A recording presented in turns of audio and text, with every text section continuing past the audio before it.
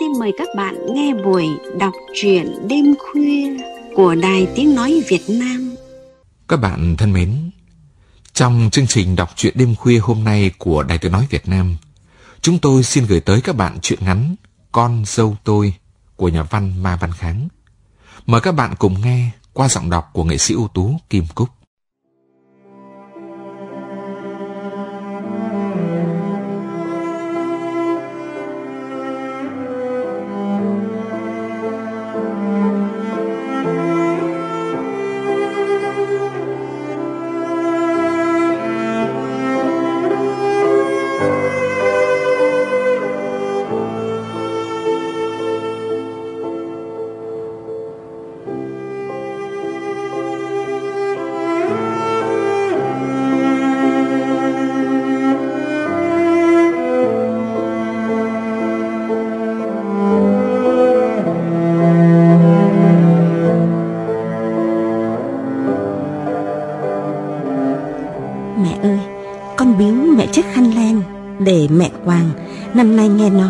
Hơn mọi năm mẹ. Nâng trên hai tay chiếc khăn len xanh màu lá mạ, con dâu tôi nhỏ nhẹ. Tôi ngỡ ngàng vì chiếc khăn thì ít mà ngạc nhiên vì gương mặt vóc dáng của nó thì nhiều. Khương, bất giác tôi bật kêu lên.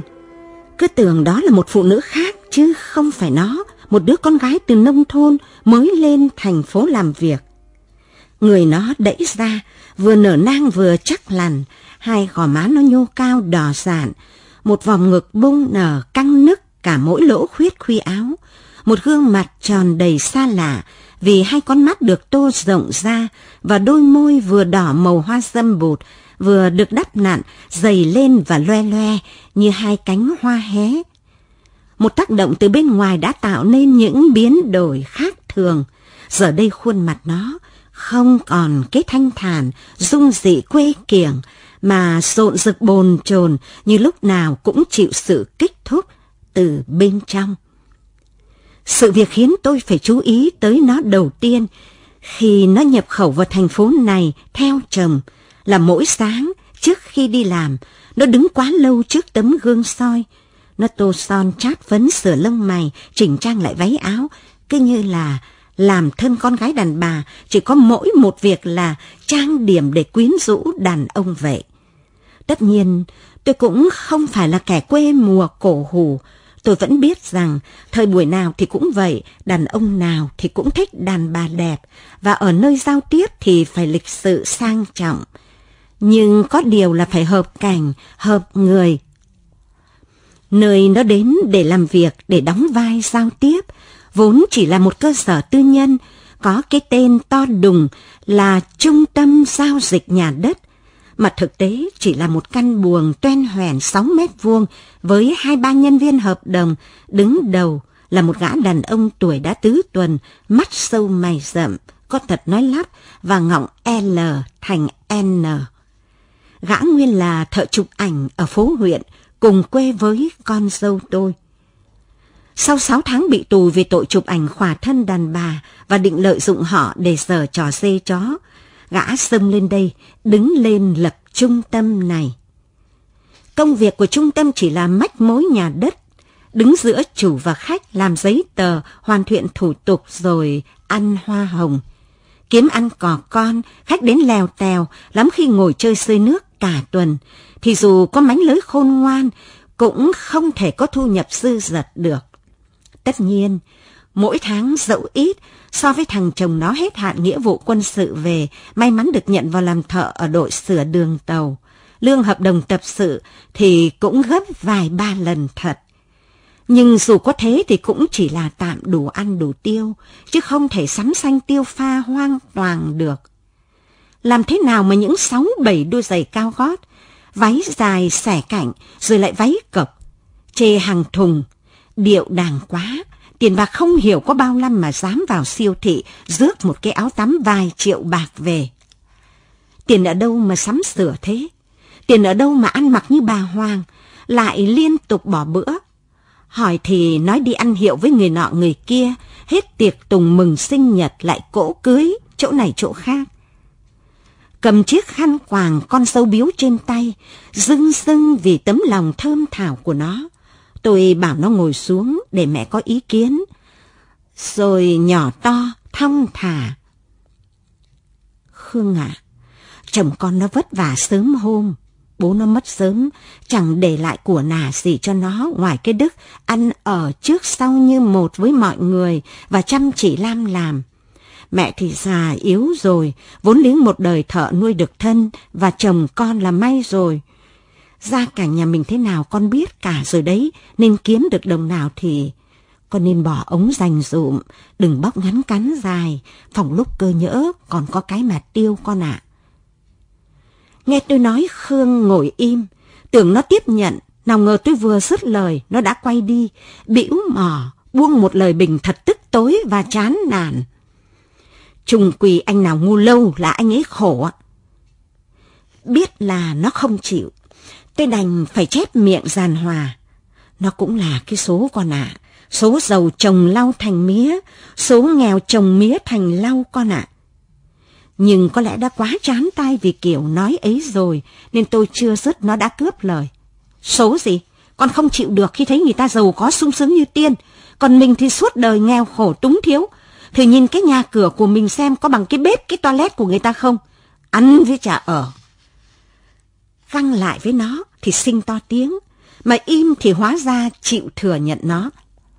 Tôi đành chèm chẹp miệng lái câu chuyện sang hướng bình phẩm, lý sự quen thuộc xưa nay, rằng đã biết thế nào mà so với bì, sông có khúc, người có lúc, may đấy mà rủi liền kề đấy. Đấy, thì nhẫn tiền là nhà ông phó cúc buôn bất động sản ở làng, ai khôn ai khéo ai giàu bằng bố con nhà ông ấy. Có bạc tỷ trong tay chứ ít à, đùng cái ngã ngửa ra, Thằng lớn nghiện ma túy, thằng bé theo người ta đi đào mà lấy hai cốt người bị xét đánh, đem sang Lào bán, làm việc vô phúc, bị rời phạt, này mắc bệnh hồi cun hồi cột. Rồi bố phát điên, mẹ phát rồ, hàng xóm bị bai xa lánh, thế thì hỏi giàu có mà làm gì? Con người ta ai chẳng muốn ăn nhàn sung sướng, có điều là các con còn đang đầu xanh tuổi trẻ, lại mới lập thân lập nghiệp, chưa thể một lúc mà nên cơ đồ, nhưng cứ chịu thương chịu khó, rồi khi nên trời cũng giúp dập cho. Bài giáo huấn của mấy anh nghèo hèn tự an ủi mình, chắc hẳn nó nghĩ vậy, nên tiếp nhận bằng cái nhếch mép cười khẩy và chống tay đứng dậy. Cái chống tay đứng dậy của nó mách bảo tôi một điều gì hệ trọng, khiến tôi tự dưng giật mình, bồi hồi, rất lạ. Nhìn cái dáng đi đã không còn mềm mại của nó, tôi bỗng thấy mừng mừng lo lo. Con dâu tôi đã có mang. Người đàn bà có mang là người đàn bà đã bắt đầu nặng lòng lo toan. Trước mắt họ là một quãng đường dài với biết bao vất vả cơ cực mà họ phải gánh vác. Vậy thì họ có sờn sơ một tí, tiêu pha rộng rãi tận hưởng nhiều hơn một tí. Ở thời kỳ còn son dỗi thì cũng thể tất được. Cũng như lúc này, nếu tính khí họ có thất thường hay bực bõ gắt gỏng trước cái gia cảnh không được như người ta, thì cũng là dễ hiểu, có thể cảm thông được. Sống chung là cuộc sống phải biết nhịn nhường nhau mà. Quảng cái khăn vào cổ, đi vào bếp, thấy con dâu tôi mặt sụng xịu, đang cầm con dao dựa trẻ củi. Tự dưng bao nhiêu là buồn bực về nó, lập tức tiêu tan hết. Tự dưng tôi thấy thương nó quá. Nó xưa dày vẫn là đứa con gái chăm chỉ nết na, chứ đâu phải kẻ đua đòi lười nhác. Bố nó là liệt sĩ thời chống Mỹ. Mẹ nó là cán bộ phụ nữ xã. Học hết lớp 7, nó ở nhà với mẹ. Gặp nó dường như lúc nào cũng thấy nó quần sắn tới đầu gối. Hết lội ao vớt bèo lại thái chuối, băm rau nuôi lợn, chịu thương chịu khó, mà tươi tắn nhẹ nhàng, gương mặt có đôi gò má cao, lúc nào cũng sáng trưng như gương soi. Thằng Long con tôi, cùng học với nó một lớp từ tiểu học quen hơi bén tiếng nhau từ thời thiếu niên, nên đến rằm thì trăng tròn, thành vợ nên chồng, chứ nào có ai phải xa lạ gì. Tuy vậy, cảm giác thương mến, dịu dàng tự nhiên cũng chẳng kéo dài được bao lâu. Tiếp xúc hàng ngày, dẫu đã dằn lòng, lấy tình cha mẹ với con cái làm phép tắc khô xử, thì vẫn cứ thấy cô con dâu mình càng lúc càng như được thể, vừa đài các sờm, vừa òe hoẹ đành hanh, vừa học đòi, ra vành ra vẻ.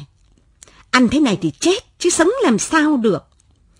Đi làm về, việc đầu tiên là nó cằn nhằn và quăng quật cái lồng bàn, rồi đá thúng đụng nia, rồi vật mình vật mẩy than van.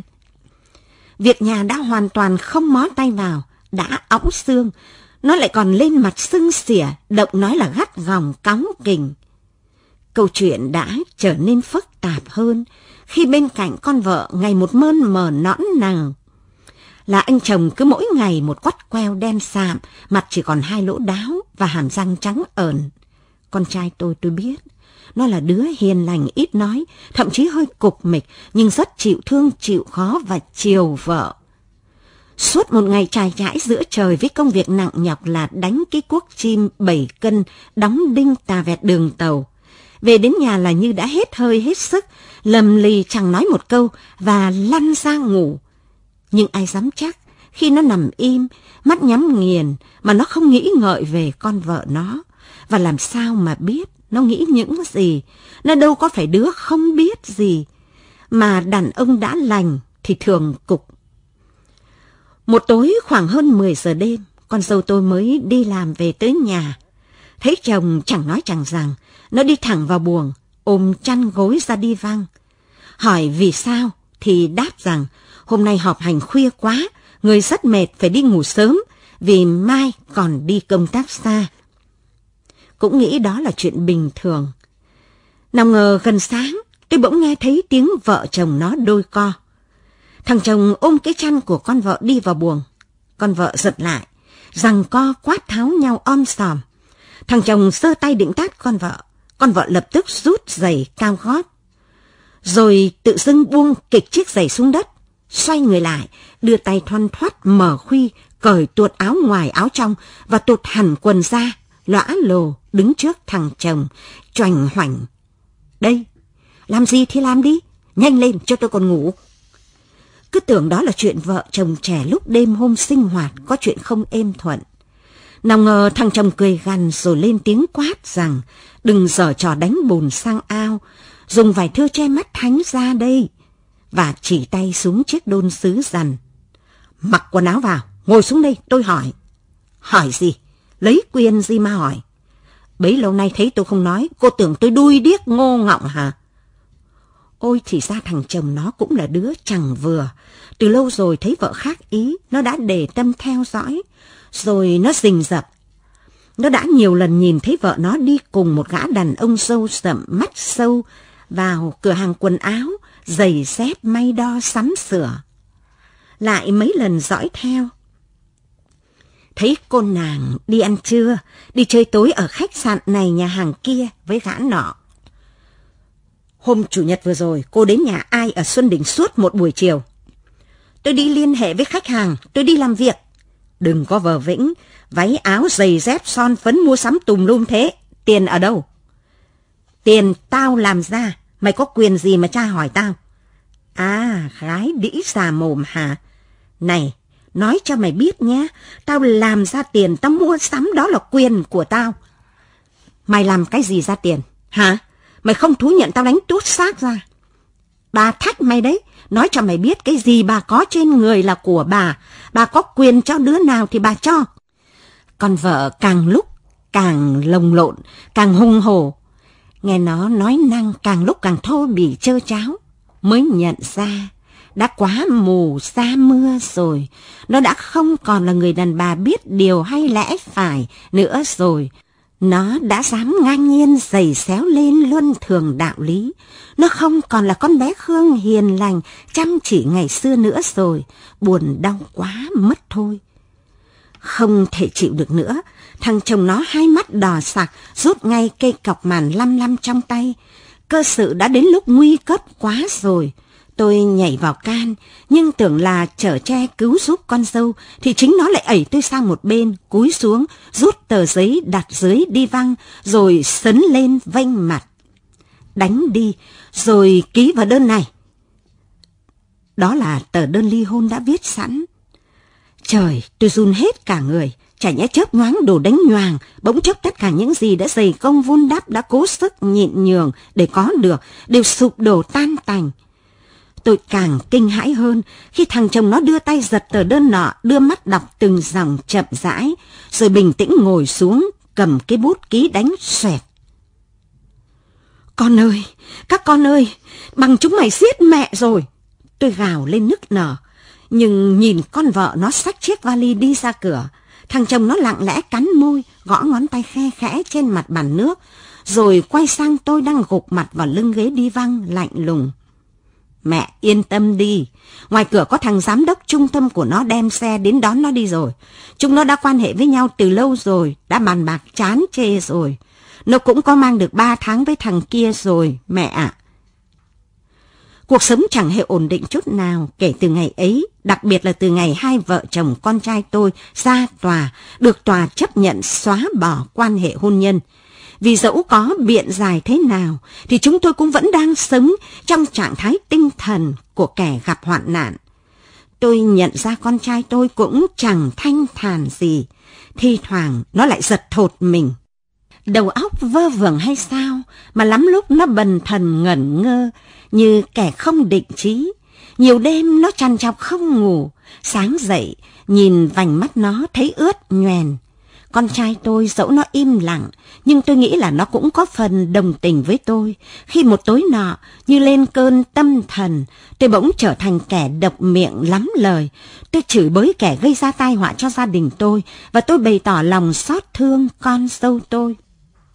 Con dâu tôi không có tội. Tội là thằng đàn ông. Thằng đàn ông đều già, khốn nạn. Nó dụ dỗ gái vị thành niên, nó quyến rũ phụ nữ có chồng, nó kích động bản năng đàn bà, trời ơi là trời. Tên đàn ông liệu nó còn gây ra những tai họa gì nữa cho người đàn bà đang bụng mang dạ chửa, đã có hồi là con dâu của tôi. Pháp phòng về số phận người đàn bà trẻ trước đây là con dâu của tôi đã là sự thật. Bốn tháng sau đó, một hôm vừa đi chợ về, tôi bỗng giật thót mình vì hai cánh cửa mở. Con trai tôi từ ngày ly dị vợ đã đến tá túc ở công trường làm đường. Nhà này còn ai có chìa khóa cửa? Trời ơi, tôi đã run hết cả chân tay, rồi quỵ ngay xuống đất. Trên chiếc đi văng một người đàn bà nằm nghiêng, cái nón lá già che khoang bụng lớn sắp đến tháng đẻ. Ôi Khương, con dâu ngày trước của tôi. Nghe tiếng tôi gọi, nó chống tay ngồi dậy y ạch xoay người, và khi nhìn thấy tôi thì cái mặt vêu vao có cặp má gồ, vầng trán nổi gân xanh của nó úp sập ngay vào lưng đi văng và nước lên một hồi. Thảm thương quá là kiếp đàn bà, thói nhẹ dạ cả tin giữa thời buổi đầy dẫy cạm bẫy và lừa lọc. Tôi bật lên nức nở. Một tháng sau tôi đưa cái Khương đến nhà hộ sinh, nó đẻ con gái, trông giống mẹ như tạc. Tôi ẵm bế con bé, nhiều lúc xu nó mà không cầm được nước mắt, và từ đó sống trong sợ hãi đợi chờ. Tôi đợi chờ con trai tôi trở về. Đàn bà không thương đàn bà thì thương ai? Tôi để cho mẹ con nó ở cùng tôi. Tôi sẽ giúp cái Khương nuôi nấng đứa trẻ. Tôi sẽ bảo ban khuyên giải nó, dạy nó buôn bán kiếm ăn lần hồi. Nhưng tôi cũng chẳng dám hứa hẹn gì với nó, và nghĩ bụng sẽ chẳng dám khuyên bảo con trai tôi điều gì đâu. Con trai tôi, nó chính là nạn nhân của sự việc bi đát này. Đòi hỏi ở nó điều gì bây giờ cũng là bất nhẫn. Cuối cùng, thì cái gì phải đến đã đến. Một chiều con trai tôi từ công trường làm đường trở về, vẫn là cái dáng lều đều gầy gùa, cái vẻ lầm lụi thường ngày, mùi mồ hôi khen khét, tỏa ra từ cái mũ lưỡi chai, bộ quần áo bảo hộ lao động xanh bạc lam lũ. Nó đi qua trước mặt tôi, chợt sững lại mấy giây, mắt nhìn xuống đứa bé con đang ngủ trong tay tôi, chút cái mũ chạt mồ hôi trên mặt, vò vò trong lòng bàn tay, rồi đi thẳng ra sân sau. Long ơi, vào ăn cơm con. Tối sẫm, tôi cầm cái đèn lò dò đi ra sân, không có tiếng đáp. Mũi từ cống rãnh từ bụi cỏ bay ra từng đám vo ve phát tiếng, dò dẫm vài bước nữa, tôi đứng lại tôi đã nhận ra con trai tôi, một bóng trông dáng ngồi mệt mỏi, xây lưng lại căn nhà, nhìn ra mảnh vườn nhỏ và mùi khói thuốc lá phảng phất quẩn quanh. Long ơi, vào ăn cơm đi con. Con ơi, ngồi ngoài trời sương xuống độc lắm, nhỡ bị cảm thì khổ đấy. Sao dạo này con lại hút thuốc lá rồi à? Đừng hút nữa hại phổi lắm đấy con à. Không một lời đáp, con trai tôi một mình một bóng lặng câm. Chỉ có đầu điếu thuốc đỏ lòe trong bóng tối và mùi khói thuốc càng lúc càng quẩn đặc. Tôi từ sau nhà nhìn ra mảnh sân sau, tìm bóng hình con. Lòng dạ xót xa như đang bị trà sát. Con trai tôi nó làm gì nên tội mà giờ đây đang bị đọa đầy. Đứa bé khóc. Tôi vào nhà giật mình vì thấy Khương ngồi dậy. Khăn áo chặt chịa, tay bế đứa nhỏ, tay xách cái làn đầy tã áo. Khương, con định đi đâu? Chỉ chờ có thế là Khương quỵ xuống, nước mắt chan chan. Mẹ ơi, mẹ để con đi, con không còn mặt mũi nào mà nhìn thấy anh ấy được nữa. Tôi răng lấy đứa nhỏ, kéo Khương vào buồng. Con ơi bát nước đã đổ xuống đất rồi, mẹ hiểu lắm. Nhưng cái gì không phải do trời gây ra thì cắn răng mà chịu, thì cố mà đứng dậy con à. Mày đừng làm tan nát lòng mẹ nữa. Rằng giật một lúc, con bé khóc toáng lên. Khương vội ẵm lại nó, ấp vú vào miệng nó rồi ngồi im, sụt xịt khóc. Đã quá nửa đêm rồi, sương xa trắng mờ, tôi cầm đèn đi ra sân. Con ơi, tôi thốt lên rụng rời, chiếc đèn buột khỏi tay tôi rơi xuống đất vỡ tan. Nhưng điếu thuốc lá chợt lóe lên đỏ rực, soi rõ gương mặt hốc hác của con trai tôi. Trên gương mặt ấy có đôi mắt trừng trừng, nhìn vào trời đêm thăm thẳm như muốn hỏi, cuộc sống sao lại có những cảnh huống éo le, đau khổ như thế này. Suốt đêm đó, con trai tôi ngồi như hóa đá ngoài sân. Suốt đêm đó chấm thuốc lá đỏ nhập nhòa, bóng hình con trai tôi đang âm thầm vật lộn với nỗi đau của mình. Gần sáng mệt quá, tôi thiếp đi được một lát thì choàng tỉnh vì nghe thấy bước chân người. còn tôi ôm chầm lấy con trai tôi và run rẩy lạnh toát cả người con trai tôi, người đàn ông trong đau khổ cùng cực éo le này, sẽ xử sự thế nào đây? Nó có quyền của một nạn nhân. Mẹ ơi, mẹ chú ý, trẻ sơ sinh phải tiêm đủ liều vaccine. Tôi đã gần như đổ sụp xuống dưới chân nó. Đứa con trai khốn khổ của tôi. Con trai tôi mũ sùm sụp, mặt âm u, tiếng nói ngắt quãng khê đặc, tay mở cửa, quay lại nhìn tôi, rồi lặng lẽ lọt ra cửa, đi đến công trường. Ngoài sân, chỗ con trai tôi ngồi, đầu mẩu thuốc lá tung tóe, dễ có đến vài chục điếu đã cháy trong đêm.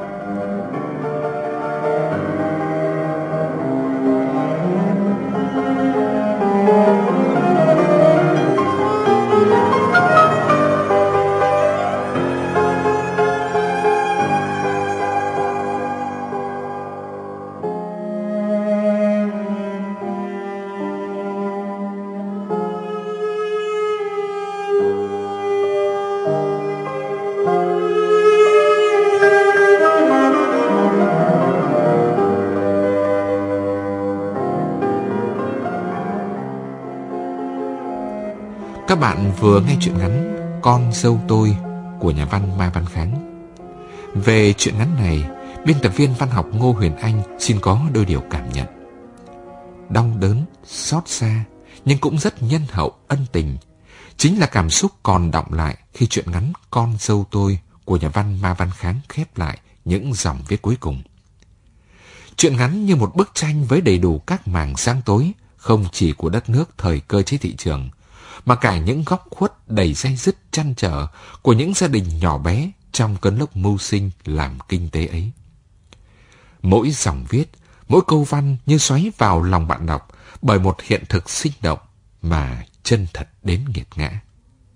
Chuyện chỉ xoay quanh ba nhân vật, Khương, chồng Khương và người mẹ chồng.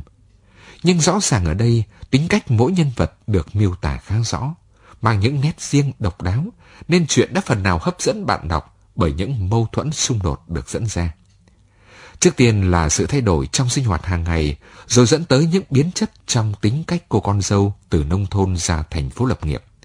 Tiếp đó là sự nhẫn nhục chịu đựng của người chồng trước những cong cớn đanh đá của người vợ. Và cuối cùng là sự lo lắng bồn chồn của bà mẹ chồng khi thấy gia đình con trai mình không hạnh phúc. Chuyện được đẩy tới cao trào khi Khương sinh con và bị gã đàn ông lừa dối phụ bạc. Không biết nương tựa vào đâu, Khương đành bế con về nhà chồng cũ và cô nhận được sự bao dung tha thứ của mẹ chồng. Tuy nhiên với chồng Khương thì đó lại là một nỗi đau ghê gớm, không dễ gì bỏ qua được. Nỗi đau như khiến anh hóa đá, để rồi trái tim tưởng như đã chai cứng của anh lại mềm xuống khi anh cảm nhận được tiếng khóc vô tội của đứa trẻ còn đỏ hòn. Sự tha thứ của chồng Khương rõ ràng là một điểm nhấn trong truyện ngắn Con dâu tôi của nhà văn Mai Văn Kháng. Và chính chi tiết này đã khiến chuyện để lại những ám ảnh trong lòng bạn đọc.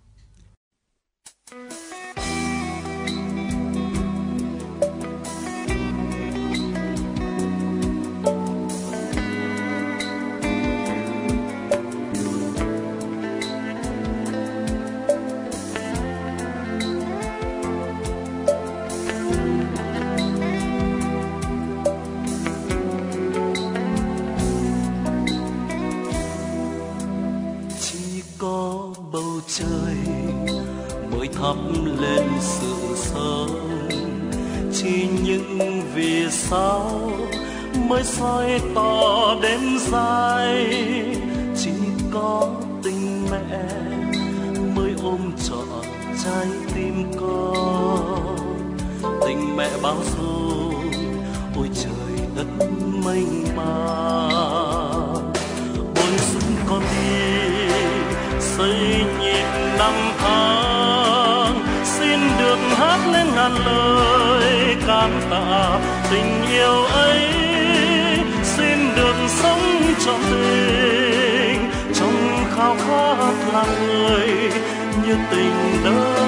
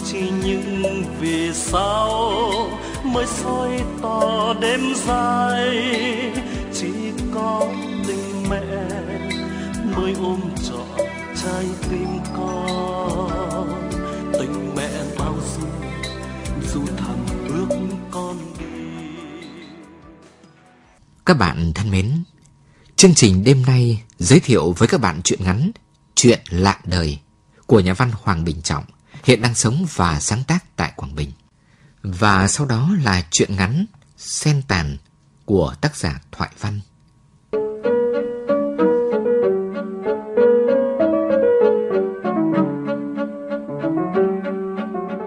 Đang ngơ ngác nhìn nhìn ngó ngó thì chợt nghe ai gọi tên mình. Tôi mừng quính. Lướt nhanh ra cổng, tôi bắt gặp một dáng hình cao gầy, đen đúa, nhưng trưng diện ngất trời, đủ cả con lê, mũ phớt, giày đen, kính gọng vàng. Sao có đứng đực ra như trời trồng thế? Người ấy hỏi. Không nhận ra nhau nữa à? Lạ quá Sao trên đời lại có một người giống hệt mồ ma nhà thơ Nguyên Phú thế này? Thì đúng mồ ma Nguyên Phú đây Chứ có giống hệt gì nữa. Ôi Phú Xuân Mới cách mặt đó đã cách lòng. Nhưng Nguyên Phú chết rồi mà Nguyên Phú chết rồi Hồn ma hắn mới hiện về Đón hồn ma Phú Xuân đi được chứ hồn ma Phú Xuân. Tôi gai gai cả người, Ông nói như thể tôi cũng đã chết như ông rồi không bằng ấy. Quái lạ, thế Phú Xuân tưởng ông còn sống sao? Thiên hạ vẫn bảo ông vô tâm bất tạng. Nhưng vô tâm bất tạng đến mức không biết mình đang sống hay chết thì đây quả là trường hợp độc nhất vô nhị.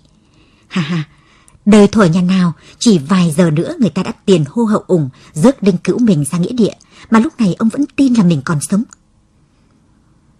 Tôi sắp sửa nổi quạo thì có một đoàn đô tùy được trang bị như mấy con tốt đỏ trong bộ bài tam cúc đi trước, dọn đường cho một chiếc xe tang, trang trí khá bắt mắt từ ngoài cổng lừ lừ tiến vào. Vô cùng thương tiếc nhà văn Phú Xuân. Hàng chữ to đùng, sơn son thiếp vàng ấy đập vào mắt, làm tôi cảm thấy như có một luồng điện chạy từ đầu đến chân. Tôi dạo mấy vòng quanh nhà với tâm trạng hoang mang nghi hoặc. Mình đang sống hay là chết rồi nhỉ? Tôi đang sống ư? Đang sống thì tại sao tôi đi chẳng ra đi, ngồi chẳng ra ngồi, mà cứ bồng bềnh như bay lượn trên khói trên xương thế này? Đang sống thì sao tôi đã được người ta lập bàn thờ và các thân hữu gần xa đến phúng viếng, ai nấy đều mặt ủ mày trao thế kia. Tôi đang sống thì sao vợ con tôi đã mặc áo xô, chít khăn tang, lăn lộn, khóc lóc réo gọi tên tôi, nghe thảm thiết nhường ấy. Vậy thì tôi đã chắc chết rồi. Nhưng theo các nhà khoa học thì người đã chết là từ cát bụi trở về cát bụi, chẳng hay biết gì nữa. Sao tôi còn có khả năng nhận thức nhỉ? Đã chết rồi thì sao tôi còn nghe rất rõ tiếng còi ô tô bim bim ngoài đường. Còn biết trong nhà bếp nhiều cô dâu bà thím đang tất bật bày biện mâm cỗ để cúng vái đưa tiễn tôi về nơi an nghỉ cuối cùng. Đã chết rồi, sao tôi vẫn nhìn thấy mấy chàng trai trong hội hiếu phùng mang trợn mắt, thổi điệu kèn, đưa linh cho hương hồn tôi trắng siêu thoát. Đã chết rồi, sao tôi còn nhận ra khuôn mặt lưỡi cầy, có cái mũi mỏ quạ, cái mồm cá ngão của thi sĩ sao băng. Chỉ mới cách đây vài tuần, hắn ta còn khích bác tôi bổ bịch lăng nhăng, từ cách không đứng đắn.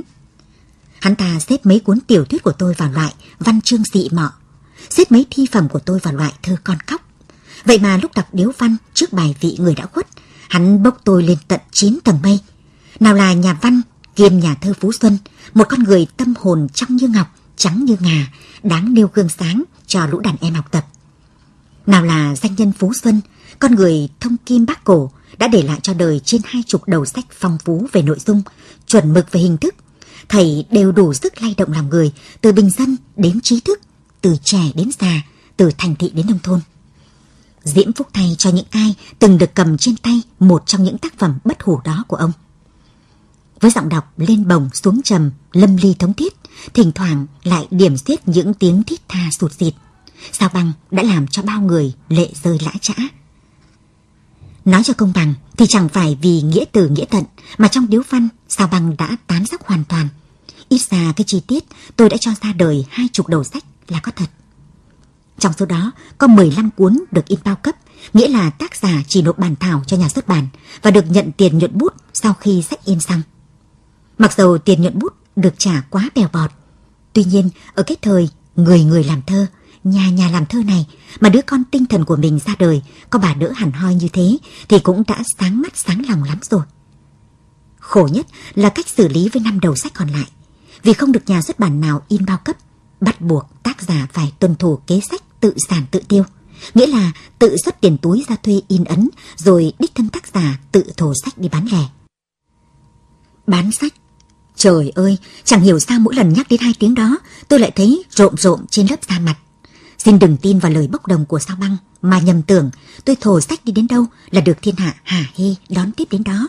Là ai nấy đều thấy có diễn phúc đặc biệt được nâng lên tay tác phẩm bất hủ của danh nhân Phú Xuân. Không đâu, nghìn lần không. Sách đã in ra theo kiểu tự sản tự tiêu, bắt buộc tác giả phải thổ đi bán.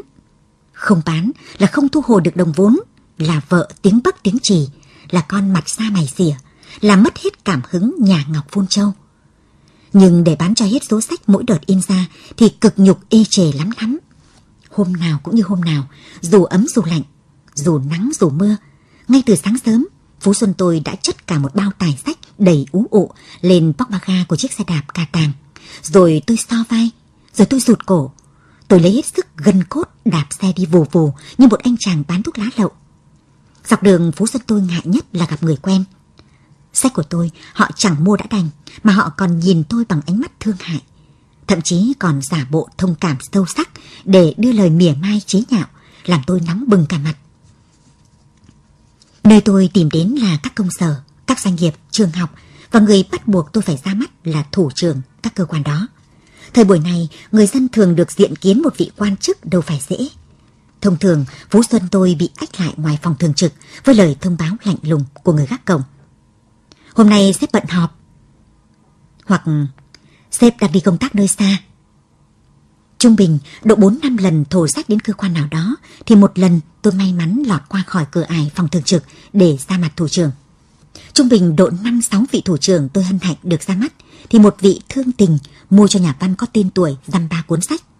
Đó là chưa nói đến chuyện thủ kho to hơn thủ trưởng. Lắm khi giám đốc duyệt mua rồi mà nhân viên kế toán cực lực phản đối thì không vẫn hoàn không. Mỗi lần đi bán sách kiểu đó tôi như đã thành người khác vậy. Lúc nào cũng tất tười, nơm nớp lo sợ mà chẳng biết vì sao. Tiếp kiến với bất cứ một sếp bự nào, dù có người chỉ bằng con trai đầu lòng của mình, tôi cũng gãi cổ gãi tai, xoa chân xoa tay, nói năng là cà, lập cập, da mặt như dày thêm hàng cm. Sau khi chia tay với họ, trên đường trở về, tôi rất thèm được làm một nghề gì khác, dù là gác cổng hay là quét chợ cũng được. Vì ít ra chẳng có ai ghẻ lạnh với lớp người này. Còn với các nhà văn nhà thơ tự thổ tác phẩm của mình đi sao bán như tôi, thì bị người đời xem bằng nửa con mắt là sự thương. Thế nào, bây giờ hẳn đằng ấy tin là mình đã chết thật rồi chứ?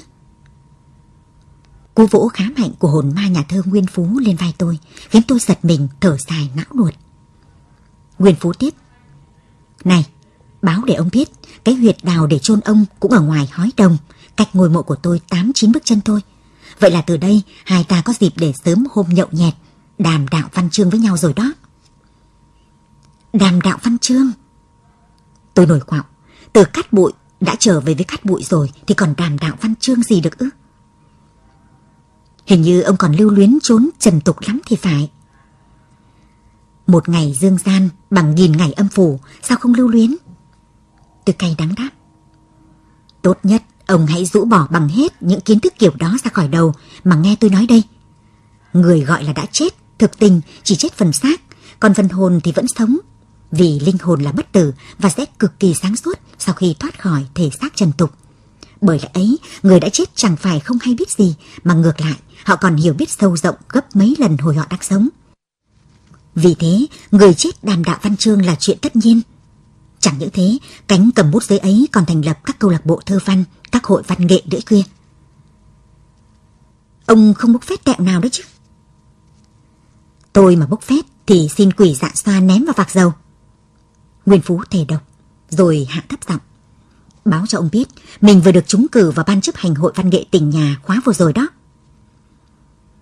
Tôi nhìn như đóng đinh vào mắt Nguyên Phú và tin anh ấy nói thật. Tôi hỏi và cảm thấy ấm lòng đôi chút. Này, chắc số hội viên hội văn nghệ dưới đó đông lắm nhỉ? Đến vài chục nghìn người cơ. Bao nhiêu vị có chữ nghĩa từ thuở khai sơn phá thạch dưới này đều đầu đơn xin vào hội thì sao chẳng đông. Nhưng đừng lo, đông mấy thì đông, cánh cầm bút thế hệ chúng ta vẫn đang ở thế thượng phong. Lý do? Vì văn chương những lớp người cũ đơn điệu mòn sáo quá, rất dễ nhàm chán. Trong lúc đó văn chương thế hệ bọn mình là thành quả bao nhiêu phen cách tân, cả nội dung lẫn hình thức, nên lắm lời hay ý đẹp, dễ lay động lòng người. Bởi thế trên báo chí, hầu hết chỉ sử dụng bài vở các tác giả trẻ. Thậm chí các cây bút cánh trẻ có uy tín còn được tòa soạn báo chí đặt bài cho từng số nữa kia. Chế độ nhuận bút dưới đó thế nào? Tôi hỏi giật giọng, quên phát chuyện vừa mới chết. Nhuận bút dưới đó đã đời lắm, chứ không bèo bọt như trốn trần tục đâu. Một bài thơ èn èn đăng trên một tờ báo lá cải tỉnh lẻ cũng được trả đến nửa triệu. Một cuốn sách dày trên dưới 200 trang, nhà xuất bản trả cho tác giả số tiền tương đương với chục cây vàng. Chục cây vàng? Ông học được trò khoác lác này từ bao giờ thế? Tôi mà khoác lác thì xin quỷ dạng xoan ném tôi vào vạc dầu. Nguyên Phú lại thề độc. Ngoài ra, dưới này sách toàn in bao cấp, chứ không theo lối tự sản tự tiêu đâu. Chùi cha cứ mỗi lần nhớ lại hình ảnh các nhà văn như ông còm lưng, đạp chiếc xe cà tàng thổ sách đi bán, tôi lại buồn thối ruột. Còn nơi họ mới mua hôm trước, hôm sau số sách đó đã nằm trong thùng rác cơ quan. Ông nói đúng quá. Tôi cay đắng phụ họa. Chính tôi cũng từng thấy một số sách của mình được cô tạp vụ cơ quan nọ đem bán theo giấy loại cho các bà đồng nát. Ông có thấy cái thằng to con mặt bệt bệt như giấy bánh đúc kia không? Thì sĩ Phạm Lâm đó, về khoản đem sách tự sản tự tiêu đi bán, hắn thuộc loại siêu sao. Khác xa tôi, Phạm Lâm có xe máy loại xịn để rong ruổi khắp mấy huyện thị trong tỉnh. Hắn lại có tài, giao đãi, đặc biệt là mặt dày mày dạn, nên hệ đã xuất chiêu là chúng quà đậm. Tuy vậy, Vạn Lâm vẫn cho rằng thổ sách đi bán sao là một sự đại điếm nhục của nhà văn. Vì lẽ đó, và còn vì lẽ hắn rất quý tôi, nên tôi tin mình kiên nhẫn thuyết phục hắn sẽ nghe ra. Vấn đề là làm sao bổ được cái đầu nó ra, làm cho nó hiểu một chân lý đơn giản. Chết không phải là hết, mà sau khi siêu thoát, linh hồn sẽ được sung sướng như lên thiên đường. Tôi hỏi ông, trên đời có thằng ngốc nào là không bị hấp dẫn khi nghe thiên đường vẫy gọi? Khá, rất khá. Không ngờ ông tiến bộ nhanh đến thế. Đã tin chắc vậy, ông thí nghiệm một phen xem sao. Biết đâu lại có chuyện chó ngáp phải ruôi. Tôi đến với Vạn Lâm trong lúc khuôn mặt béo căng béo nứt của hắn, đỏ hâm hia vì nốc quá nhiều rượu. Tôi huých cùi trỏ vào hông hắn. Tôi vỗ đồng đột lên vai hắn. Tôi hét to vào tai hắn. Ra ngoài cổng, để tớ bày cách cho bà lên thiên đường. Tôi đã lặp đi lặp lại mấy động tác ấy không dưới 10 lần mà thi sĩ Phạm Lâm chẳng có bất kỳ phản ứng nào. Cáu tiết, tôi dẫm mạnh lên bàn chân hắn, véo vào mạn sườn hắn, thậm chí còn xách tai hắn như xách tai một đứa trẻ lên ba, mà hắn vẫn tỉnh queo. Này, cậu trở mặt với tớ từ bao giờ thế? Chẳng lẽ lời nói của tớ không đáng cho cậu để lọt vào tai nữa sao? Tớ đã làm gì không hay không phải mà bị cậu coi như dơm như xác vậy? Tôi la lên theo nguyên tắc to dần đều. Và cuối cùng nó đã trở thành một thứ âm thanh chát chúa nghe tựa tiếng cưa sắt chặt đồng. Dường như còn muốn trêu tức tôi, Vạn Lâm vớ ngay chiếc rùi trống đánh liên hồi vào cái trống đại bên cạnh. Chắc chắn đây không phải loại trống bình thường. Âm thanh nó phát ra không tùng tùng, cũng chẳng thinh thinh và vang rền như tiếng sấm tiếng sét. Đã thế, từ trên mặt trống, chốc chốc lại xoẹt vài tia chớp loằng ngoằng như những con rắn lửa. Tiếng trống như bổ vào cân não tôi. Ánh chớp như thọc vào mắt tôi làm tôi choáng váng, lảo đảo. Cố hết sức, tôi lao đến vạn lâm, định rằng lấy chiếc rủi trống. Không may trượt chân, tôi ngã đánh oạch xuống đất, đầu va vào bậc tam cấp, nhưng chẳng đau đớn gì. Hơn thế, tôi lại thấy hồn mình được thoát xác, bay lên trời. Này này! Chợt có ai đó vỗ mạnh lên vai tôi, cố hết sức. Vực tôi đứng dậy, sốc nách, dẫn tôi đi một quãng, rồi ấn tôi ngồi xuống. Chim bao thấy gì mà gào vậy hả? Trời sắp mưa to biết không? Giày rượu mà nằm giữa mưa, bị cảm lạnh, chết có phen đó. Tôi dụi mắt nhìn quanh. Sao lạ thế này? Toàn bộ khung cảnh cuộc tang lễ tiễn tôi về nơi an nghỉ cuối cùng. Nào là linh xa linh cữu, nào vòng hoa câu đối, nào đội chống đội kèn, kể cả bà con đội ngoại lẫn thân hữu gần xa đều bay biến đi đâu sạch xanh xanh. Tôi thấy mình đang ngồi trên một chiếc ghế đá cạnh một cây đa có nhiều rễ phụ, lòa xòa như dâu ông lão. Xa xa là những bồn hoa cây cảnh bị phân cách bằng những con đường nhỏ đá cuội dài đều. Tuy nhiên bao nhiêu cảnh vật có vẻ bắt mắt đó lúc này đã nằm dưới một nền mây đen sũng nước với nhiều tia chớp ngoằn ngoèo làm cho chúng đều nhuốm màu tím tái, nòm rất ma quái. Nhà văn tỉnh hẳn chưa đó? Người đưa tôi đến đây hóa ra là anh công an khu phố, nói nói cười cười. Gớm thổ sách đi bán mà uống đến say mềm, lăn ra cỏ ngủ vùi từ sáng đến giờ. Nếu không có tôi thì bọn lưu manh đã cũa mất cả xe lẫn sách rồi nhé. Sự thật là vậy sao? Tôi cảm thấy hụt hẫng như bị rơi từ trên cao xuống đất. Tôi đã chết rồi cơ mà. Lại còn vậy nữa à? Hà hà, mới gần chết chứ chưa chết hết đâu. Cả hai người cơ. Hình như vị kia là nhạc sĩ Hoàng Hương Sang thì phải. Hoàng Hương Sang? Ừ, đúng. Vậy ông ta đâu rồi? Ông nhạc sĩ ấy đã bị bà vợ áp giải như tên tù binh về nhà rồi. Vậy là ông ta còn sống, riêng tôi thì đã chết. Anh công an khu phố phá lên cười. Ông thì trời còn bắt sống lâu. Này, nhà văn đã nhận ra chiếc xe đạp chất đầy sách nằm trồng chơi trên bãi cỏ đằng kia không? Nhìn theo hướng chỉ của anh công an, trí nhớ của tôi dần dần hồi phục. Khoảng 8 giờ sáng hôm nay, trên đường đi bán sách, tôi có tạt qua công viên thành phố thì bất ngờ chạm trán nhạc sĩ kiêm nhà thơ Hoàng Hương Giang. Biết ông ta là con sâu rượu, tôi muốn tránh mặt. Nhưng ông giang tay cản đường rồi nắm lấy ghi đông xe của tôi. Vào chỗ kia đánh vài choác cho khoái tỷ đã nhé. Tôi ngơ ngác nhìn quanh. Ở đây làm gì có hàng quán mà bảo đánh vai choác. Hoàng Hương Giang vỗ bôm bốp vào cái bị lác phồng căng trên vai. Khỏi lo khỏi lo, trong này có đủ cả bia rượu, thịt cây, lăng lợn, đủ cả mắm tôm, húng liều, ớt tỏi cho hai ta tha hồ nhậu nhẹt. Chúng tôi uống rượu, đọc thơ. Đọc đến đâu, chúng tôi uống đến đó. Uống cho đến cả lục phủ ngũ tạng, nóng như nhúng vào nước sôi vậy. Sau đó là nôn thốc nôn tháo, là trời đất xoay tít mù, là bước đi siêu vẹo, bổ nháo bổ nhào. Sau đó nữa thì mọi vật chung quanh đều mờ mờ ảo ảo, hư hư thực thực. Riêng bản thân tôi rơi vào tình trạng kỳ lạ có một không hai, chẳng biết mình đang sống hay là mình đã chết. Dĩ nhiên, bây giờ thì tôi đã biết chắc mình còn sống, nhưng lạ lùng là lòng không thấy vui cũng chẳng thấy buồn. Bắt tay cảm ơn anh công an xong, tôi bước đến chiếc xe đạp cà tàng có bao tải sách to đùng nằm trườn ườn trên bãi cỏ và cố sức vực nó đứng dậy, ỉ ạch đẩy xe ra ngoài đường. Biết trời sắp đổ mưa rào, nhưng tôi vẫn quyết định tiếp tục đi bán sách. Trong lúc so vai rụt cổ đạp xe đến một nơi xa lắc xa lơ, tôi thầm cầu khẩn Phật phù hộ cho mình. Hôm nay bán được giam ba cuốn, lấy tiền đưa vợ.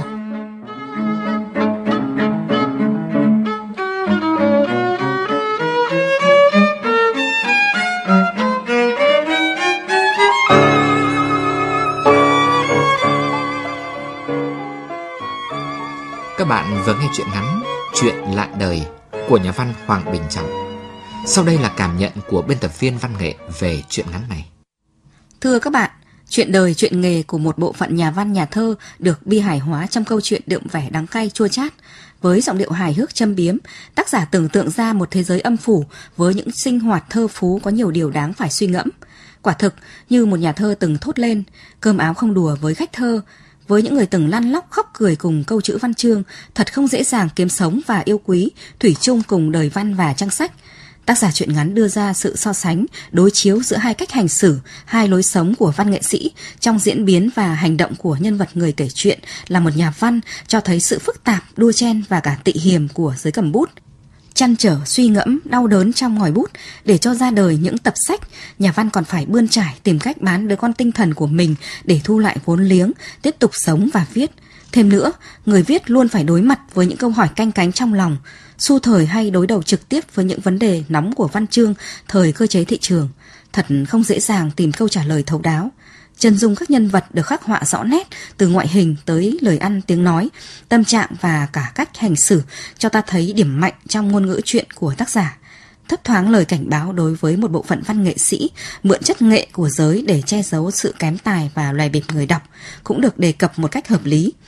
Sử dụng yếu tố giấc mơ đặt vào cuối chuyện, tác giả tìm được cách lý giải khá hợp lẽ về xác định chỗ đứng của nhà văn trong cuộc đời – Ngẫm ra mới thật thấm thía câu thơ cụ Tú Sương thuở nào, văn chương đâu phải là đơn thuốc, chớ có khuyên sằng chết bỏ bu.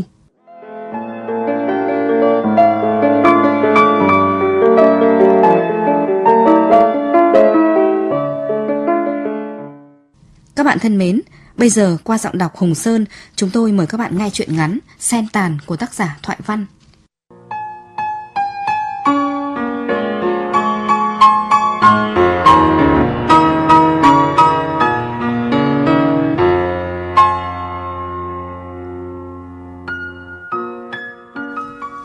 Gió, gió quá chừng Gió lên từ đất, lùa qua từ trời.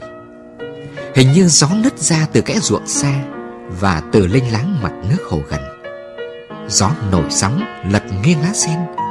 Gió sàn dạt qua mái nhà. Căn nhà tách biệt, trông chênh Ngạo nghễ và cô đơn. Gió sớm, gió chiều, gió khuya Gió miên man qua cánh đồng Đuổi nhau trên khoảng đồi đá sỏi, gai cỏ. Gió sôi nổi hao hứng, Căn nhà trầm mặc nỗi niềm. Bỗng dừng chiều nay nhộn lên. Tiếng hát bay trong gió, Sàn tre rung rinh, Các vòng đo cũng rung theo. Sàn nhoai ra mặt hồ Hồ mênh mông thanh thoát, Người núp ních thiệt ra Lạch pha. Ông trời đôi khi cũng lạ, Hay đem cách thuần khiết đặt bên cái trần tục. Nghĩa đi câu muốn yên lặng, lại gặp cảnh này. Người bụng vệ nhận Nghĩa là thầy. Thầy giáo thời tem phiếu. À, thầy Nghĩa phải không? Thầy chứ còn ai? Em là Danh.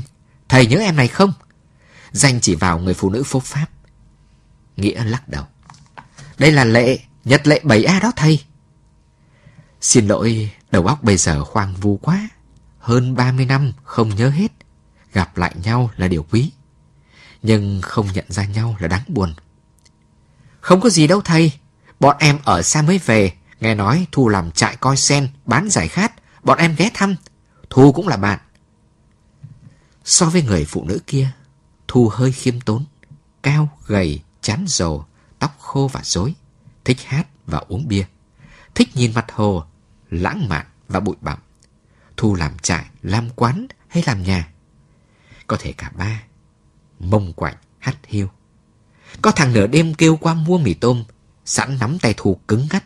Gió bạt ao ao. Kêu ai bây giờ? Thu nói.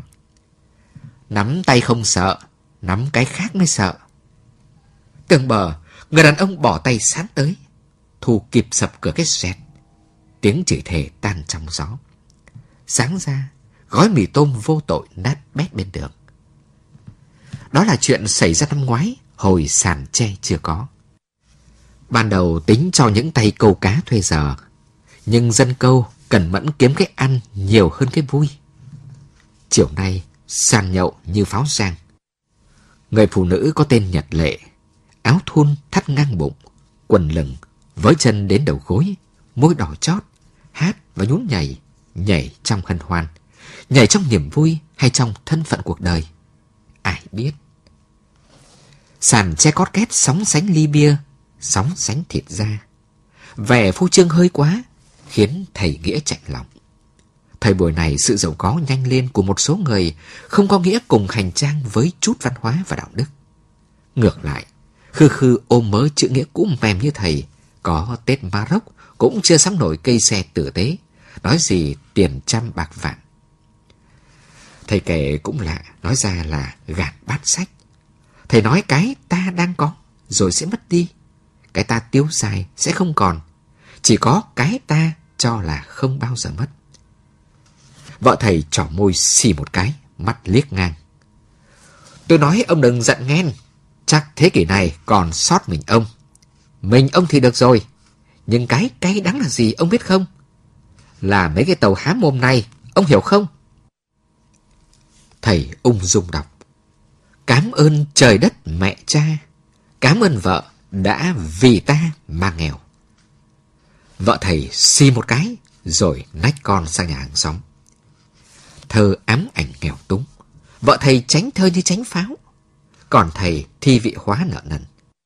Toát mồ hôi hột giữa đêm, nghe nần nợ gọi họ tên của mình.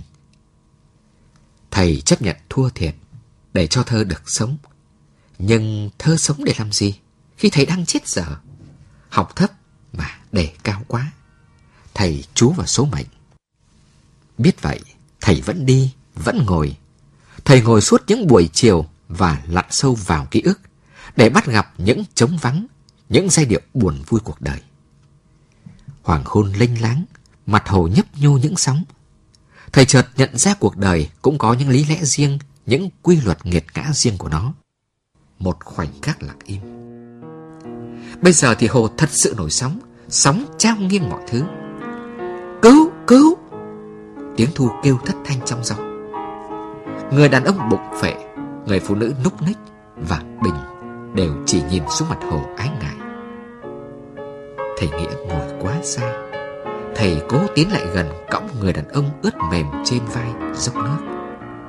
Người đàn ông dịu oặt như cọng bún đang thoi thóp, mắt trừng lên bầu trời. Bầu trời, vài chòm sao đã mọc. Người đàn ông mơ hồ thấy những khoảng đồi cà phê và con đường đất đỏ. Có một người đàn bà khoác tay người đàn ông nào đó đi về phía cánh rừng. Rừng nhạt nhòa bóng đêm. Có lẽ ngoài kia, sen cũng bắt đầu tàn vì đã tiết cuối thu.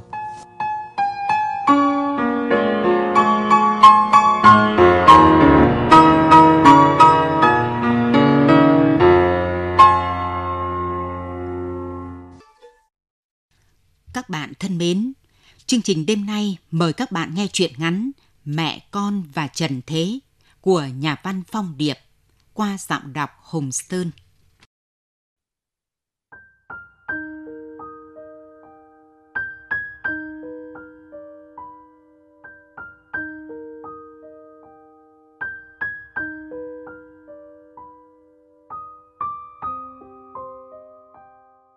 Bây giờ thì bà biết nó hận bà.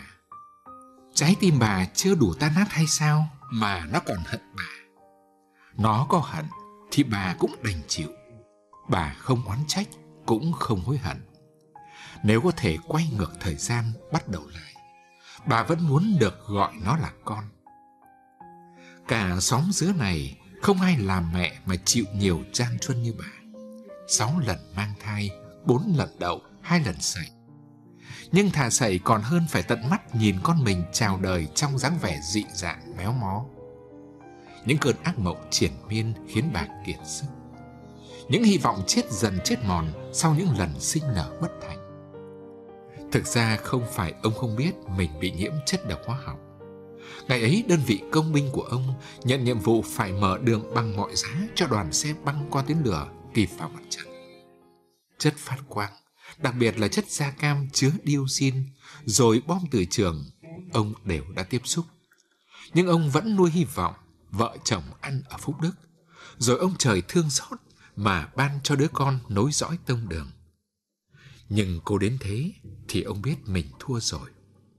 Tổ tiên, ông trời cũng không làm gì được cho ông nữa. Có cố thì cũng chỉ chuốc thêm sự đau đớn dằn vặt mà thôi. Mấy tháng trời suy nghĩ vặt vã, ông quyết định làm đơn ly hôn dục bà ký. Rồi bà sẽ có người đàn ông khác tử tế hơn, cho bà được một đứa con. Ông chỉ là thằng đàn ông vô dụng. Nếu cứ giữ bà lại bên mình, thì ông còn là thằng đàn ông ích kỷ, độc ác nữa. Bà cầm lá đơn mà chết lặng. Ông làm gì thế này hả ông? Ông muốn bà phải chết hay sao? Đời này kiếp này bà sống làm vợ ông, chết làm ma nhà ông. Sao ông lại ruồng rẫy bà như vậy? Không có con đẻ thì xin con nuôi. Vợ chồng ăn ở gần chục năm trời, đầu bắt đầu có hai thứ tóc. Ông làm gì thì cũng phải nghĩ, kẻo trẻ trâu nó cười trâu. Ông nhìn bà, họng ông đắng ngắt, ngực đau tức, tưởng như không thở nổi nữa. Mình ơi, Đời này kiếp này tôi chịu ơn mình lắm.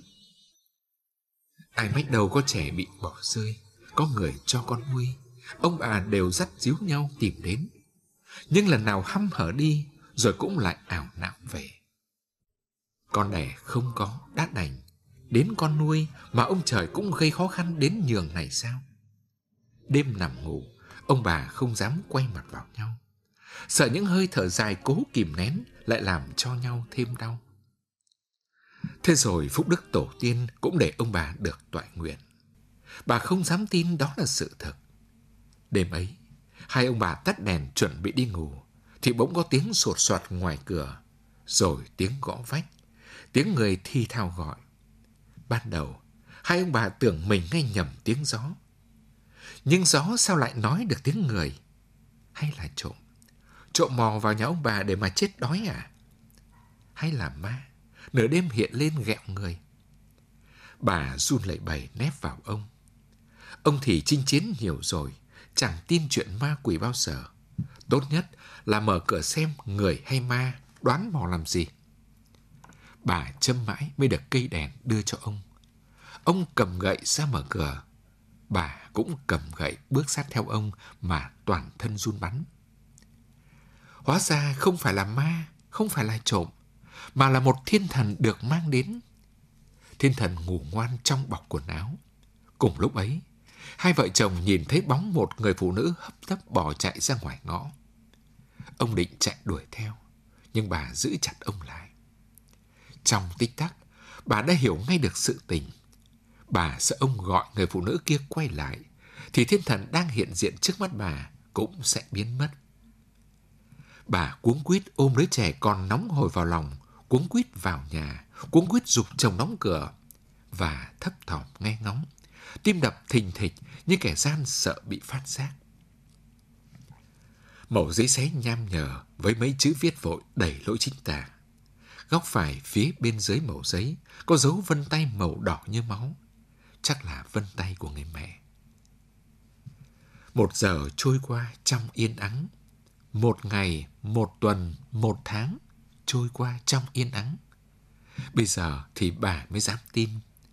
Thằng bé được đặt tên là Thiên Ân. Từ bé đến lớn, bà chưa một lần dám đụng roi vào mông thằng bé. Bà nhìn hàng xóm lùa con chối chết từ trong nhà ra ngoài ngõ, roi quất vun vút mà thấy lạnh người. Đến cả việc quát con, bà còn chẳng dám to tiếng. Gọi là con, nhưng bà có mang nặng đẻ đau ra nó đâu. Bà làm gì có quyền với da thịt của nó. Huống hồ, nó còn được ông trời cho về làm con của bà. Bà yêu thương nó, mang ơn nó còn không đủ, thì làm sao bà nỡ làm nó đau. Vậy mà 17 năm sau, nó bỗng hận bà. Bà biết phải làm sao đây? Bỗng nhiên, thằng bé đùng đùng sốt đúng vào lúc ba bề bốn bên mưa gió sập sùi. Bão ập đến trong nỗi bàng hoàng của dân xóm dứa. Chẳng ai được báo trước câu nào. Đàn ông đàn bà cuống cuồng buộc lại chuồng gà chuồng lợn, chặt vội buồng chuối, gom vội giàn su giàn mướp. Rồi thì cửa giả chốt chặt, nín thở chờ đợi. Thằng bé sốt cao hai ngày liền không cắt được cơn.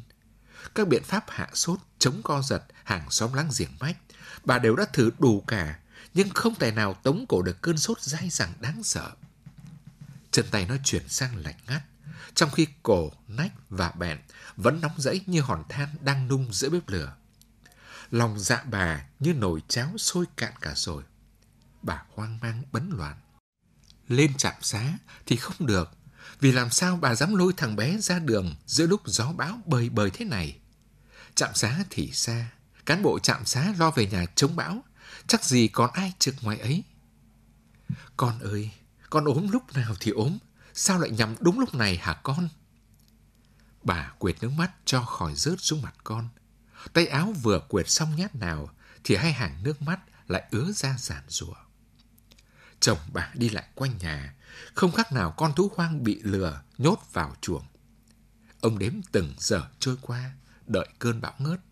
Nhưng càng đợi càng nản, gió vun vút ngoài liếp cửa, mưa quất ràn rạt.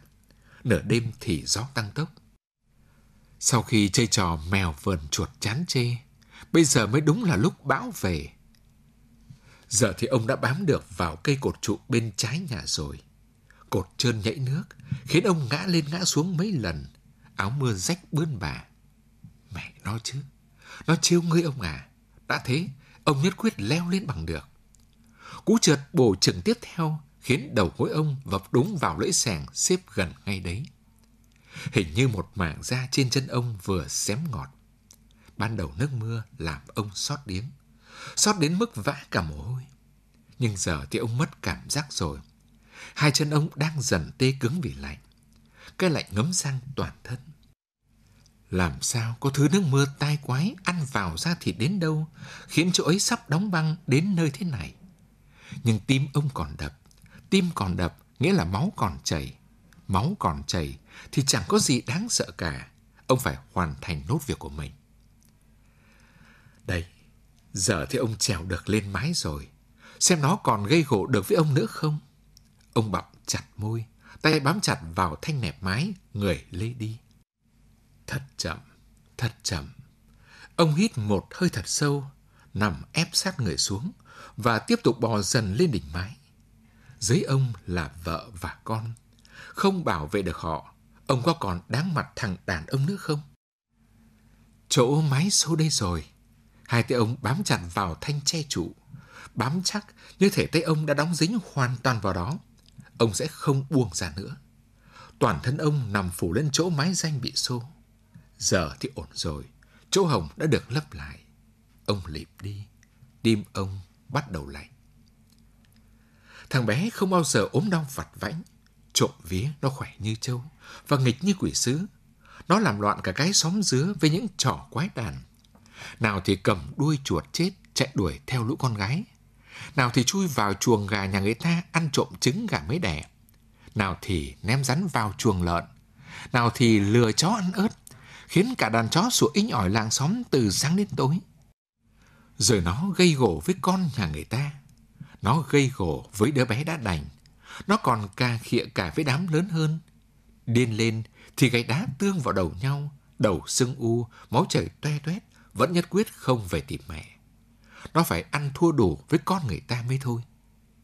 Suốt ngày, bà bị hàng xóm láng giềng phàn nàn khiếu kiện cạnh khóe. Suốt ngày, bà phải lê cái thân già khốn khổ đi xin lỗi người ta. Ai cần bà đền tiền thì bà đền tiền. Ai cần bà quỳ thì bà quỳ. Cần bà lạy thì bà lạy. Bà nhẫn nại nghe người ta xỉ vả. Cái đồ không biết dạy con. Thằng ấy nói mà không nghe thì cứ mang đòn gánh mà nện. Nện mà vẫn không nghe thì tống cổ đi khỏi nhà. Nuôi cái thứ ấy cho tốn cơm, tốn gạo, rồi nó giết mình lúc nào không hay. Người thương thì ái ngại. Bà không dạy thì nó hư mất thôi. Nó hư rồi còn gì. Bà cũng dạy nó rồi đấy chứ. Bao nhiêu nhân nghĩa ơn đức ở đời bà đều nói với con. Nhưng lời bà nó có coi ra cái gì đâu. Bà nói nhiều quá thì nó bỏ đi. Đói thì mò về ăn, mệt thì chui về ngủ. Bà không biết phải làm sao. Thì 15 tuổi nó đã biết đẻ con gái người ta ra giữa đồng. 16 tuổi, nó phang cuốc vào con người ta, gãy chân. 16 tuổi, nó rình dập trộm chó của làng, bán cho bọn lái chó trên chợ huyện để kiếm tiền chơi điện tử. Không ai chịu được nó nữa. Bà không dạy được thì làng xóm dậy. Nó bị thanh niên xóm quay lại đánh hội đồng chi chết. Nó bị cả làng tẩy mặt. Nó bị cả làng gọi mặt chỉ tên là thằng con vô thừa nhận. Làng chịu nhịn mãi rồi. Giờ là lúc không ai chịu được nữa. Làng cần phải tống cổ nó đi. Nó lao như bão về giữa nhà. Mâm cơm phần nó. Nó đạp tung ra ngoài sân. Mắt trận trừng. Sao bà không bảo tôi sớm hơn? Việc gì phải nhờ làng xóm nhổ vào mặt tôi thế? Bà tưởng mình nghe nhầm. Bà không rõ ngô khoai ra làm sao. Cái thằng thiên ân con bà, ai chọc giận nó, nó về chút xuống đầu bà thế này. Có phải nó vừa gọi cái người cực nhọc nuôi nấng chăm bẵm hơn cả mẹ đẻ ra nó suốt bao năm nay là bà đấy chứ? Cái người nhẫn nhục lê mặt dày đi quanh xóm, xin rủ lòng thương tha lỗi cho thằng con tôi, mà nó gọi là bà ư. Bà là thế nào? Là người dưng nước lạ, là chẳng tình nghĩa gì. Con ơi! Bà nhìn thằng thiên ân con bà, giờ bà phải ngước lên mới thấy mặt nó. Cái khuôn mặt bà ôm ấp, bà cưng nợ, bà tốn bao nhiêu nước mắt vì nó. Giờ sao nó bỗng rắn cưng như tảng đá thế này? Mắt nó vằn đỏ, ánh nhìn của nó khiến bà lạnh người. Ngực bà đau quá. Bà đừng gọi tôi là con nữa.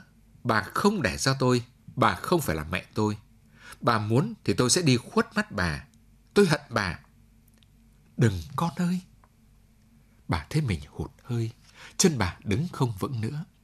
Bà chưa kịp nói gì thì nó đã bỏ đi mất rồi. Bà không hề có ý định giấu giếm lai lịch của nó, cốt để giữ nó ở bên bà mãi mãi. Con vật còn có gốc gác, huống hồ là con người.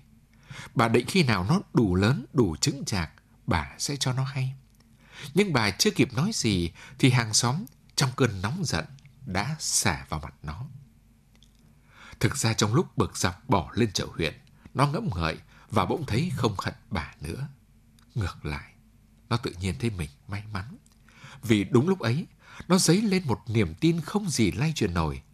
Chắc chắn cha mẹ đẻ ra nó không phải là người quyền thế thì cũng là người giàu có. Cha mẹ nó nhất định không phải là mụ già nhà quê chân đất mắt toét, nghèo kiết xác là bà.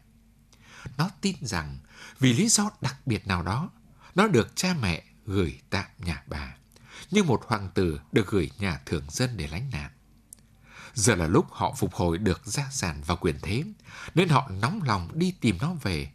Nó phải được chăm sóc cung phụng để bù đắp thiệt thòi trong suốt những năm tháng lưu lạc khổ ải vừa qua.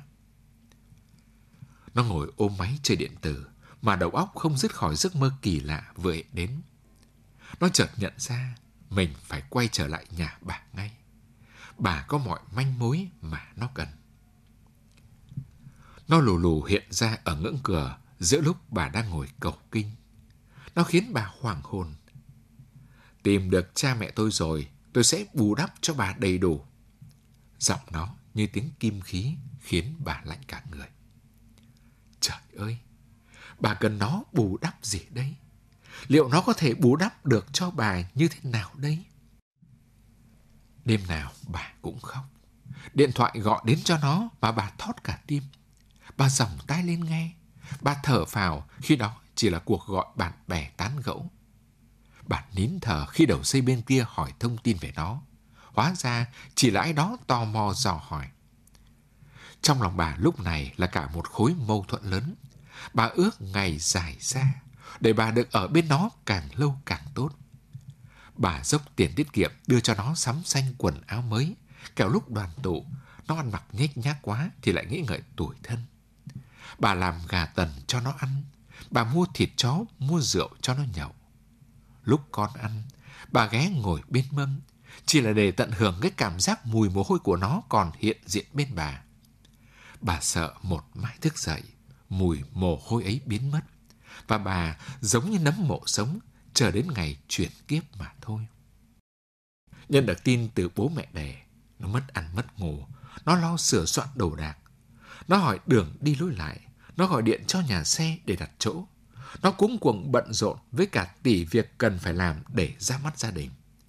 Nó không còn thời gian bận tâm đến bà già nhà quê chân đất mắt tuét đang trốn sau vườn để khóc giấm khóc rúi. Nó khoác túi lên vai mà vẫn không nhìn thấy bà. Hoặc nó trộn rộn quá, không nhớ ra cái việc tìm bà để trao một lời. Bà chỉ thấy nó đẩy cổng, đầu ngẩng cao, chân xoài bước trên đường làng, tự tin hổ hởi. Bà biết, mình mất nó thật rồi. Bà giấu mình ra sau vườn vì không đủ can đảm chứng kiến cái cảnh thằng con ra đi. Xóm dứa thở vào, đám con gái đỡ bị quản hơn, chó gà thả xinh sang hơn, các vụ ẩu đà thưa vắng dần. Chỉ có bà già sằng không cất được chân ra ngoài. Không ai gọi bà là mẹ thằng Thiên Ân nữa, mà họ gọi bà theo tên ông, bà Sẳng. Bà Sẳng sợ thằng Thiên Ân trở về.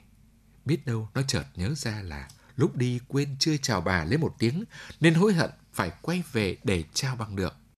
Dù gì thì mẹ con cũng 17 năm cay đắng ngọt bùi. Hoặc nó về để lấy thứ gì bị bỏ quên, hoặc nó bỗng nhớ nhung bị diện điều gì đó. Ngôi nhà này, mảnh vườn này, nó đã có cha mẹ đẻ, nhưng nó cũng có cả ký ức ở nơi này nữa. Bà không bước chân ra ngoài đường còn bởi một nỗi sợ nữa. Bà sợ người ta hỏi han thằng con nuôi của bà. Nó có tin tức gì về cho bà không? Dạo này nó thế nào? Bà dặn mình phải quên nó đi thôi. Nhưng bảo quên mà có quên được đâu. Cái ngực nó cứ nhức nhối, cái mắt nó cứ nhức nhối, chỗ nào cũng thấy nhức nhối. Bà sực nhận ra mình đã quá già. Lúc bà đón nó về, bà mới bốn mươi. Giờ thì... Thực ra thì nó đã về. Nó nhìn thấy bà thui thủi vào ra. Nó không biết nên thương bà hay hận bà. Nó quay gót bỏ đi. Hàng xóm gặp nó lang thang ở phố huyện, dâu diền lẩm chẩm, mắt lồi ra như mắt trâu. Cái mặt nhìn thấy rõ là đang đói. Hàng xóm chặn trước mặt nó bảo, Sao cậu lại ở đây? Bà sằng dạo này yếu lắm. Cậu phải về xem bà ấy thế nào chứ? Nó trừng mắt lên. Nó đang khó chịu đây, đang muốn cà khịa, muốn đánh nhau đây. Tự nhiên có kẻ đến trước mặt nộp mạng cho nó. May là nó kịp nhận ra hàng xóm. Hàng xóm từng vớt nó từ dưới nước lên, cả thúng nước từ miệng nó ông ọc nôn ra. Hàng xóm từng cấp nó vào viện khi toàn thân nó đỏ lợn và bỏng rát vì cả nồi canh đang sôi đổ ụp vào nó. Không thì tám đời nhà nó đã xanh cỏ rồi. Nó phùng vằng, nó định tránh đi. Nó không muốn dây dưa dính dáng gì đến cái thông tin mình vừa nghe thấy. Nó muốn hàng xóm biến đi cho khuôn mắt. Nhưng hàng xóm gan lì, giữ giữ cái mặt khó chịu trước nó, nhất quyết không chịu lùi. Nên nó thành kẻ bị hỏi cung, nó bực bõ văng ra. Cụt mẹ ông đi. Tôi đang hận, tôi đang hận đây. Nó gào lên như một con chó dại. Bà sẵn nghe hàng xóm kể lại mà u u mê mê, không hiểu ra làm sao. Nó còn chưa về gặp cha mẹ nó hay sao? Hay có kẻ xấu chặn ngay từ phố huyện cướp sạch đồ của nó, đánh cho nó thân tàn ma dại, rồi biến nó thành kẻ trắng tay lang thang đầu đường xó chợ, không tiền bạc mà đi tìm cha mẹ. Hay nó bị người ta lừa nhận cha mẹ rồi cướp mất tiền của. Ruột gan bà như sát muối. Nó dù có là cái thằng gớm ghê nhất xóm dứa, thì ra ngoài nó vẫn là thằng bé con dại dột khờ khạo mà thôi. Bà hiểu nó mà. Nó biết bà đã dồn hết tiền làm lộ phí đi đường, làm vốn liếng cho nó ra mắt bố mẹ đẻ. Bà chẳng còn gì có thể cho nó được, nên nó phải lê la kiếm sống, đặng có đủ tiền về với gia đình mình. Nên nó hận bà làm phải. Bà đòi hàng xóm đưa bà lên phố huyện tìm con. Bà phải đưa nó về. Bà sẽ vay mượn tiền nong cho nó về với gia đình. Nó nóng sau quán bia. Nó nhìn thấy bà rồi. Cái bà già nhà quê còn muốn gì ở nó nữa chứ? Nó không biết nên hận bà hay phải thương bà đây. Đến chính bản thân, nó cũng thấy nghi hoặc. Thực ra, nó là ai? Nó đã xuất hiện ở cái nhà ấy. Ba thằng con trai to lừng lững vừa ôm bộ bài chơi giờ vừa chăm chăm nhìn nó. Vừa giàu xét vừa khó chịu. Một người đàn ông cởi chân trùng trục ngồi giữa năm con lợn đã phanh thây giữa nhà, ngước lên nhìn nó và à lên một tiếng. Rồi cất tiếng gọi vào nhà trong. Thằng con quý từ của mày nó tìm về đây này. Trong nhà có tiếng xối nước. Rồi một phụ nữ xuất hiện, chân tay ướt lướt thướt. Bà ta nhìn nó bối rối. Cháu à? Con à? Nó trả lời mà lòng hoang mang. Hay là nó nhầm? Hay là họ nhầm? Nó hối hả bày đống kỷ vật ra. Gã đàn ông ghim con dao bầu còn dính đầy tiết lợn vàng thớt. Đoạn giằng lấy mẩu giấy ố màu trong tay nó. Còn chó này, chứ mày thế này mà người được à? Người phụ nữ bẽn lẽn liếc mảnh giấy. Đoạn chẳng ra mời, chẳng ra nhắc nhở. Vào... vào nhà đi cháu. À con. Nó tiếp tục bị ba thằng con trai to lửng lững dò xét bằng ánh mắt chẳng mấy thiện cảm. Ba khuôn mặt thằng ấy chẳng có điểm nào giống nó cả. Nó cảm giác mình bị lừa. Nó tin là mình bị lừa. Họ đang lừa nó để lấy tiền chuộc béo bờ từ cha mẹ đẻ của nó. Họ đang bẫy nó. Nó thu lại đống kỷ vật. Nó cố chế ngự cảm xúc để tỏ ra thật bình tĩnh. Chỉ cần một sơ suất nhỏ, con dao bầu kia sẽ chẹn vào cổ họng nó như cắt tiết một con lợn. Và thế là xong đời. Cô, mẹ, bao nhiêu năm, mẹ còn giữ được kỷ vật gì của con không? Nó đã cố mà cái giọng vẫn run rẩy. Lão chủ béo cười sảng sặc. Người phụ nữ nghệt mặt ra. Bà ta lúng búng mãi. Đoạn bà ta nhìn trước nhìn sau. Nó nín thở chờ đợi. Một đòn cân não gì nữa đây? Bà ta tiến tới chậu tiết lợn, ngón tay nhúng vào, rồi ấn xuống tờ giấy báo trước mặt nó. Đấy, con so đi. Hai vết vân tay, một cũ, một mới, giống hệt nhau, hiện ra như trêu ngươi nó. Bà ta đúng là mẹ nó rồi. Một cảm giác hụt hẫng không thể tả nổi tràn ngập lòng nó. Người phụ nữ bây giờ đã là mẹ nó, dục nó cất đầu, dục nó rửa mặt mũi. Xong hết những việc ấy, thì nó đã thấy bà ta mất hút phía sau nhà. Mùi phân lợn từ phía ấy sộc lên khiến nó lợm giọng. Nhưng nó không biết làm gì. Nó kiếm một góc và ngồi xuống. Tiếp tục nhìn người đàn ông pha thịt giữa nhà và lũ con trai lộc ngọc thì ôm bộ bài tiếp tục cuộc sát phạt. Nhưng vẫn chưa buông hẳn mắt khỏi nó. Cái cảnh lọt thỏm vào một nơi không thuộc về mình, chân tay thừa thãi và bị sáu con mắt dò xét khiến nó bứt rứt khó chịu. May mà sau đó lũ con trai theo người đàn ông chở thịt ra chợ. Mẹ nó dặn ở yên tại nhà, rồi cũng tất tưởi chạy đi đâu đó. Chỉ còn mình nó giữa căn nhà lợn cợn mùi máu lợn tanh tưởi, xen với mùi phân hoi nồng từ phía sau nhà bốc lên. Một tuần lễ liền, hễ cứ nhắm mắt vào, nó lại mơ thấy mình là lợn. Dượng Hiệp cầm dao đuổi nó quanh nhà. Ba thằng con trai lộc ngọc hò ra phía sau. Mẹ nó dưới ngón tay đầy máu ấn vào giữa chán nó để đánh dấu. Không muốn thành lợn, nó bỏ về chợ huyện, lang thang trộm cắp móc túi của mấy bà đi chợ để sống qua ngày. Nó hận, nó không thiết sống nữa, kiếm được bao nhiêu tiền nó chỉ mua rượu. Rượu làm cho nó quên, đừng ai bắt nó phải nhớ làm gì. Nó hận. Hàng xóm xong bà đi dọc chợ, tìm đáp ba ngày trời. Hàng xóm oải lắm rồi. Cái thằng giật đánh, đã bỏ đi rồi còn làm khổ người khác thế này. Không, bà không phải là người khác. Bà là mẹ nó. Bà phải tìm nó về bằng được.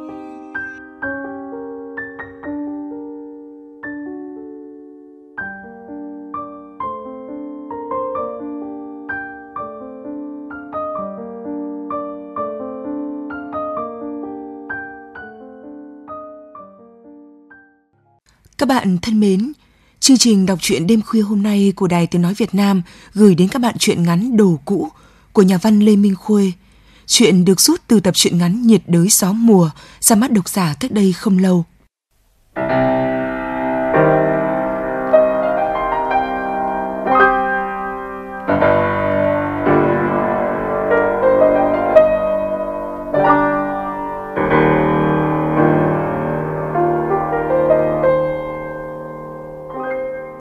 Ông Phong bảo vợ, Có dễ chiều tôi về muộn.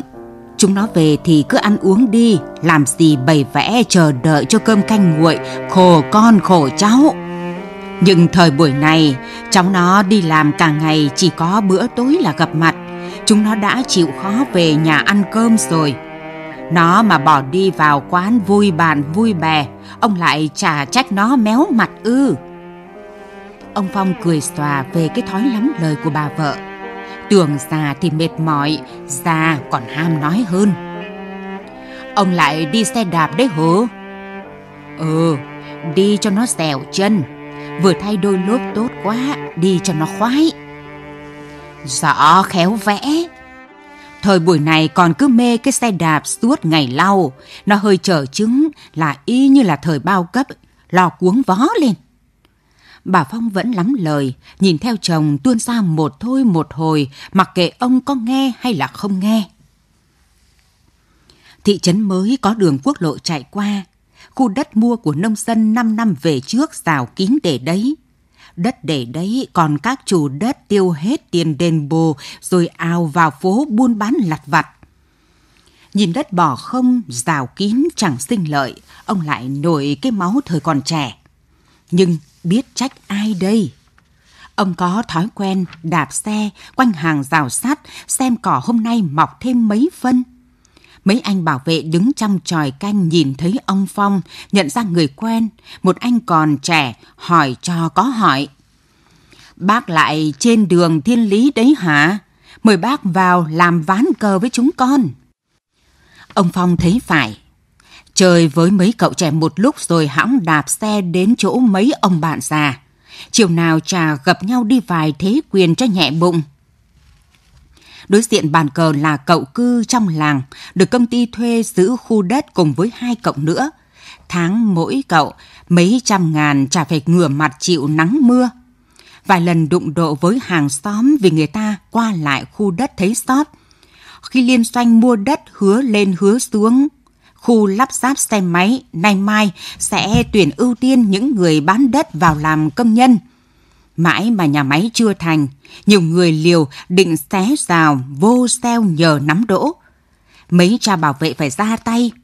Mệt thế thôi, chứ hàng xóm láng giềng, ai nỡ làm khó nhau. Phải rồi, ông Phong đưa ngón tay xương sầu đầy quân cờ đầu nghĩ đâu đâu. Cứ đọc được điều trong đầu ông rồi cứ nhận nha. Các bác giờ nghỉ hưu rồi, đi chơi cho khỏe người. Việc đất cát của người ta, bác nghĩ làm gì cho nặng đâu. Thì có nghĩ gì đâu nào. Chỉ thấy sót thì nhìn thì kêu với nhau tí thôi. Thì bác vẫn đi cái xe đạp từ thời bao cấp ư.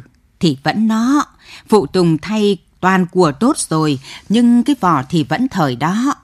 Ấy chết, tôi quên không khóa vành sau lại. Ông Phong chạy còn nhanh, cứ đùng đình theo sau. Cái xe đạp từ thời mua muối bằng phiếu, ma nào mà nó rước.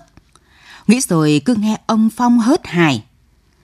Cái xe, cái xe đạp của tôi, ôi trời ơi! Cứ buồn cười. Thế là cái đồ bảo tàng bay mất rồi. Ông Phong rên rỉ, chạy dọc cái hàng rào trước mặt khu đất. Quánh quáng như con gà trống nhìn thấy con gà máy chạy trước. Cái xe, đứa nào cuỗm mất cái xe rồi, khổ thân tôi. Cứ cười rừng rưng. Thôi ông ơi, cái xe thổ tà mất đi, con cháu nó đỡ vướng víu. Ông bảo nó sắm cho cái mini nhật xịn ấy. Tiền tiêu vặt của chúng nó thôi mà. Ông Phong bất lực khi không thấy cái xe, bất lực khi nghe thằng trẻ xanh nó lý giải. Ông cáo, Cậu thì hiểu cái gì mà ban. Ông Phong đứng như bất động, nhưng nghĩ tới chuyện gì rồi lững thững đi bộ về nhà.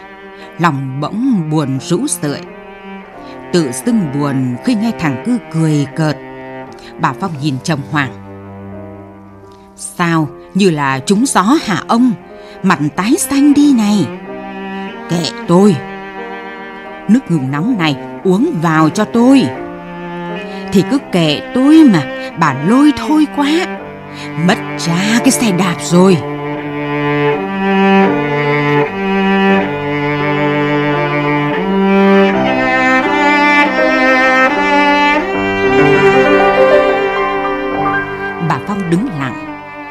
Thì cái xe đạp yêu của ông nhưng nó là thứ sở hơi vớ vẩn bọn trẻ trong nhà vẫn bảo thế từ lâu. Nó là cái favorite thằng em ông Phong đi tiệp khắc về cho. Cái xe hiệu ấy thời đó nó như được đúc bằng vàng. Lúc đó, ông tuổi trên 30, cán bộ viện khoa học thỉnh thoảng mới hẻo lánh đến các trận địa nghiên cứu tên lửa. Bà chưa tới 30 làm bác sĩ đỡ đẻ. Một cặp đẹp tuyệt vời, đèo nhau bằng cái favorite màu xanh nước biển. Đàn ông đàn bà quay nhìn, đến trẻ con cũng quay nhìn xem như ước mơ hạnh phúc của cái thời. Một yêu anh có Senko, hai yêu anh có Peugeot cá vàng, ba yêu nhà cửa đàng hoàng, bốn yêu hộ khẩu rõ ràng thủ đô. Thời ấy, các thứ hàng viện trợ của phe dân chủ không phải hiếm hoi, nhưng cái favorite cũng đứng hàng xịn. Tuổi còn trẻ, thời buổi đạm bạc cả hai thường đèo nhau kiêu hãnh, bom đạn lúc dữ dội lúc thưa dần im ắng để rồi lại dữ dội hơn. Năm 1972, ngày 18 tháng 12, xét đến độ ban đêm trời chuyển màu hồng. Thằng Bảo lúc đó 8 tuổi, đeo cái ba lô tay dắt thằng Phương 4 tuổi. Mẹ nước mắt lưng chừng leo lên xe đi sang ngoại thành cấp cứu bệnh nhân. Thằng Bảo cứng cỏi. Mẹ đi làm đi, các con đi với bố. Chiếc xe đạp ngày thường mỹ miều thế. Đêm B52, đèo sau xe đứa bé nhất cùng với bao tải gạo, mấy cái nồi ba lô quần áo. Thằng Phương 4 tuổi ngồi mở to mắt nhìn đoàn người lượt thượt kéo ra ngoài ô. Bom B-52 thả bên kia sông, pháo cao xạ tên lửa bắn lên như trong phim hoạt hình. Phương nhìn Bảo đeo ba lô bé như cái nấm khi mặc áo len của mẹ, tay níu áo bố. Cha con lầm lũi đi, đoàn người lầm lũi đi. Trời mùa đông đỏ rực như báo điểm lạ. Gần sáng mấy cha con mệt quá, ông Phong bảo, để bố đưa các con vào nhà bác hội bố quen nghỉ một tí nhé. Cái xe đạp leo qua bờ ruộng tách khỏi đoàn người. Mặt đất trồi chụt vì đạn bom. Gần đến nhà bác hợi, ông Phong khựng lại. Một hố bom to đùng giữa sân. Cái xóm trại vắng tanh. Thằng Bảo miệng méo sạch. Bố ơi, sao thế này? Ông Phong khi đó còn trai tráng, bế sốc thằng bé để lên bao gạo, dắt xe như chạy ra khỏi chỗ đổ nát. ba bố con và chiếc xe đạp, bao tải gạo, hành lý, bình minh rét cắt xa. Đoàn người chạy khỏi thị trấn xanh sao vì mất ngủ, vì thiếu ăn, vì lo sợ. Cái xe đạp đi lẫn trong đoàn người ấy. Bao nhiêu năm sau chiến tranh, nó vẫn còn mùi của đất cát hôm đó. Không thể tống nó ra chợ trời, không thể xem nó như đống sắt vụn. Cũng trong năm ác liệt đạn bom đó, người ta vẫn không quên người hàng xóm của ông, ông Đường. Ông Đường sống ở Paris thời trẻ, nghe dắt díu thế nào đó trở về xây dựng đất nước.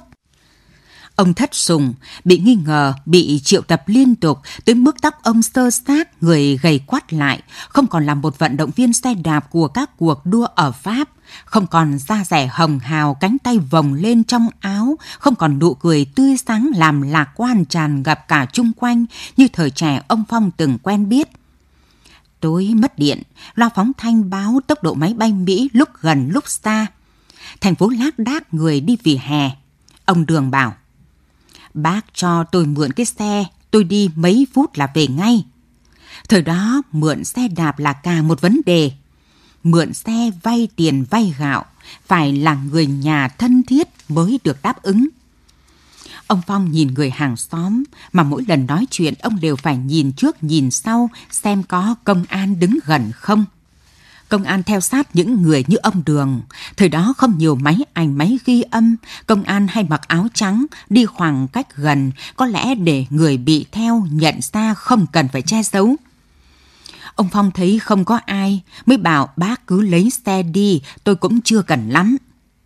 Chiếc Favorite được dắt ra, người đàn ông cao lòng khòng vẫn không mất hết vẻ hào hoa thủa trước, dắt cái xe đạp trông đã quyến rũ. Ông Phong nhìn theo người và xe, nghĩ số khổ, sao lại đem lòng tốt về giữa thời buổi nhiễu nhương này. Yên Hàn về thì đã sao nào? Thời gian trôi qua đã rất lâu, đã hai lần báo động, đã hai lần tên lửa quân ta bắn lên đò rực thành phố. Đã gần 12 giờ đêm, ông Phong thắt ruột nghĩ, thôi cái xe như vậy là mất rồi. Ông ăn nói sao với vợ con đây? Ông Sa đứng ở vỉa hè, không còn chờ gì nữa, thì ông Đường tay sắt xe đi thất thểu về. Ông Đường không bị bắt không va vào đâu. Ông Phong thấy như thế là rất đáng để thờ phào, nhưng ông không nhận ra rằng mình mong ông Đường cũng như mong cái xe. Xe của bác đây. Có chuyện gì hay sao? Ông tế nhị để người hàng xóm không cảm thấy mình bị trách. Ông Đường đứng một lúc bên nhà ông ấy, rồi hỉ mũi, rồi quệt mắt như một người vừa qua trận ốm. Ông Phong không tiện hỏi gì cho đến lúc ông Đường không kìm giữ được nữa. Ông nói với qua. Vì cái xe của bác, vì cái xe của bác mà tôi phải về. Tôi đã đứng trên thành cầu Long Biên. Tôi đứng từ tối. Tôi chỉ cần gieo mình một cái. Thì giờ này tôi đã được ra biển rồi. Yên thân tôi. Nhưng cái xe, không có cái xe, thì bác với các cháu khổ quá. Tôi reo xuống thì trộm sẽ dắt cái xe đi. Tôi chết cũng không yên thân. Chết mà nghĩ gây khổ cho người khác thì không thể chết. Tôi cứ trách sao mình lại mượn xe của bác Sao tôi không đi bộ? Từ đây ra đó thì có xa xôi gì mà tôi lại không đi bộ. Mãi sau này, ông Phong mới vỗ vỗ vào yên xe. Cám ơn mày nhá, cứu một người tốt đấy. Loạn lạc qua thời buổi dần sáng sủa. Ông Đường có người bà con bên Pháp đón qua. Khi chia tay, hai ông già còn nhắc đến cái đêm ấy. Nhờ có cái xe. Thế mà bây giờ, đứa nào như chơi sò ông, lấy mất cái xe. Chắc là bọn trẻ chăn trâu bà. Ông thì cứ như ở trên trời rơi xuống ấy. Bây giờ làm gì còn trẻ trâu ở cái vùng này. Người ta chỉ còn quốc giới vớ vẩn, đất trà rộng để trâu đi, bọn trẻ vào thành phố đánh giày bán báo rồi. Ông lại bảo bọn trẻ chăn trâu, làm gì còn thanh bình thế hả ông? Ôi, cái xe của tôi nó biến đi đâu? Ông lại rên lên như ai cắt ruột.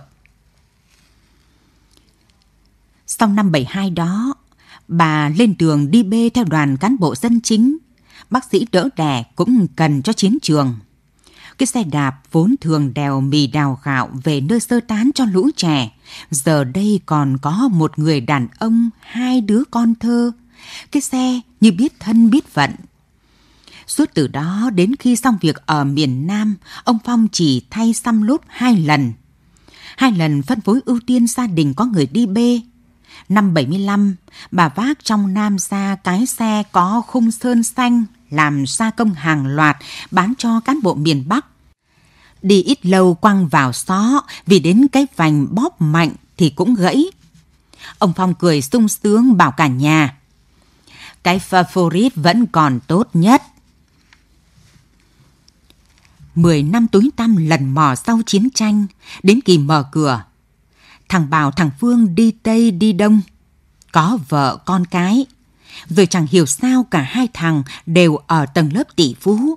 Công ty riêng làm ăn như diều. Ông bà chẳng hỏi cặn kẽ, vì có hỏi cũng chẳng hiểu ra làm sao. Hai thằng đều ở Sài Gòn, mỗi thằng gửi một đứa nhóc ra ở với ông bà cho vui. Chúng đi Bắc đi Nam, cứ như là đi chợ. Sáng ở đầu này, chiều ở đầu kia, ăn gì có nấy. Nhưng ông vẫn không rời được cái xe đạp cổ lỗ sáng sáng ông sở ra lau cặn kẽ. Cũng là động tác thể thao thể dục, rèn mắt rèn tay. Nhưng lúc nào cũng nhớ ơn cái xe đạp đã đi với mình suốt năm tháng ấy. Bao nhiêu chuyện để khóc để cười. Không thể nào quên được. Lũ nhóc đi học bằng xe máy, mua cả trăm triệu, nhìn ông ngồi lau xe đạp. Cười chán chúng nó bảo nhau chắc là ông lần thận. Gọi điện xa bố mẹ cũng bảo thôi ông lần thần kể ông. Nhưng có lần thằng Phước con của Bảo, thằng Đức con của Phương nháy nhau bê cái xe của ông để ra ngoài cổng. Xem thử có trộm sắt vụn nào lấy đi không? Vậy mà sáng ra vẫn thấy cái xe lù lù ở đấy. Hai thằng cười rũ rồi bê xe vào cho ông. Ông lại tỉ mẩn lau. Phụ Tùng thay thứ tốt nhưng vò vẫn là cái xe thủa ấy. Thôi kệ ông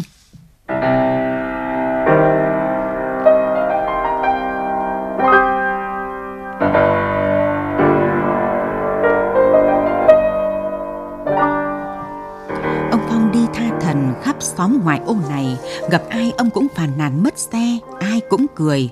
Thời buổi này mất cái xe đạp xét sao mà sầu não thế? Con cái triệu phú cả đi lại ở sài gòn bằng ô tô có ga có lái xe riêng bố mất xe đạp mà cứ như là mất tàu bay ấy rõ là sợ hơi mấy ông bạn già cũng bảo thôi mất đi cho nó nhẹ nợ ông để nhiều sức vào đấy để làm gì Thằng Phước thằng Đức cười gọi ông là cụ khốt, mất cái hũ xanh trà còn chỗ nào để chui nữa. Bà Phong ái ngại lắc đầu. Ông đừng ủ rũ nữa người ta cười cho, tôi thông cảm với ông là được rồi. Chả ngờ ông chán ăn, ăn ít rồi nằm khượt xa, không xa ốm, chỉ buồn bã mà người cứ như là mệt thiểu. Ông Mặng bác sĩ thời chiến tranh rồi sang thời hậu chiến đã từng chia nhau từ nửa cái bánh mì đến thăm. Thôi dậy đi, chứ cậu nằm thế ốm thật cho coi. Nhưng thương cái xe đạp ít, thương mình thì nhiều. Ông Phong nói như tiếng thở dài. Cái gì mình quý, mình tin yêu, cứ lần lượt đi mất, mình trà giữ được gì, chán thật đấy. Thì có phải mình ông buồn đâu. Nhưng chúng ta xong việc rồi, khỏe cho con cháu nó có tương lai, ngồi mà tiếc thằng nào nó thương. Nhưng ông Phong vẫn không ngồi dậy rồi ốm thật. Bà Phong cứ lang thang ra chỗ ông mất xe, cứ nhe răng cười. Cái đồ rách dưới ấy mà tiếc mãi ư. Các cụ buồn cười nhỉ. Thôi để con bảo chúng nó đi tìm cho, chắc là thằng nào nghịch thôi. Ngay vậy bà Phong không tin. Cái bọn trẻ xanh có thông cảm với ai bao giờ đâu. Bảo đang đi hội thảo chuyên ngành ở Singapore, điện thoại từ nhà sang. Ông ốm do mất cái xe đạp. Gì chứ mất xe đạp là không ổn rồi. Công việc như trong chóng, nhưng đôi khi ngồi một mình lại nghĩ đến bố. Cái hôm mang ba lô tí xíu đi bên cái xe đạp, đêm chiến tranh. Bây giờ hơn bốn chục tuổi rồi, làm gì phải làm đâu quên được những chuyện ấy. Anh thu xếp bay về Sài Gòn, bay ra Hà Nội. Buổi chiều đã thấy thằng con đi đón bằng xe máy. Thằng cu chưa đầy 17 tuổi cao lừng lững vì ăn uống dư thừa vì thể thao giọng ôm ôm. Bố mà không xa chúng con không biết xoay sở như thế nào. Ông không ăn uống gì. Bảo không về nhà vội, anh chạy tới cái hàng rào sắt bao quanh khu đất bỏ không. Cỏ mọc như thảo nguyên mênh mông ngăn hẳn thị trấn với con đường cao tốc đang xây dựng.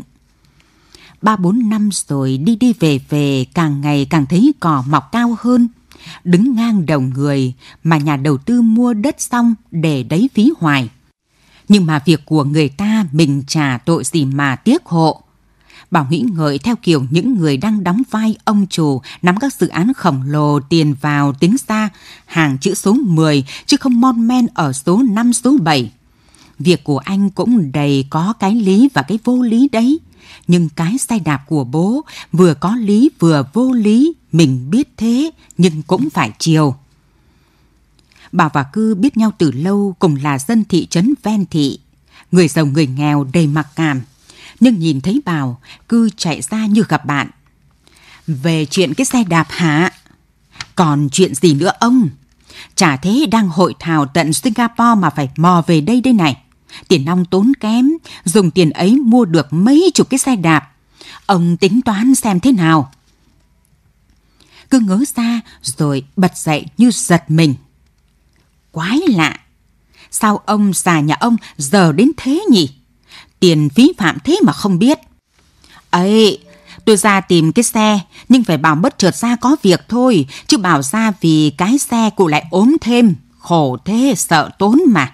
Này, xem đứa nào đùa sai, bảo hộ tôi với. Ông cụ ốm nặng thì khổ, xin ông giúp tôi. Cư thọc tay vào túi quần, mặt hất hất về phía cái lán cánh xe ủi đang làm đường cao tốc dùng để nghỉ trưa. Trung quanh đất đỏ trơ trụi, cái lán tre cót ép, gợi nhớ tới thời công nhân mở đường miền ngược. Cứ bảo ở đấy có mấy thằng nó ngắm cái xe của cụ từ lâu, nó vác để ở trong lán đấy chưa dám vứt đi. Thấy cụ yêu xe như yêu con, nó chưa nỡ đùa ác. Mang cho bọn nó chai rượu bình dân xem như thỏa thuận vui vẻ.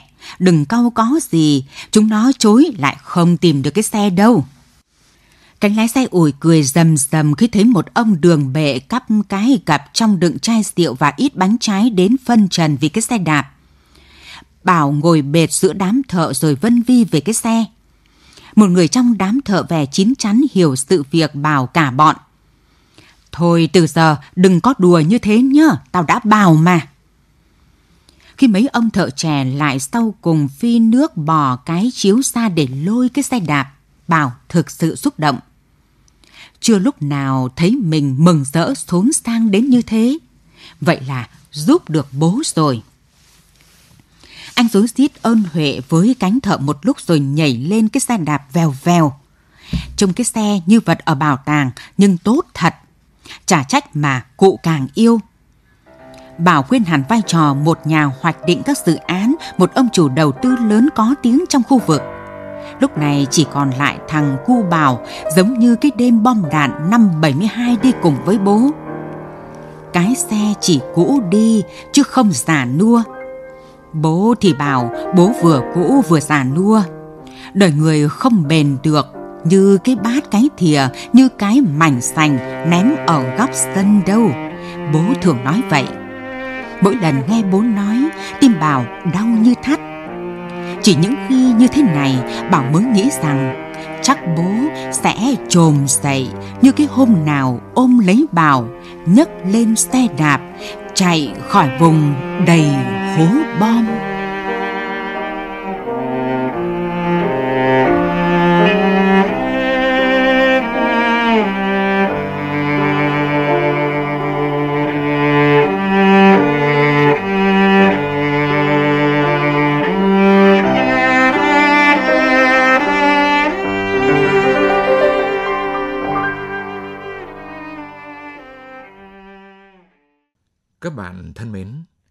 Đất nước đã hòa bình hơn 40 năm, nhưng với nhiều người, nhất là người lính trải qua cuộc kháng chiến chống Mỹ cứu nước, thì chiến tranh chưa bao giờ kết thúc.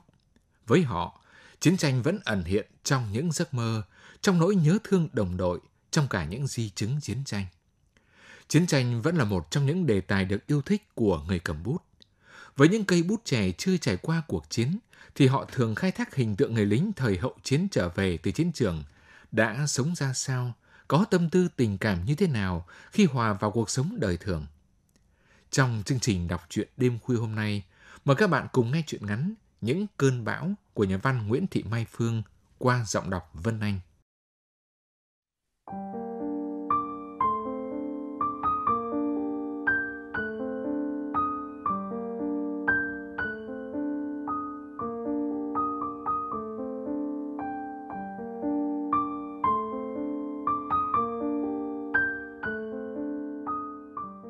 Đôi chân yếu ớt của Hòa Bình đi như không chạm đất. Tuổi 17 bẻ gãy sừng trâu mà lại eo uột trong cái thân xác như rau nhúng qua nước sôi vậy ư. Nước da trắng và hai núm nhô cao trên ngực áo, dấu hiệu cho người ta biết rằng Bình đúng là con gái. Còn khuôn mặt thì người làng vẫn bảo, bọn bệnh đau này giống nhau. Nhưng Hòa Bình không phải bệnh đau Lúc mới sinh ra, Bình cũng bình thường như bao đứa trẻ khác, nhưng càng lớn lên Bình càng tăng teo, hóp hép đi. May mà Bình không mất trí. Lũ trẻ con trong làng luôn nhìn hai ấm quần lụa phất phơ trong đôi chân như hai ấm sậy của Bình mà cười cợt. Bình chẳng buồn để ý. Bình buộc phải quen dần với những ánh mắt dò xét của người đời. Quên cả cơn đau âm ỉ buồn bực lan khắp người. Người ta vẫn bảo nhà nào cũng phải có một người sứt sẹo thua thiệt để gánh tội cho cả nhà. Cha già con cặp. Mẹ Bình tối ngày mòm mẫm ngoài đồng với vài xào ruộng khoán, cha lụi hội đạp xe đi đưa thư trong làng ngoài xã. Bình mải mê sống với rằng giặc những dự cảm, những vấp vòng trong lòng Mấy hôm nay, Bình cứ cảm giác sắp có cơn bão tràn qua. Đêm ấy, Bình mơ người ta cột Bình lại ở gốc cây chám đầu làng, cắt trụi mái tóc dài đen óng ả của mình. Từng mớ tóc rơi xuống đất cùng tiếng la hét thất thanh. Tỉnh dậy, Bình cứ thấp thòm, lo âu, một thứ gì đó hãi hùng đang đến. Không gọi tên được, nhưng Bình thấy buồn lắm Nỗi buồn như cái ngày ngồi bên cửa sổ, nhón tay bắt con bọ ngựa, rồi khuỵu xuống đất. Từ đấy hai cái chân đâu còn là chất người. Nó hệt như lưỡi dao sắc ngọt đâm vào cơ thể, đau đến không thể cất lời.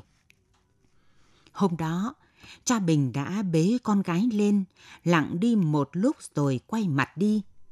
Không sao, miễn hai đứa em của Bình khỏe mạnh.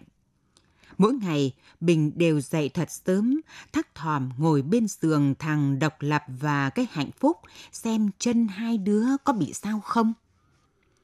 Ngồi thật im lặng, mỗi tiếng thở là một âu lo dồn lại. Mỗi ngày trôi qua, Bình lại thở phào một cái. Hai nhóc ấy, một lớp 5, một theo lớp 9, nhưng cả một con đường chưa đi phía trước, ai biết đâu. Bình nhất quyết nghỉ học khi qua lớp 8. Phần vì khác biệt với các bạn, phần vì muốn làm gì đó đỡ mẹ. Mẹ giấu những ẩn ức sâu xa khó nói vào trăm ngàn việc của đàn bà. Còn cha Bình, sau một ngày dâm gió dữ dội đã trở nên khó tính, dễ bằn gắt. Ông hầu như không thể xóa nổi ký ức chiến tranh trong lòng mình mỗi bữa cơm, mỗi giấc ngủ đều vẫn có những tiếng đại bác ầm ì.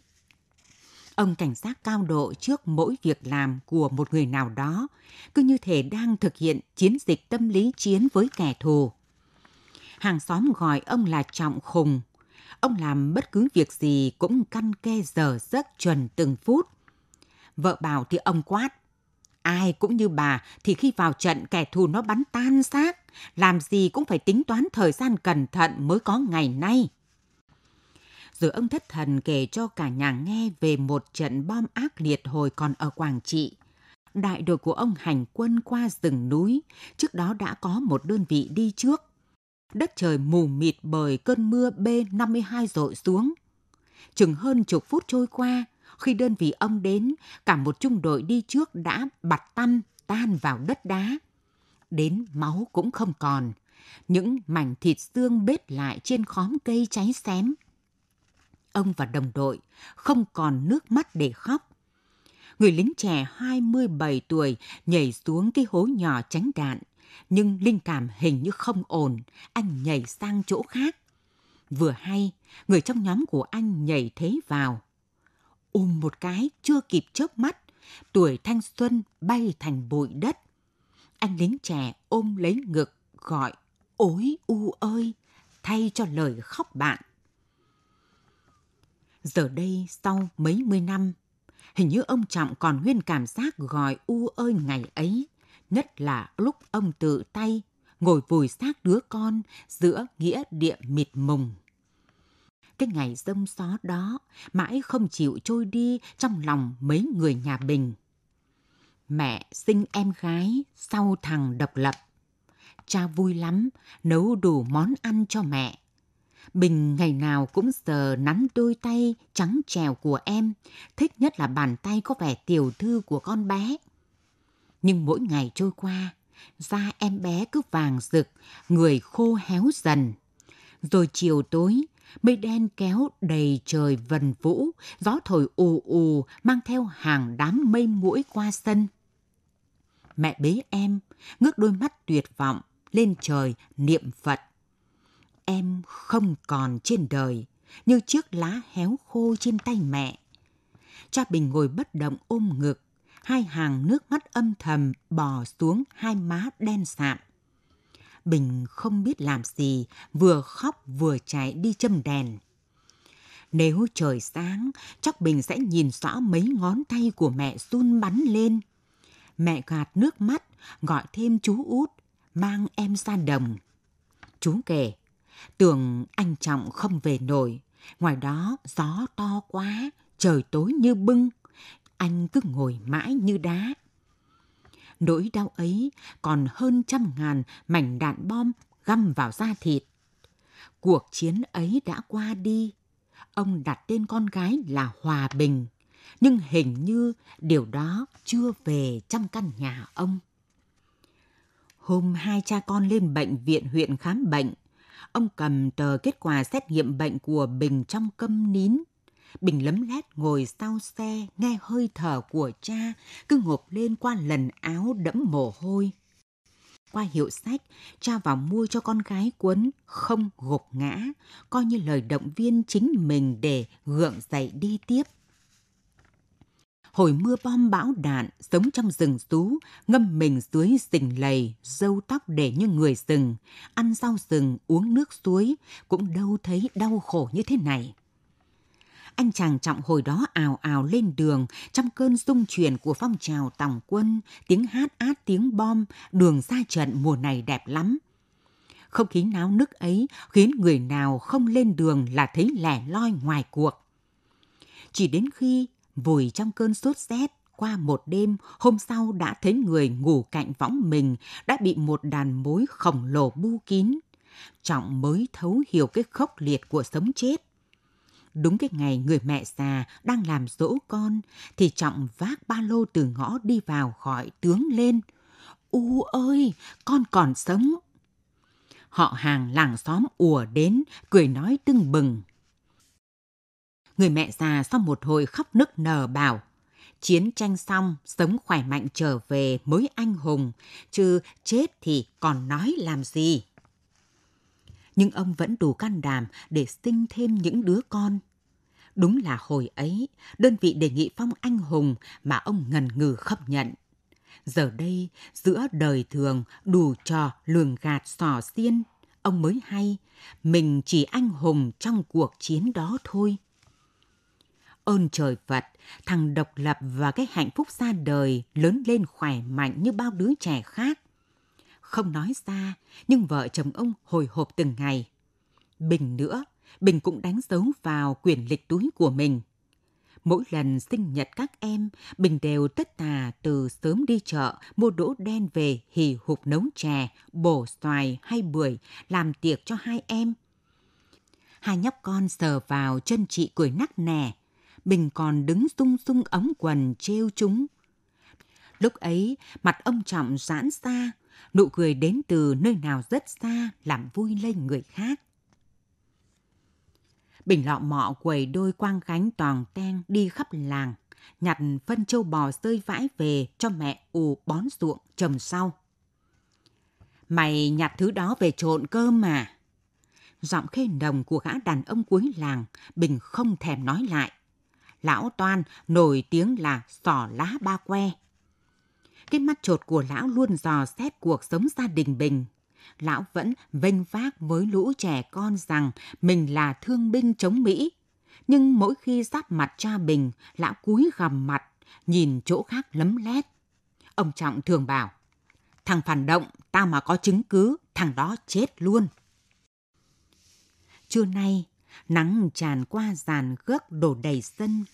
Cha Bình mở cái vali cũ mềm, lấy một nắm giấy tờ đưa cho anh cán bộ xã. Bây giờ người ta xét chế độ da cam nghèo ngặt lắm bác ạ. À. Mà bác biết đấy, đi lại bây giờ tốn kém trầu trược, còn chẳng biết có được việc không. Anh thanh niên nói liên hồi, tay vuốt vuốt mấy tờ giấy. Tôi nói cho anh biết nhé, chúng tôi tham gia chiến trận vào sinh ra từ cho đất nước này, cho những người như các anh được sống đấy. Anh nhìn con tôi xem, như thế, chưa phải là đủ tiêu chuẩn à. Cha Bình nóng mắt nói sẵn. Gã cán bộ xã hạ giọng. Ấy không, ý cháu là bác nên có chút bồi dưỡng cho những người giúp mình. Cháu sẽ kết nối ạ. À? Ông Trọng ớ người xa. Anh nói đến tiền ấy phóng. Mẹ Bình cảm thấy trận cuồng phong sắp nổi lên. Đi từ trong buồng xa bảo. Cháu cứ giúp bá đi rồi bá gửi. Rồi bà quay sang chồng, ông gửi cho cháu nó ít tiền làm lộ phí. Bà, mà còn nói thế à? Cha Bình gắt. Tôi không đi mua chế độ nhé. Lẽ ra phải làm cho tôi từ lâu rồi mới đúng. Bao nhiêu lần gửi giấy tờ đều mất hút. Rồi ông quát lên. Anh kia, mời anh cút xéo khỏi nhà tôi. Tôi không tiếp loại cán bộ như anh nha. Khi tiếng xe máy nổ giòn tan đi khuất, Bình thấy cha mang con dao găm, kỷ vật thời chiến xa lau đến sáng loáng. Cả nhà thót tim. Mỗi khi bực bội điều gì, ông thường làm thế, rồi lại cất con dao vào ngăn kéo cuối giường. Có hôm, ông thức thật khuya nghe đài ghi chép, gọi điện thoại người này người khác, vẻ nghiêm trọng lắm. Thằng Độc Lập và cái hạnh phúc có vẻ rất thích thú mấy đồ vật cũ của cha và hay chơi trò chiến tranh. Thằng Lập cầm cành củi khô làm súng chĩa vào người con Phúc, kêu đoang một cái. Con Phúc ngã lăn ra giả vờ chết. Sau đấy hai anh em ôm nhau cười nắc nẻ. Bình thấy sợ sợ. Hay gì trò bắn giết nhau. Cha Bình thì im lặng lúc lâu rồi nói. Mấy cái đứa này Cha mày đi đánh nhau cả đời không chán sao? Đừng chơi trò đấy nữa, hỏng người lúc nào không hay đấy. Bình vẫn thấy cái ký ức khủng khiếp một thời trên gương mặt cha mỗi khi ông ngồi bất động trên cái phản gỗ giữa nhà. Thỉnh thoảng lúc cha ngủ say, Bình vẫn lén thức dậy, mò mẫm đi thật nhẹ vào giường để nhìn mặt ông. Nhiều lần Bình thấy má ông giật giật vẻ thảng thốt. Có đêm, Bình vừa đặt chân vào buồng, tiếng ông hỏi. Bình hả con, không đi ngủ còn mò mẫm ăn trộm gì đấy. Tao vừa mơ sợ quá, thằng Mỹ to cao, máu me, bê bết ổ ập vào người tao. Rồi ông ngồi dậy kể cho Bình nghe cái trận ông và đội trinh sát rơi vào ổ phục kích của địch trong trận giáp lá cà. Ông đã giết tay lính Mỹ bằng một nhát dao thấu tim. Giữa sống chết, bom đạn, máu đồ, chết chóc là thường. Nhưng ông đâu ngờ sau chiến tranh, những cái chết đó vẫn về gọi ông hàng đêm. Bình ngồi đun nắm lá cháy rèo rèo trong bếp. Ông Trọng ngồi trên chiếc ghế xem tivi đưa tin về ngày giải phóng Sài Gòn. Ông bỗng bảo, tao lại nhớ tối hôm ấy sau trận bom của địch. Hôm đó, đơn vị ông bị thương hàng chục chiến sĩ. Giữa vùng đầm lầy, một cái lán được dựng lên làm trạm cấp cứu tiền phương. Ngọn đèn soi được treo lên nóc lán. Trung, anh chàng lèo mép, hát hay nhất trung đội, máu mê bê bết đôi mắt nhắm nghiền. Một chân Trung bị dập nát. Sáu chiến sĩ khỏe mạnh, lấm lem bùn đất đứng hai bên giường bệnh theo dõi ca phẫu thuật. Sau khi tiêm thuốc tê cho Trung, không ai dám nhìn bác sĩ cưa chân đầm đội. Bỗng Trung kêu lên, tôi mất chân rồi. Bác sĩ lấy hai tay, cầm cái chân sưng tấy vừa bị cắt bỏ để ụt vào một cái xô. Không ai bảo ai. Sáu con người òa lên nức nở. Mọi người ôm lấy Trung. Vậy là mơ ước khi hòa bình sẽ về làm ca sĩ của Trung tan biến. Trọng và đồng đội đi chôn cái chân của Trung dưới gốc cây rừng. Cả nhà không ai cản nổi chuyến đi miền Trung của cha Bình. Bác Thanh ở xã bên đến đi cùng. Hai ông già, hai ba lô lỉnh kỉnh đủ thứ. Ông Trọng mang theo con dao găm sáng loáng. Bình chột dạ. Họ đi gặp lại đồng đội cũ để hàn huyên lại chuyện chiến trường. Sao mà phải mang nhiều thứ thế? Cả mấy lá thư ố vàng, nét chữ đã nhòe đi. Bác Thanh nói với mẹ Bình là đi gặp lại người mà ông Trọng đã nhường cho họ thành anh hùng để hỏi vài chuyện. Bình thấp thòm, lo lắng. Lúc gọi điện, ông Trọng cười nói sang sàng bảo, Tao chưa chết đâu mà lo, bảo mẹ mày là bọn già này đến nơi rồi nhá. Trời âm u nặng nề như có bão. Cơn bão dường như ẩn nấp dưới mấy cái vòm cây im lìm kia. Tịnh không có một gợn gió. Bình ngủ một giấc từ sáng đến chiều, bỏ cả cơm trưa trên cái giường bên cửa sổ. Mẹ bảo, bố mày về rồi đấy, cùng hai ông bạn đồng ngũ đi tuốt vào làng chả hiểu gặp ai không nghỉ ngơi gì luôn. Bình có cảm giác điều lo sợ đã đến. Bình ra khỏi nhà, men theo bờ cỏ bên con sông Máng vào làng. Nhà lão Toan ở một mình trên quả đồi ngay gần rừng sim. Bình gặp chú trưởng thôn, chú quát. Cái con bé này, ai cho đến mà đến, hỏng việc. Việc gì chú? Chú có gặp bố cháu không? Ờ, mày mà biết chuyện là bố mày mắng chú không ra gì đâu. Nhưng mà thôi, đã đến thì nhanh chân lên, núp kín vào kia. Trên sân nhà lão Toan có sáu người đàn ông tất cả. Ông Trọng, bác Thanh, người thương binh già nhất nói giọng miền Trung là bác Vĩnh, chú trưởng thôn, lão Toan, cùng con trai lớn của lão. Lão Toan có dáng điệu khác hẳn ngày thường. Lão run rẩy giọng lập cập. Tôi... tôi xin các ông tha tội. Ba người lính khi xưa ngồi trên mấy chiếc ghế cũ. Bác Thanh giọng chậm rãi. Ông có thấy xấu hổ khi cướp công của đồng đội mình không? Ông bị thương binh bao giờ hả? Bác Vĩnh lên tiếng.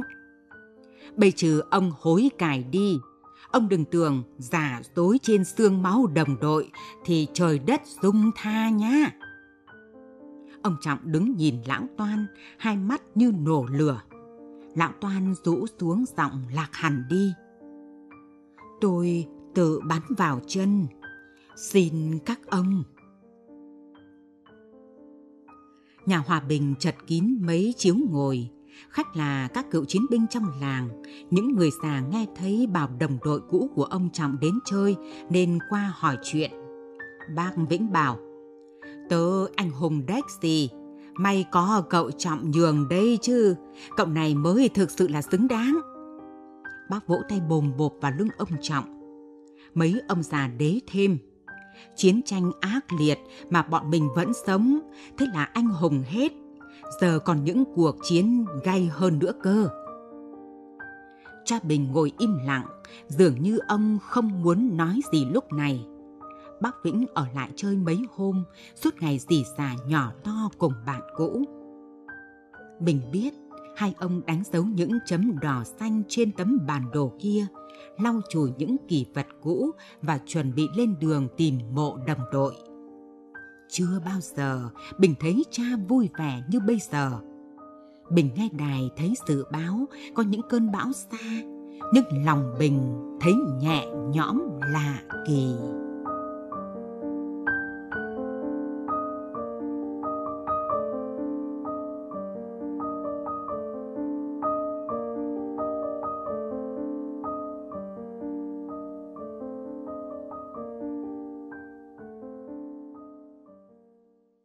Quý vị và các bạn vừa nghe chuyện ngắn Những cơn bão của nhà văn Nguyễn Thị Mai Phương. Một câu chuyện xúc động về gia đình của một người lính chịu những nỗi đau vì di chứng chiến tranh. Bây giờ, mời các bạn cùng nghe đôi điều cảm nhận của biên tập viên Hoàng Hiệp về chuyện ngắn này. Các bạn thân mến, chuyện ngắn Những cơn bão được viết đan xen giữa hai giọng văn của người kể chuyện và của Bình, con gái của người thương binh. Ông Trọng trở về tỉnh chiến trường với những di chứng chiến tranh đó là di chứng chất độc da cam có thể nhìn thấy qua hình hài, số phận những người con, nhưng có cả những chấn thương về tâm lý khó bày tỏ cùng ai. Đó là ám ảnh về sự hy sinh, mất mát của đồng đội tại chiến trường khốc liệt. Chiến tranh đã rời xa, nhưng ký ức luôn theo mãi trong tâm trí của ông Trọng. Để rồi, thỉnh thoảng trong những cơn mơ, ông lại gặp cảnh cũ người xưa. Thỉnh thoảng, ông lại kể với con gái chuyện ngày xưa như một cách giải tỏa tâm lý, Câu chuyện về gia đình người thương binh chịu nhiều nỗi đau chiến tranh khiến người đọc người nghe cảm thương cho biết bao người lính hy sinh vì đất nước. Khi chứng kiến những đồng đội hy sinh ngay trước mắt mình, thì có lẽ với ông Trọng và nhiều người cựu binh khác, ngày chiến thắng được trở về với gia đình đã là một phần thưởng quý giá nhất. Gia đình người cựu chiến binh luôn sống trong những cơn bão. Đó không phải là cơn bão thiên nhiên mà là cơn bão tâm lý khi họ lo lắng cho số phận những người con, người em của mình, không biết có lành nạn hay không. Bình thì tật nguyền, Người em út mất khi còn nhỏ, chỉ còn hai em độc lập và hạnh phúc là còn khỏe mạnh. Dù không biết chắc hai em có khỏe mạnh đến khi trưởng thành hay không, nhưng vẫn là có hy vọng. Đây cũng là điều may mắn trong cái sự bất hạnh của ông Trọng. Bởi có hàng vạn gia đình chịu di chứng chiến tranh không được quyền hy vọng như ông. Qua câu chuyện về gia đình nhân vật Trọng, tác giả cũng nhắc đến những vấn đề chưa thỏa đáng trong việc thực hiện chính sách đền ơn đáp nghĩa. Chuyện ngắn xúc động là góc nhìn của người trẻ tuổi về đề tài chiến tranh và người lính Chiến tranh đã rời xa mấy chục năm, nhưng nỗi đau không gì xóa nhòa. Chính điều này khiến chúng ta càng quý trọng những ngày hòa bình hôm nay. Chiến tranh đã qua rồi, nhưng nỗi đau vẫn còn đó. Trên gương mặt người, trong ánh mắt em tôi. Chiến tranh đã đi qua, nỗi đau còn đọng lại, nỗi đau phận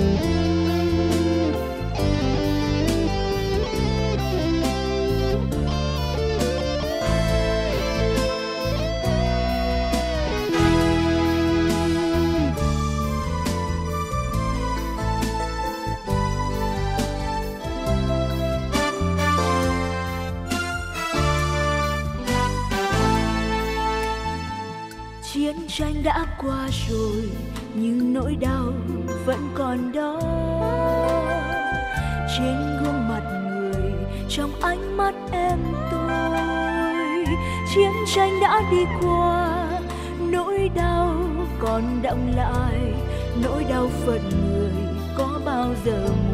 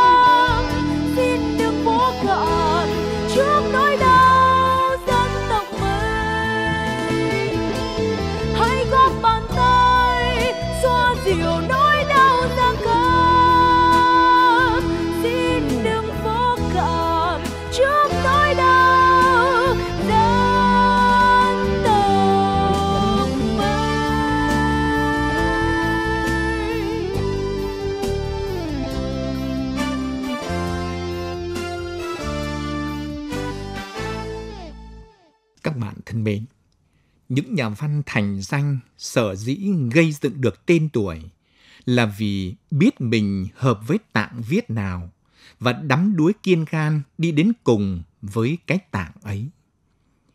Nhà văn Hồng Nhu thuộc vào hàng cây đa cây đề trong làng văn Thừa Thiên Huế. Xưa nay vẫn được gọi là nhà văn của đầm phá không chỉ có giá trị tư liệu về những phong tục nếp sống của người dân Vạn Trài ở đầm phá Tam Giang. Nhiều chuyện ngắn của nhà văn Hồng Nhu đã thực sự làm dậy hồn xưa sông nước. Trong số đó có thể nói, chuyện ngắn Lễ hội ăn mày là sáng tạo đỉnh cao của nhà văn Hồng Nhu khi viết về đề tài đầm phá.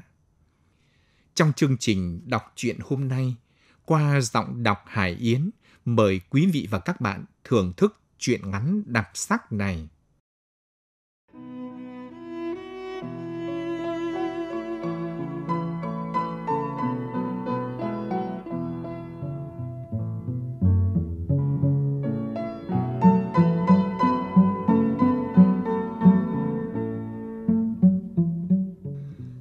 Người đàn bà choãi hai chân ra sau, chúi đầu xuống, tay trái vẫn ôm chặt đứa con nhỏ, giữ cho mũi mồm nó vẫn trồi lên trên mặt nước.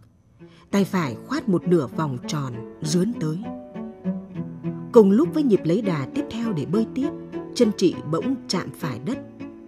Nước ngang cổ, ngang ngực, rồi ngang lưng quần. Thế là thoát, là đã sắp vào bờ. Chị vỗ vỗ bàn tay ướt nhèm vào má đứa con gái nhỏ. Cô bé lắc lắc đầu, ngọ ngoại cổ, làm nước trên người văng ra hai bên thành những tia mắt lạnh, bắn vào lườn lưng bên trái của chị. Chị mỉm cười rồi lầm bẩm, rõ là con nhà đầm phá. Vậy là hai mẹ con chị đã hơn nửa đêm dầm mình trong nước. Khi quyết định bỏ trốn vào bờ, rời bỏ vĩnh viễn vạn thuyền, chị đã tính để con gái nhỏ ở lại. Xong nó còn bú, lại có đứa con trai đầu lên năm ở lại với cha nó rồi. Nó sẽ lớn lên, sẽ thành một chàng trai đầm phá giỏi giang để tiếp nối cái nghề vạn trài truyền thống của cha ông nó. Chị vụt nhớ lại hoàn cảnh của mình. Bấy giờ là năm đói kém. Làng quê chị ở bên bờ sông Hoàng Long, đói sơ xác. Bà con thất tán, người lên tận rừng sâu, người xuống tới biển rộng để tìm nguồn sinh sống. Nhiều gia đình bồng bế nhau, bị gậy ra đi. Cứ đi, nơi nào có thể xin được là đi, không ai tính lấy đường về. Gia đình chị cũng trong tình cảnh bi thảm đó, cứ đi, đi cho đến ngày hôm đó. Đêm càng lúc càng sâu, càng vắng vẻ. Cả nhà chị chìm vào trong giấc ngủ say sưa trên nền lều chợ mát lạnh. Gió từ đầm xa hiu hiu thổi vào như du giấc ngủ thêm ngọt thêm mùi. Chị thấy mẹ nhẹ nhàng nâng đầu chị lên, đút cho chị ăn như hồi chị mới lên hai lên ba. Củ khoai bùi quá, làm cổ họng chị đặc cứng tắc nghẹn, muốn kêu mà không kêu được. Rồi bỗng mẹ buông tay. Chị thấy như được ai bồng bế, Người nhẹ hững rồi bay đi, lượn lờ như con bướm trong vườn cải nhà chị hồi nào. Rồi chị giật mình thức giấc, hoảng hốt ngồi nhổm dậy, hai tay bưng lấy mặt, chưa biết chuyện gì đã xảy ra vừa rồi. Đừng sợ, đừng sợ nghe con. Tiếng ồm ồm, đùng đục của ai thế? Chị khẽ lách các ngón, nhìn qua kẽ tay. Trời ơi! Chị bỏ phát hai tay xuống, rên rỉ ngơ ngác, hãi hùng nhìn quanh. Hai người đàn ông, một già một trẻ, đang ngồi trước mặt chị.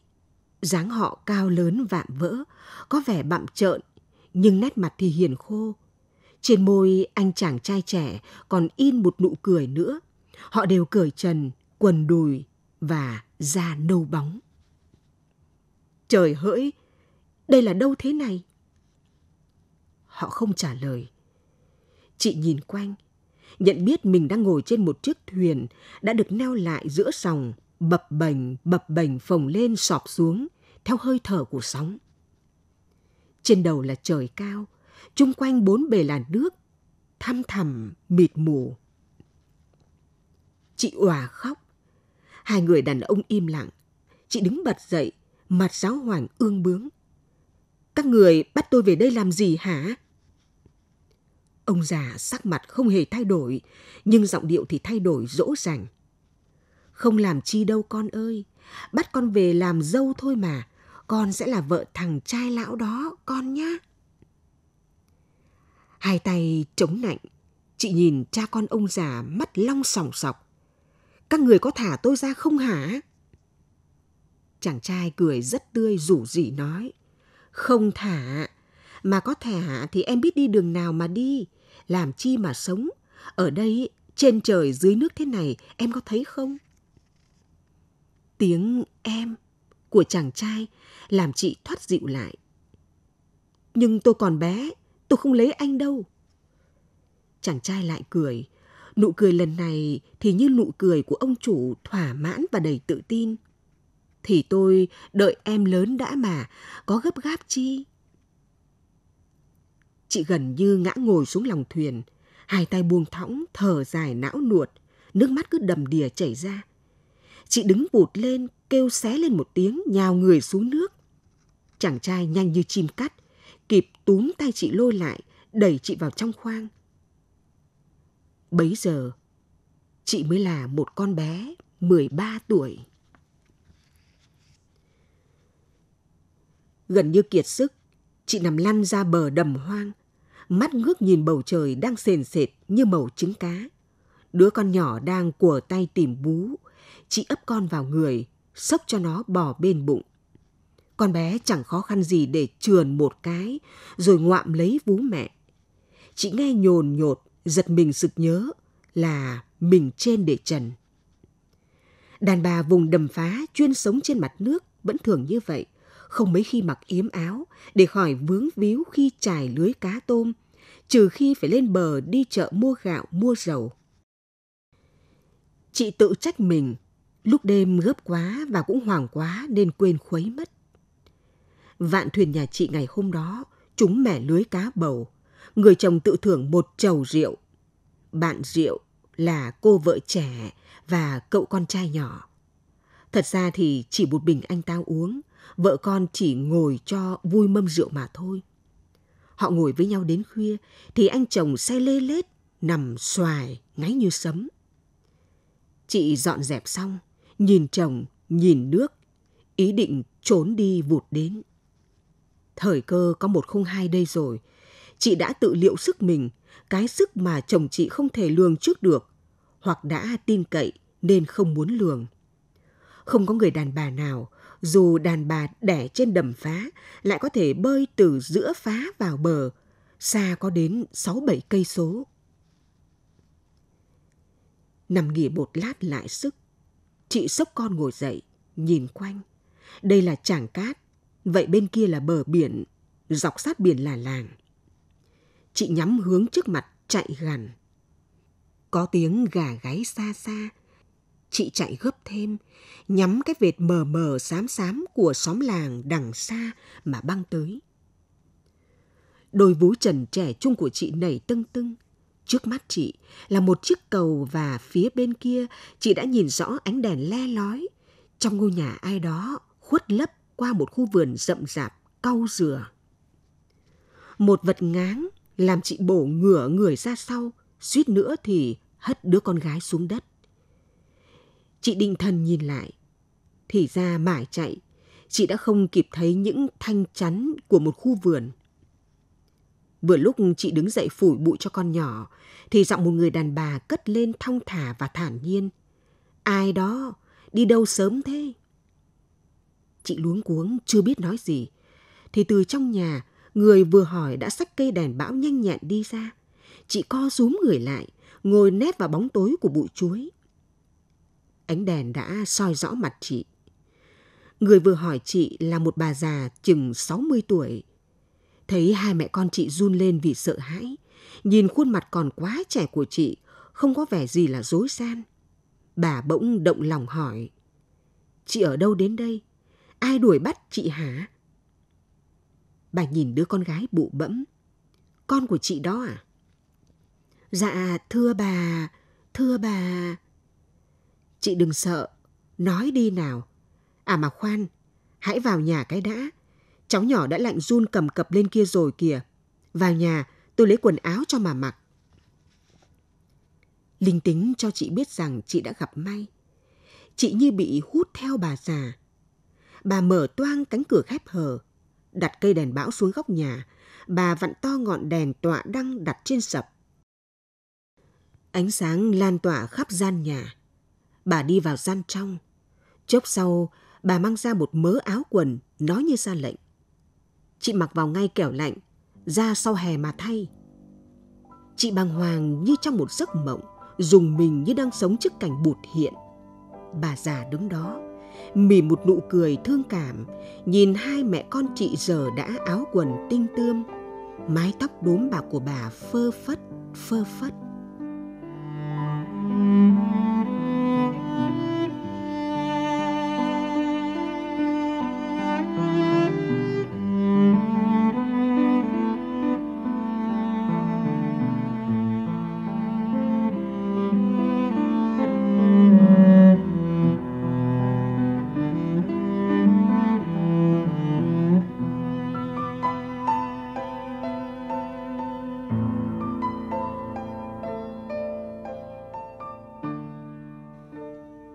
Sau khi Đào bị bắt về vạn thuyền, cô bé ngày nào còn đuồn đuỗn như con cá kìm, nay đã trở thành một cô thiếu nữ dậy thì, đầy đặn và mỡ màng như con cá đối.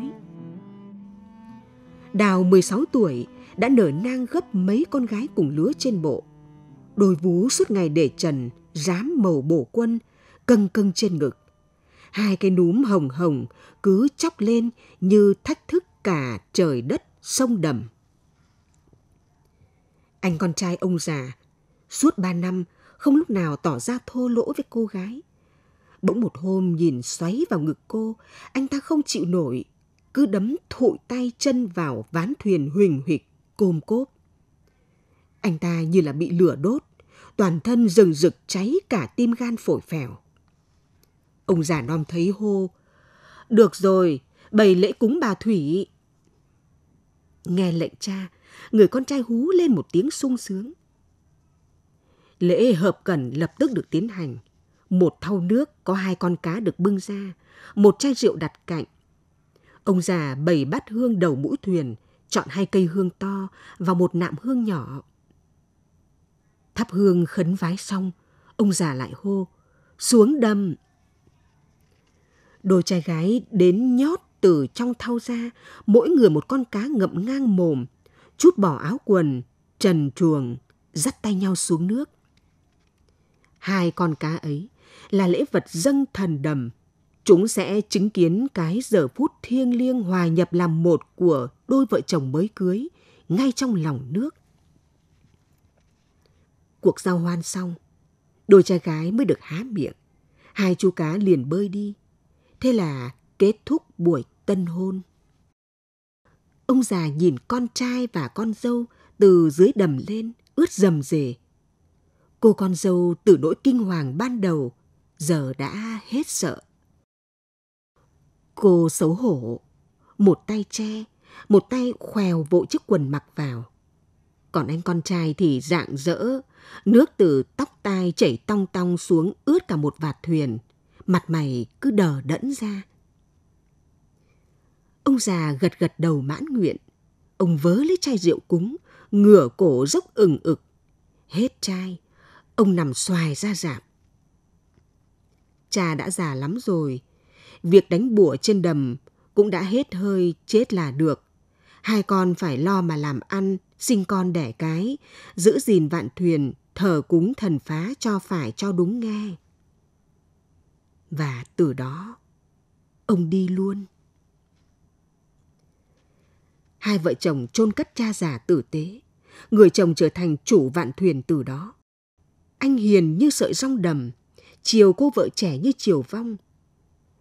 Đẻ xong thằng con trai đầu, anh nói với Đào, em đẻ tiếp mấy thằng nữa nghe. Đào nguyết, đẻ nhiều không đủ sức, rồi ốm đau bão gió, một bầy con lộn trộn như là cua rạm, một mình anh trải lưới, nuôi sao nổi. Anh chồng cười toe toét, tôi nuôi được, em chớ lo, tôi khỏe như ông voi, tôi đánh bắt như con rái cá mà. Không được, giờ em mới sinh con còn non, anh không được. Khi nào em bảo anh mới... Ờ, ở phải. Thôi, tôi nghe em rồi. Đừng buồn, đừng lo nghe em. Chợ Cồn là một khoảnh cát rộng, bụi cây lúp xúp, mô đất rải rác. Nơi đây mỗi năm chỉ họp một lần vào ngày mùng hai Tết. Những người được đến chợ Cồn vào ngày đó là những người ăn mày. Bởi vậy, dân làng trịnh trọng gọi ngày đó là ngày lễ hội ăn mày. Bất cứ ăn mày trong vùng hay từ đâu đến đều được dự lễ hội. Thường không ai đến sớm hơn hoặc muộn hơn giờ quy định. Đó là giờ thìn. Thìn là rồng. Dân làng tin rằng chọn giờ đó sẽ đem lại may mắn cầu được ước thấy cho những người nghèo đói bất hạnh phải lâm vào cảnh ăn mày, ăn xin. Từ tinh xương, các gia chủ trong làng, mỗi nhà một mâm cỗ to nhỏ tùy theo hoàn cảnh và lòng thiện của từng nhà, bưng ra bày ở chợ cồn, để ở đấy và về. Kèm theo mâm cỗ là những vật chúc phước khác, cũng tùy ý tùy tâm từng nhà, như pháo, câu đối viết trên giấy hồng điều, bộ bài thẻ ghi phúc lộc thọ hoặc phú quý an, vân vân. Ăn mày tứ xứ, tối mùng một đã kéo về, tụ tập quanh chợ cồn, nhưng chưa ai được vào, phải đợi giờ hành lễ. Hiệu lệnh bắt đầu do chủ lễ hội gióng lên. Một hồi chín tiếng chiêng vừa dứt, lễ hội bắt đầu. Ăn mày vào mâm, muốn ăn gì thì ăn, muốn ngồi mâm nào cũng được. Lạ một điều là trong suốt quá trình lễ hội, những người ăn mày, già trẻ, con nít, họ đều từ tốn, không hề tranh ăn cướp uống, đàng hoàng và đĩnh đạc như ăn cỗ ở nhà mình vậy. Rồi họ đốt pháo, rồi khoác lên mình nhau những vật cầu may đầu năm mà dân làng đã dành cho họ.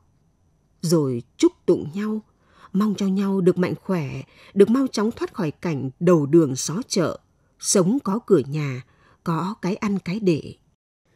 Người lớn thì vậy, còn trẻ con ăn mày thì tụ tập lại một góc, chơi nhảy lò cò, kéo co, trồng búp trồng bông, tập vòng vông, tay không tay có. Chờ cho người ăn mày cuối cùng no nê, rời khỏi bãi chợ cồn. Cụ già chủ lễ mới sóng lên một hồi chiêng báo hiệu tan hội. Lúc bấy giờ, các gia chủ trong làng mới ra dọn dẹp mâm bát của mình để mang về. Từ tối mùng 1, gia đình bà Hương đã sửa soạn cho mâm cỗ lễ hội ăn mày. Bà sai Đào và Quý, cô con gái út, hai chị em sắp sửa mọi thứ để gánh ra chợ cồn. Là gia đình vào loại vai vế giàu có, năm nào cỗ ăn mày của bà cũng to nhất nhì của làng. Chợ cồn cách phía sau khu vườn nhà bà không xa. Đứng ở cuối vườn có thể thấy khá rõ người đi lại, ăn uống, vui chơi. Sau khi gánh cỗ ra bầy biện và mâm xong, hai chị em đào quý về nhà. Nghe tiếng chiêng gióng, đào rủ quý ra vườn sau. Lần đầu tiên trong đời thấy quang cảnh lễ hội ăn mày diễn ra, lòng cô gái chợt bừng lên một cảm giác khó tả, bâng khuâng, buồn nhớ, thương tiếc. Đang miên man thả lòng theo dĩ vãng, Đào bỗng giật thót mình. Bóng một người ăn mày dắt theo đứa con trai đang lách đám đông đi vào giữa lễ hội. Anh ta đội chiếc nón cười, đóng khố lá tọa trước bụng. Chiếc bao gai đã rách mướp quàng trên người, tay chống chiếc gậy con con sần sùi. Trời ơi, cái lưng khòm khòm như lưng rùa kia thì không thể lẫn vào đâu được, còn ai vào đó nữa trời. Thằng con trai, như có lớn hơn một chút, trần chuồng nhem nhuốc, đang nắm tay cha vừa đi vừa ngó nhìn đó đây. Khác với những đứa trẻ con khác, nó không hề nhìn vào các mâm cỗ mà lại lia đôi mắt von vót hình đuôi cá trình, soi mói vào mặt người này người nọ như thể đang tìm kiếm cái chi. Đào ôm ngực. Một mũi kim nhọn như đang ngọ nguậy trong tim cô. Cô bước vào nhà, lòng rung lên dữ dội. Vào tới buồng, Đào nằm vật ra, nước mắt đầm đìa mặt gối. Cô ư ử rên. Con ơi, anh ơi, trời xui đất khiến thế nào mà cha con giả làm ăn mày lần mò được đến đây. Con ơi, con nhớ mẹ, trách mẹ lắm phải không? Mẹ lầm lỗi rồi, mẹ đỡ bỏ con mà đi, trời Phật ôi. Đào quằn quại, rằng xé, nỗi niềm dối như tơ vò. Cô nằm liệt giường sau đó. Chị quấn chiếc điệu bà mẹ nuôi đã may cho thêm một vòng quanh eo lưng, buộc hai múi thắt lại. Trời đã ngả về chiều. Đã qua một ngày chị rời nhà bà Hương. Đang bước nhanh, chị thốt dừng như bị một bàn tay nào đó níu lại. Chị ngồi xuống bên một gốc cây, cởi điệu, lấy nắm cơm mà quý đã vắt gói trong bẹ tàu cau lụa, bẻ một miếng cho con ăn. Đoạn đường dài với nỗi lòng lê thê suốt gần một ngày ròng rã đã làm chị mệt nhoài. Chị uống một hớp nước trong ống tre mang theo, hai mắt từ từ díp lại, chìm dần và chìm dần. Lại hiện ra trước mắt cái lễ nhập vạn đò cho cô bé 13 tuổi năm nào. Từ đâu đó, một giọng hò cất lên, vô tình mà làm lòng chị như muối sát. Phá tam giang ngày dày đã cạn, chuông nhà hồ nội tán cấm nghiêm. Tìm em như thể tìm chim, chim ăn biển Bắc, anh tìm biển Nam. Đang rậm chân bước xuống đò, bỗng chị rên lên một tiếng trong cổ họng, rồi vụt quay người chạy lui. Con bé trên lưng bị chị gật đầu một cái khóc ré. Chị vừa chạy vừa vỗ về con.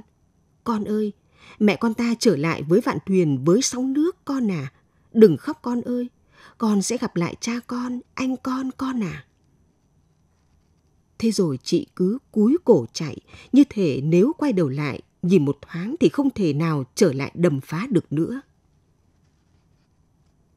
30 năm sau, bà Đào bấy giờ không còn sống trên mặt đầm nữa, mà đã định cư trên bờ, tại vùng cửa Tư Hiền. Chồng bà, người con vạn đầm hiền như ngọn rong ngày đó cũng đã mất. Bà có đến sáu người con, hai người con mà ta đã biết. Con gái thì đi lấy chồng buôn bán bên kia đường quốc lộ, thỉnh thoảng đáp cano hoặc tàu nước vượt qua đầm để về thăm mẹ bên này. Còn người con trai mắt vót đuôi cá trình ngày nào, giờ vẫn theo nghề trên sóng nước.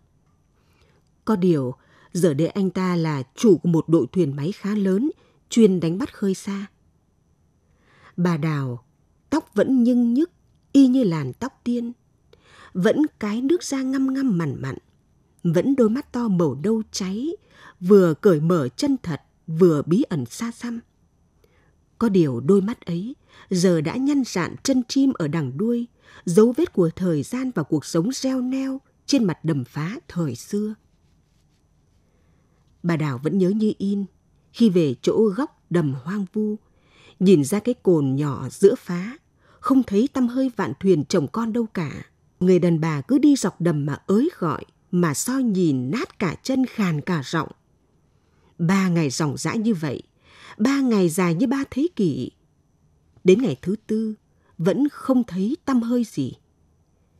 Đào định quay về nhà mẹ nuôi, thì bỗng trong tiếng gió, chị nghe mơ hồ một tiếng chém nước phầm phập đâu đó rất xa. Tiếng trèo chém nước nhịp đôi một, ngọt và hơi ngâm của chồng chị thì tai chị nghe đã thuộc, không thể lẫn vào ai. Đào nhìn lướt một vòng cung ra mặt phá, định vị nơi phát ra tiếng trèo mà chỉ có chị mới nghe được, mới phân biệt được. Và chị quay lui, hướng tầm nhìn về phía hòn Thúy Vân. Kia rồi, từ bên kia mép hòn, một chấm mờ xuất hiện to dần to dần. Đến khi cái màu nâu như gan cá của nó hiện ra, chị Đào đưa cả hai tay lên khoảng không mà ngoắt, ngửa cổ lên trời mà réo gọi. Chị lội ra giữa dòng nước, ngập ngang ngực, rồi bơi đứng. Con bé trên lưng chị khoái quá, vỗ tay a á. Vừa lúc, chồng Đào lướt thuyền tới, nhận ra vợ con mình, anh quẳng trèo nhảy xuống nước như một con rái tơ. Chỉ vài ba vòng rướn, anh đã sáp đến bên chị. Rồi một tay quặp lấy đào, một tay giật con bé ra khỏi tay vợ, ấp chập vào ngực, dùng hai chân quẫy nước, bơi ngồi về thuyền. Thằng con trai đứng trên thuyền mới hơn 5 tuổi, nhưng đã ra vẻ ông chủ tương lai lắm. Nó choãi hai chân ra, hai tay chống nạnh, mặt cứ vác lên, nhắm tít mắt cười hết cỡ. Mấy tuần sau đó, vợ chồng Đào đánh được mẻ cá lớn, nách một rổ to, đến thăm bà Hương để tạ cái ơn mà chị gọi là ơn biển trời đầm phá. Câu chuyện bao giờ cũng kết thúc khi dáng chiều đã nhuộm. Cả một vùng bao la vốn ngun ngút xanh bỗng bừng lên, đổi sắc màu, đỏ ối cả trên trời dưới nước.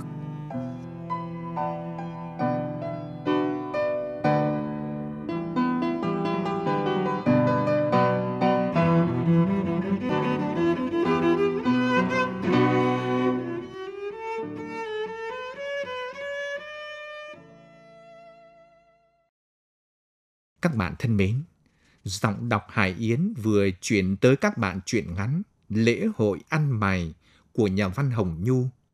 Một truyện ngắn giàu tính chân thực và cảm động mà những dư âm neo lại khôn nguôi trong lòng người đọc, người nghe.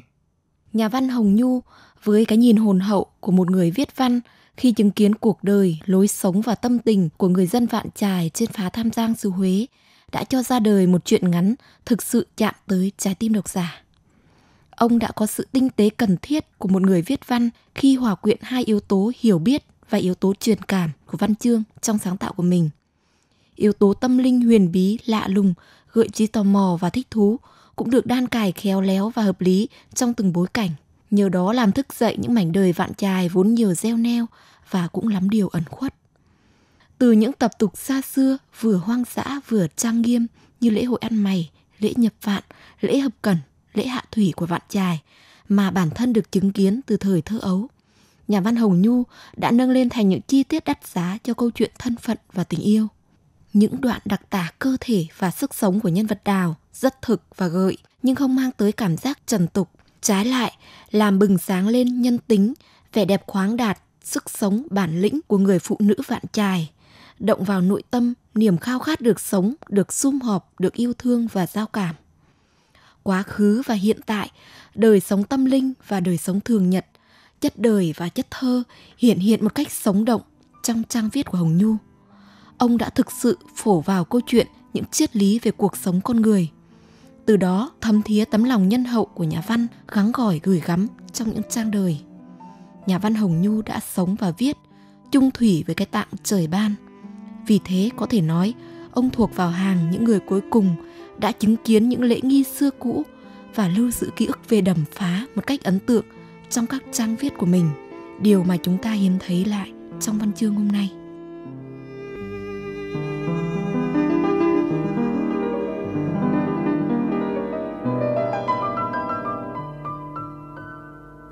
Mời các bạn theo dõi tác phẩm qua giọng đọc, nghệ sĩ ưu tú Việt Hùng.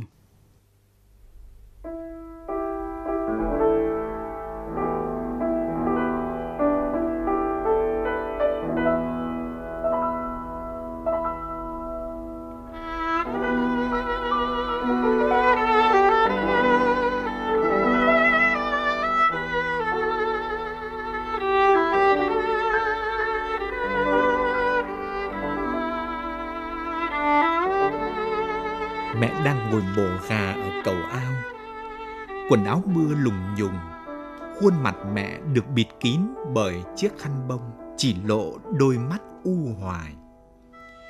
Có tới chục con gà đã được làm sạch để trong cái rổ xề. Vẫn còn hai con nữa đang quăng quác đòi mẹ cắt tiết. Tôi đứng lặng lẽ bên gốc cây hồng, mắt dõi về phía mẹ. Cố đợi mẹ xong việc, mẹ rửa chân tay sạch sẽ là sẽ lao đến ôm lấy mẹ cho bỏ nhớ. Con gà trống quá to so với hai cánh tay nhỏ bé của mẹ. Nó dẫy đạp liên hồi. Dù tiết đã chảy sắp đầy bát, mà nó vẫn chưa chịu hồn lìa khỏi xác. Mẹ bỏ nó xuống đền gạch, nó vẫn ngóc đầu lên, hai cánh đập đập chân dẫy dẫy, nước bắn tung tóe. Mắt nó màu hổ phách, đánh ra tận gốc cây hồng nhìn tôi đầy vẻ kiêu ngạo, hờn trách, thách thức. Tôi bồn chồn nhắm mắt lại. Khi mở mắt ra, thấy đôi mắt màu hồ phách của nó đã khép lại thanh thản. Hình như nó vừa biến thành chim vỗ cánh bay lên trời. Điện thoại chợt đổ chuông. Mẹ bật máy nghe rồi vội vã vâng vâng dạ dạ. Ra lồng gà bắt thêm hai con nữa. Vừa bắt gà, mẹ vừa lầm bầm. Dỗ họ gì mà gần ba mươi mâm. Con dao lại được liếc xoèn xoèn. Một chân mẹ giữ cánh, một chân mẹ đè chân gà. Còn tay trái cầm cổ gà, tay phải cầm dao cắt tiết. Con dao sắc lóe sáng như ánh chớp vừa lướt qua. Dòng máu phọt ra, mắt gà trợn ngược nhìn chân chân đầy oán trách. Không dám nhìn nữa, tôi quay mặt đi. Con bướm vàng từ đám hoa mướp bay sang chấp chới, đã kéo tôi chạy theo. Vừa chạy sang họ, chỗ đầu hàng rào dâm bụt thì đụng vào cụ Phạm Tiên và cụ Phạm Văn. Hai cụ về ăn dỗ nên trông diện lắm. Khăn xếp, áo dài nhiễu, che ô đen. Nhận ra tôi, cụ Phạm Tiên chửi yêu. Thì ra là thằng cu đỏ suốt ngày thích chạy nhảy loang quang. Đã về đến đây rồi đấy. Quay sang cụ Phạm Văn, cụ kể tội tôi. Năm ngoái, nó còn khóc xa xả, cứ cuốn lấy chân cụ, đòi cụ cõng đi chơi khắp làng làm cụ đau hết cả lưng. Giờ thì đã tự đi một mình rồi đấy. Cụ Phạm Văn cười khà khà vuốt tóc tôi nói. Chàng con mà, đứa nào chẳng thích được cõng đi chơi. Rồi cụ Phạm Tiên rủ. Cụ đỏ về ăn dỗ họ với bọn ta nha. Hôm nay họ Phạm làm dỗ to lắm. Ba năm mới có một lần như vậy. Đã là người họ Phạm thì ai cũng được mời. Thì ra là vậy. Mẹ mổ gà thuê cho đám dỗ này. Mẹ vốn là người thật thà, chậm chạp, nên trong làng ai thuê gì làm đấy. Nhổ cỏ, dọn chuồng phân, cắt lúa mổ gà rửa bát. Đám dỗ họ Phạm lại thuê mổ gà, mẹ đã không từ chối. Dẫu sao thì mổ xong, mẹ cũng dắt lưng được ít tiền để chi tiêu, để mua hoa quả, sữa và quần áo cho tôi vào dịp tháng 7 này. Thế thì chẳng lẽ chốc nữa mẹ cũng tới nhà thờ họ Phạm để rửa bát dọn dẹp ư? Mẹ vẫn vậy. Đã mổ gà thuê rồi thì có lẽ mẹ sẽ chẳng từ chối việc nào nữa, dù là dỗ họ Phạm. Nghĩ vậy, nên tôi đi theo chân hai cụ. Đến gốc đa trước ngõ, thấy cảnh làng xóm đẹp như tranh. Hai cụ hạ bộ cờ tướng ra ngồi đánh cờ trên tảng đá xanh. Cụ Phạm Tiên nói, cứ thư thả đánh cờ, có vào nhà bây giờ con cháu cũng còn phải lăn ra làm cỗ bàn. Chẳng đứa nào nhớ tới hai cụ mà đón rước được. Cụ quay sang bảo tôi thích xem đánh cờ thì ngồi vào đây. Không thì cứ đi chơi. Chốc các cụ cho vào ăn cỗ. Tôi hào hứng lắm vì sẽ được ăn cỗ. Lâu lắm rồi tôi không được ăn cỗ. Bởi mẹ đã ốm hai tháng liền chẳng làm thuê được cho ai, mà đòi có tiền mua quà cho tôi ăn chứ đừng nói gì tới cỗ. Và còn vì sẽ được gặp gỡ tất cả mọi người, được xem mọi người làm việc, trò chuyện, được nghe kệ nghe kinh, cứ là vui như hội ấy. Hai cụ đánh được một ván cờ.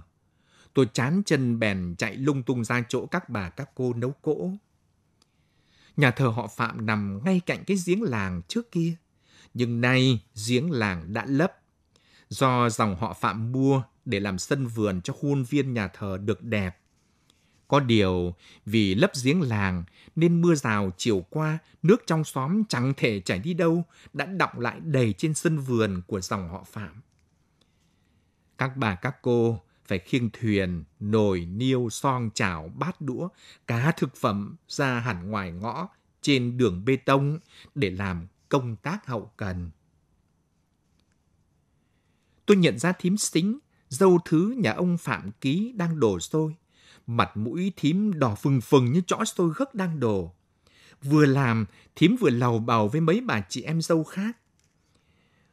Hôm nay em phải nghỉ mất tối ngày công ở công ty. Kiểu gì cuối tháng cũng bị trừ lương.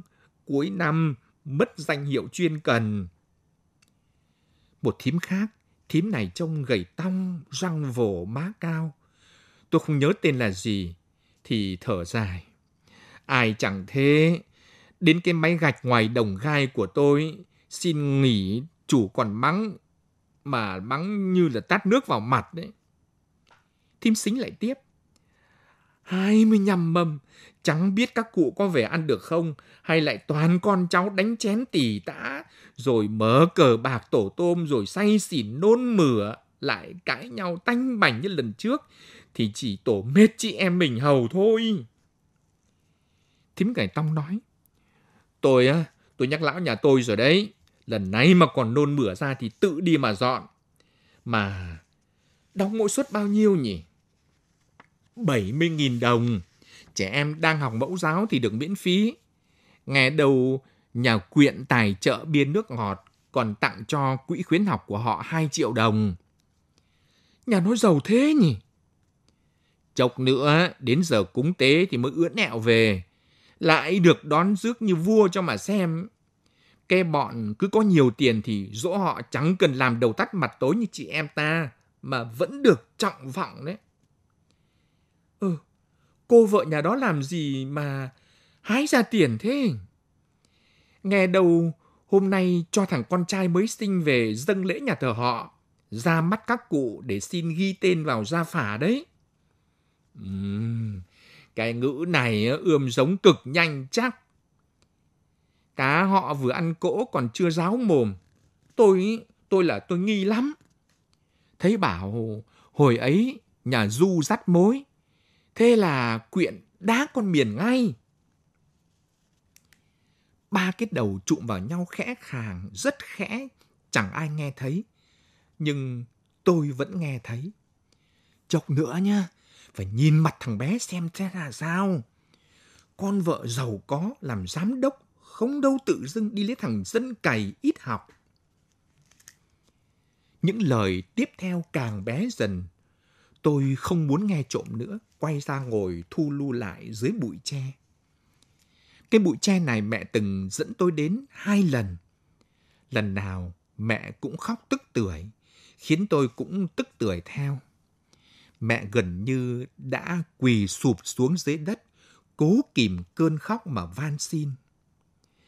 Anh Quyện, anh đừng bỏ rơi mẹ con em.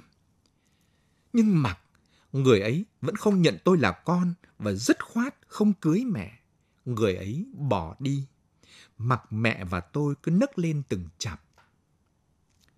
Lúc ấy, tôi còn bé quá, chưa hiểu tại sao người ấy lại quan trọng với tôi và mẹ đến như thế. Về, mẹ bỏ ăn khiến tôi đói lạ. Thỉnh thoảng đưa tay lên miệng mút mà chẳng thấy có vị gì. Thỉnh thoảng khỏe hơn thì tôi đạp vào bụng mẹ vài cái liên hồi. Mẹ vẫn không thèm phản ứng, cứ nằm bảy bảy ra. Cho tới lúc tôi nghe rõ có tiếng bá lúa mở cửa. Bá bê cho mẹ bát cháo, bắt mẹ ăn. Mẹ bảo mẹ khổ quá, chỉ muốn đâm đầu xuống sông cho chết. Ba lúa bảo, chết mà sung sướng hơn thì trên đời này sẽ chẳng còn người sống nữa. Mẹ khóc.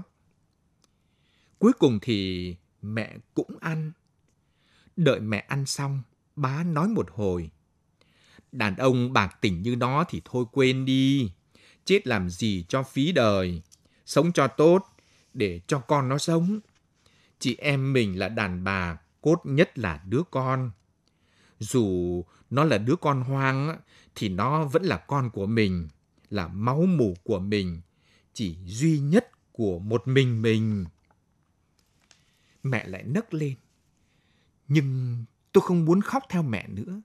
Tôi đói là đi từ mấy hôm nay rồi. Tôi chỉ muốn được mẹ cho ăn thôi. Tôi đạp mạnh để đánh động. Mẹ ôm bụng nhăn mặt. Bá lúa lại bảo. Đứa bé đòi ăn đấy. Múc thêm cho mẹ thức ăn. Bán lúa xoa bụng mẹ để nói chuyện với tôi. Giọng bá êm như ru. Bé ngoan nào, đừng đạp nhiều để mẹ khóc. Mẹ đi làm nuôi bé nha. Tôi nằm co mình lại nghe những lời thủ thị đó và ăn. Ăn bù mấy hôm tôi bị bỏ đói. Từ hôm sau, mẹ nhóc nhách dậy đi làm. Có hôm mẹ đi vạc bờ thuê cho người ta, cứ cố quốc cật lực, khuỷu tay thúc vào bụng khiến tôi khó chịu lắm. Nhưng vẫn cứ phải nằm im không dám ngó ngoáy gì vì tôi sợ mẹ bị đau. Phía gốc đa, hai cụ vẫn đánh cờ. Cụ Phạm Tiên vốn là thầy đồ dạy học, vừa đánh cờ vừa ngâm mấy câu thơ chữ Hán cổ mà tôi không hiểu là gì. Thằng Nhất, thằng bé, cái hĩn, cái út đỏ cũng đã về. Cả bọn đang chơi con quay, chơi trong chóng bên hàng rào. Chúng gọi tôi lại chơi, nhưng tự dưng tôi không muốn chơi cái trò trẻ con ấy. Kể từ lúc mấy thím nói chuyện, tôi thẫn thờ như người mất hồn. Chợt thoáng bóng mẹ te tái chở gà tới, giao cho thím xính. Thím xính vẫy tay ra chồng bát đĩa vẫn còn chưa rửa, mặc cả với mẹ số tiền thuê. Mẹ đã gật đầu đồng ý. Mẹ chạy ra chạy vào, bê bê rửa rửa luôn chân luôn tay. Ngay dưới bụi tre, mẹ như đã quên những lần từng đứng khóc ở đó. Tay mẹ dấp dính đầy dầu mỡ, mùi tanh hôi. Da đã bợt bạt nhăn nhúm lại. Tôi ngồi rút cổng cộng tre làm thành chuỗi vòng. Cái út đỏ đang chơi trong chóng, thấy chuỗi vòng đẹp, đòi tôi cho để đeo cổ. Được vòng, nó chạy đi khoe với lũ trẻ rằng Anh cu đỏ cho đấy. Cái hĩn cũng muốn xin, cứ chạy vòng vòng quanh tôi mà năn nỉ. Tôi đành gật đầu bừa hẹn nó, chốc quay lại, để cho nó đi ra chỗ khác chơi. Lúc này, tôi chỉ muốn nhìn thấy mẹ, mà mẹ thì cứ cúi xuống rửa ráy như một cái bóng. Mặt mẹ cũng không nhìn rõ, vì mẹ đã cuốn thêm cái khăn bông nữa, đội cái nón xùm xùm trên đầu. Mẹ như muốn che kín, không cho ai nhận ra mình. Mùi thức ăn bốc lên thơm ngậy. Mẹ đã rửa xong bát đĩa, còn lau chùi sạch sẽ. Khi mà các thím xuống vào bầy mâm thì thím xính lại chỉ cho mẹ rửa nốt cái thuyền và khơi đám rác đang tắc lại nơi cống thoát nước. Sẽ trả thêm tiền. Mẹ không nói gì, nhận việc rồi tiếp tục lúi cúi làm. Sắp đến giờ cúng dỗ, theo sự chỉ đạo của cụ Phạm Văn, lũ trẻ con xếp thành hàng sau các cụ để chuẩn bị đi vào ăn dỗ họ. Cây hĩn cứ kéo tôi lên trên vì tôi thấp nhất, nhưng tôi chẳng muốn. Tôi đứng cuối hàng để còn được trông thấy bóng mẹ đang lúi húi quét dọn đoạn đường xóm, nhặt rác và khơi cống rãnh. Còn nhớ, Cũng vào một lần, mẹ đi rửa bát dọn dẹp thuê cho một đám cưới. Vì cố quá sức nên mẹ rất yếu, khuỵu xuống. Tôi đang bơi lội trong bụng mẹ, tay mút miệng, thì bỗng thấy ngột ngạt, hình như có tiếng nước ào ra khỏi cơ thể mẹ. Tôi như cá nhỏ bị hút mất nước, nên hụt hẫng khó thở. Tiếng một bà kêu lên, đưa cái miền đi bệnh viện, nước ối ra hết rồi. Mọi người cùng nhốn nháo. Lại có tiếng, vào nhờ thằng Quyện, cô người yêu vì ăn đám cưới, có ô tô riêng đấy. Tiếng chân chạy vào trong. Lúc sau, tiếng chân vội vã chạy ra, giọng hồn hển bảo. Cô người yêu quyện bảo xe làm ăn không chờ gái đẻ. Làm ăn sẽ đen như chó thui ấy. Nó cho tiền gọi taxi đây này. Còn thằng Quyện nghe tin thì đã lỉnh đi đâu mất rồi. Người ta chở mẹ và tôi bằng xe máy ra tới đường tàu thì gặp taxi đã gọi. Đến bệnh viện, mẹ được đưa thẳng vào phòng cấp cứu.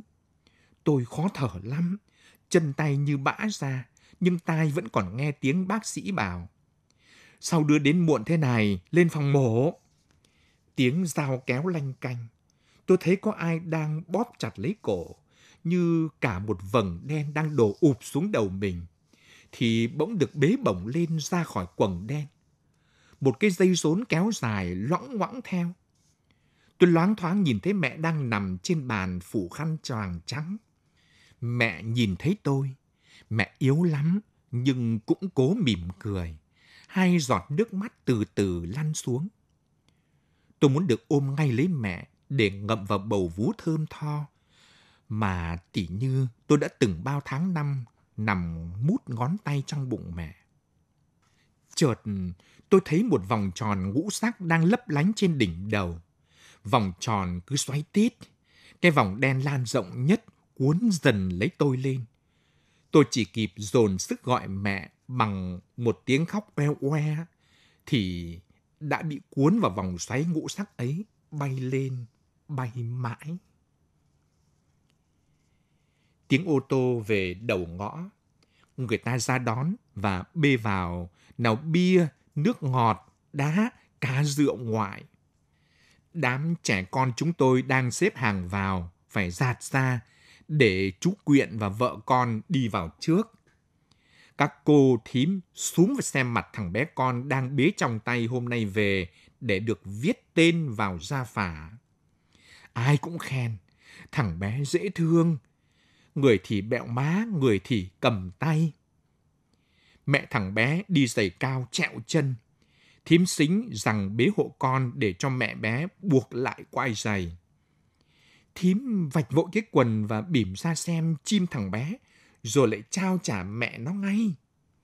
Lúc sau, quay sang thím gầy kia thì thụt nói, Này, có lẽ, có khi là chú Quyện bị đổ vào ốc thật rồi. Thằng bé này mắt một mí, chả giống Quyện.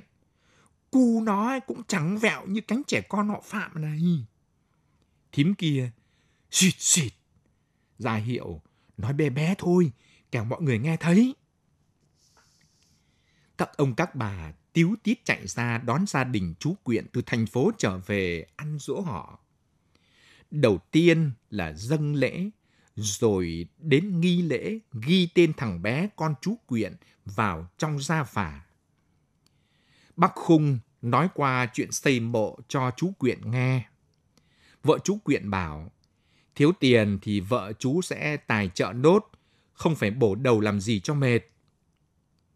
Màn đón tiếp xong xuôi thì ba cụ lớn tuổi nhất họ vào gian thờ giữa, ngồi xếp trên vòng tròn, chuẩn bị đọc bài khấn, mời toàn thể các cụ tổ tiên con cháu đã mất trong họ về ăn dỗ. Ông thổ công đứng canh cửa cứ cúi đầu đáp lễ các cụ liên tục. Cụ Pháp Thiên vào trước, rồi đến các cụ tiếp theo. Sau đó mới tới cánh con cháu rồi cuối cùng là cánh trẻ con ủn tiểu chúng tôi.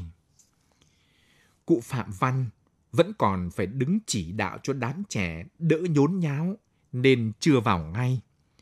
Tới lượt tôi, tôi vừa tới cửa thì Ông thổ công giữ lại, không cho vào. Cụ Phạm Văn vội ra can thiệp. Nó là cu đỏ, con rơi của thằng quyện với cái miền ấy. Ông thổ công lắc đầu. Tôi cũng biết điều đó, nhưng lúc nó còn trong bụng mẹ, thì thằng quyện đã không nhận. Giờ chủ sướng đọc lại không có tên đó. Tôi làm sao mà cho vào được? Tên nó là cu đỏ mà. Đứa nào chết yểu chẳng mang tên đỏ. Con trai thì cu đỏ, con gái thì bé đỏ. Còn bao nhiêu đỏ có cả họ đầy đủ, còn xếp hàng đằng sau chờ tới lượt kia cụ. Cụ Phạm Văn còn nói gì đó để xin cho tôi. Nhưng tôi đã không muốn vào nữa. Tôi không có tên ở đây. Đến họ còn không được mang. Tim còn đập trong bụng mẹ mà bố chẳng thèm nhận nữa là ngày dỗ họ thế này. Bắt ẩn ẩn nước, tôi cúi mặt bỏ chạy ra ngoài cổng. Mẹ tôi vừa dọn dẹp xong, đang dắt xe ra đầu ngõ. Tôi nhảy tót lên sau xe để mẹ đèo về. Cú nhảy quá mạnh, khiến tay lái của mẹ khẽ trao đảo. Rồi mẹ lấy lại thăng bằng, gồng mình lên đạp xe. Tôi rúc đầu vào lưng mẹ để lau nước mắt. Một cánh cỏ bay ngang qua đầu hai mẹ con, qua lũy tre. Mẹ nheo mắt nhìn lên, chợt cất giọng ngân nga một điệu hát ru khe khẽ như hồi tôi còn trong bụng mẹ. Con cò bay là bay la.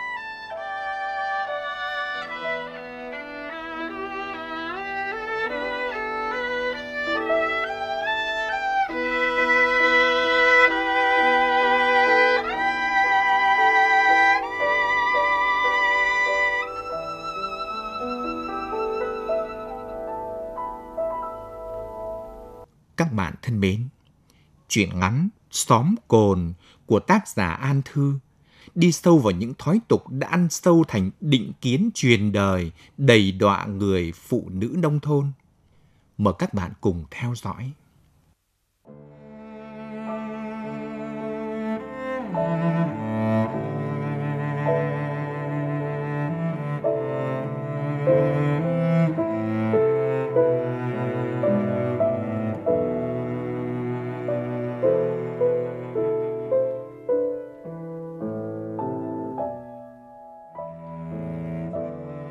Tôi là đứa con gái của xóm cồn. Cái xóm nhỏ con con nằm bên dòng kênh nước chảy lững lờ. Mùa nắng cũng như mùa mưa chẳng khi nào vơi cạn.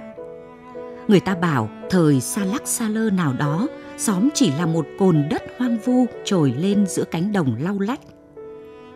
Có người phụ nữ chẳng hiểu vì sao lưu lạc đến nơi này, không chồng không con.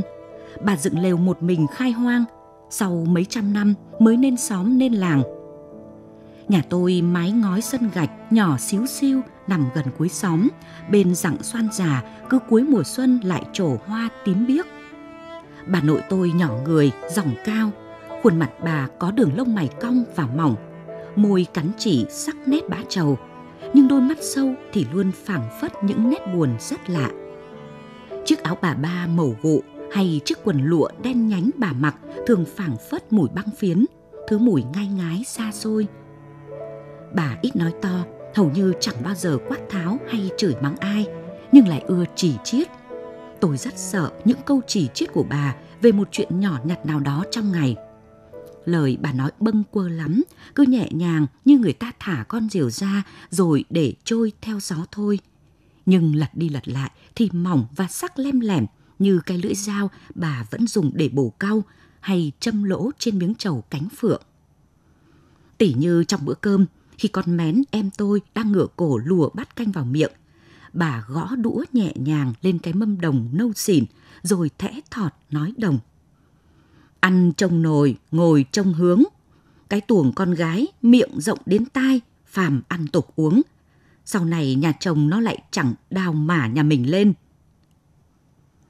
Tỉ như ngày cô Miên hàng xóm đón thằng con trai đầu lòng, bà lạnh lùng nhấm nhẳng Nhà người ta có phúc có phần sinh được cháu trai. Nhà nào vô phúc mới chỉ đẻ ra giặt sò hến đái thối nhà. Tỉ như khi bố gửi lương về, tiền bà cầm cháp bà giữ, nhưng bà vẫn ngồi trên bậu cửa, hờ vọng vào buồng trong, rằng số con trai bà khổ, ngày đêm vất vả chân mặt trên thao trường để lũ sò hến ở nhà nằm phưỡn ra ăn. Tiếng bà mỏng đanh và thêm tí rền rĩ càng làm nhói tai người. Sau này mẹ kể, lần duy nhất mẹ được bà gọi con xưng mẹ là cái hôm bước qua cây cầu bắc ngang kênh về nhà chồng. Bà ngoại nước mắt lưng tròng cầm chặt tay bà nội gửi gắm. Nhờ bà thương lấy cháu. Từ đó về sau là thôi, thôi hẳn. Những bữa cơm bao giờ mẹ cũng cúi gằm mặt xuống vì kiểu gì bà cũng thả vài tiếng chỉ tiếng bắc.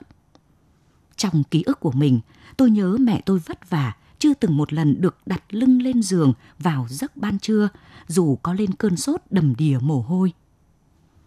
Nói chuyện ngủ trưa, ờ, kể cũng buồn cười. Ở cái xóm cồn của tôi, đàn bà không được ngủ dậy muộn đã đành, nhưng đến việc ngủ trưa cũng không có quyền. Buổi trưa không ra đồng, không vào bếp, đàn bà sẽ nghĩ ra đủ việc để làm. Khi dần mùng gạo, lúc bện cái chổi rơm, hay tìm vài cái lá ruối rồi cọ cho trắng chiếc tích pha trà đen xỉn để từ buổi khươn mươi niên nào đó. Nhàn rỗi hơn nữa thì tụ tập bên cầu ao dưới gốc mít cổ thụ trong vườn ai đó, quạt mo cau phành phạch kể chuyện con gà mái vừa mất đêm qua, chuyện bán yến thóc để mua bộ sách giáo khoa cho con, chuyện ăn chuyện ỉ của thằng cu cháu.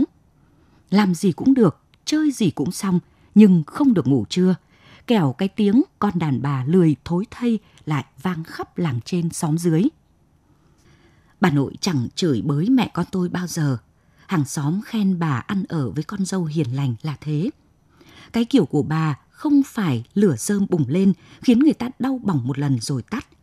Đó là kiểu của người cầm sợi cước, miết đi miết lại trên một vết thương ngoài da, chẳng đau to búa lớn làm rách da rách thịt mà cứ nhấm nhẳng đau thấu tâm can – với bà, chị em tôi có một khoảng cách vô hình nào đó.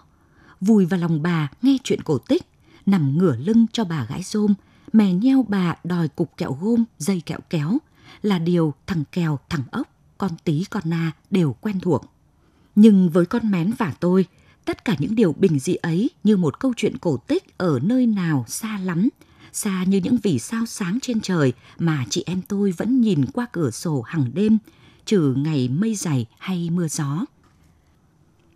Khoảng cách giữa bà nội và chúng tôi lớn như thế nào thì khoảng cách giữa bố và mẹ cũng gần như thế. Bố tôi là quân nhân, cũng giống như ông nội. Đây là điều ông ngoại tâm đắc nhất khi chọn chồng cho con gái, tức là mẹ tôi.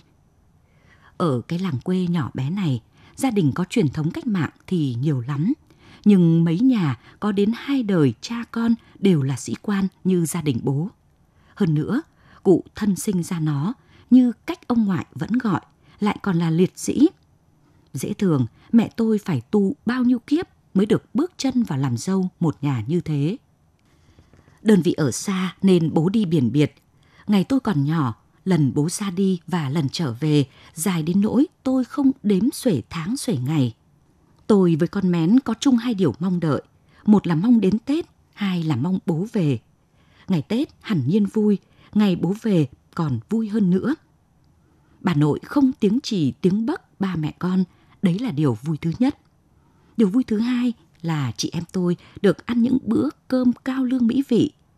Lương bố gửi về bà nội giữ, mà bà thì keo sẻn, mỗi tuần hai phiên chợ làng – phiên nào bà cũng chỉ mua mấy lát đậu phụ nướng hoặc ít con cá rô, vài ba lạng chám.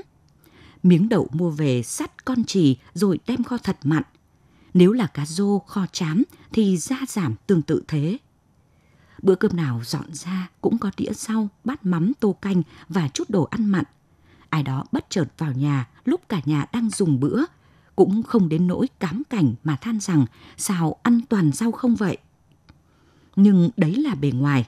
Hôm nào đĩa đậu, đĩa cá cũng dọn ra rồi lại đổ nguyên vào nồi kho lại. Phải mấy hôm sau, khi miếng đậu lên mốc xanh xanh hay miếng chám nhừ ra như bột, thì trong bữa cơm bà mới gắp. như tín hiệu cho phép cả nhà cùng ăn. Hồi bé, tôi cứ tưởng chỉ có mình nhà tôi mới thế, nhưng khi bắt đầu dự nhiều cuộc tán gẫu bên bờ ao, mới biết ở xóm cồn nhiều nhà cũng giống vậy. Đĩa đồ ăn mặn là tượng hình của thứ sĩ diện tồn tại suốt bao đời trong xóm. Nó được dùng để tỏ cho láng giềng hay huyễn hoặc chính những người ngồi quanh mâm cơm rằng gia cảnh không quá nghèo quá khổ. Nên khi người ta không có tiền mua thức mới, người ta không dám ăn ngay những thức cũ mà phải giữ ngày này sang ngày khác để có cái bày ra mâm.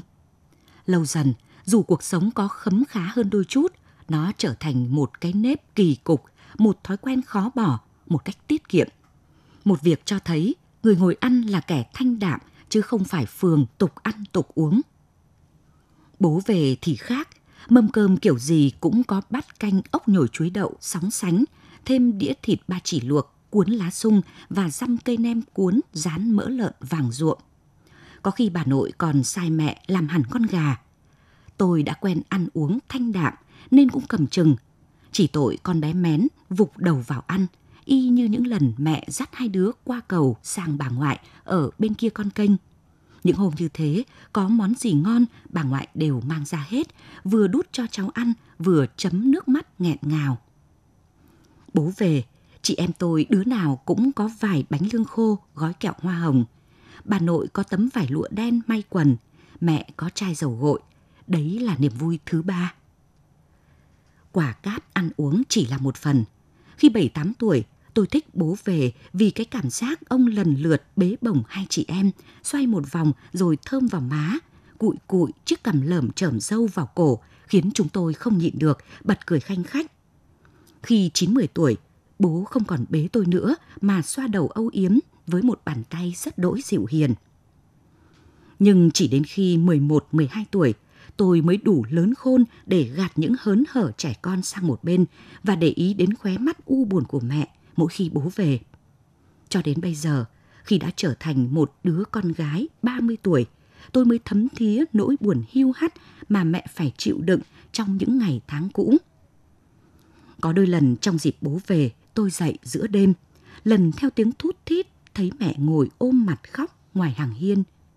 Lại có lần, mẹ ngồi nhìn tấm ảnh chụp chung với bố nơi đầu giường, đôi mắt thẫn thờ. Để rồi khi tôi bắt gặp, bà như đứa trẻ vừa làm điều có lỗi, giật mình vội ngó qua hàng xong, nhìn bầy chim sẻ từ mái ngói xà xuống sân ăn thóc, cố tránh ánh mắt dò hỏi của tôi. Bố mẹ rất ít trò chuyện cùng nhau trong những lần gặp gỡ hiếm hoi của cuộc đời họ. Với con cái, với bà, với xóm giềng, bố có thể nói rất nhiều, nhưng ông lại hầu như không tìm ra điều gì khả dĩ để sẻ chia với người đàn bà của mình. Vào những buổi trưa hè lênh láng nắng, khi bà nội cắp mau cao sang gốc thị nhà hàng xóm, hai đứa tôi nghịch chơi riêng, mẹ sàng gạo trong bếp hay đun nồi nước lá gội đầu. Bố thường ngồi bất động hàng giờ, ngắm bầy ong bầu sắt bất sang bang ra vào trên những ống tre khô làm giàn cho dây mướp. Ông lặng lẽ, không nói một lời, không cười, cũng gần như không động đậy. Có lần tôi với con mén trèo bên cửa sổ, chăm chú nhìn ông ngồi tạc vào buổi trưa, mệt mỏi, nặng nề.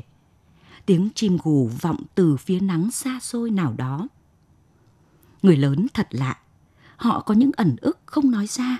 Và trẻ con bọn tôi, dẫu bị mang tiếng tò mò, vẫn thỉnh thoảng ít nhiều bị những ẩn ức ấy thôi thúc phải đi tìm câu trả lời cho chúng.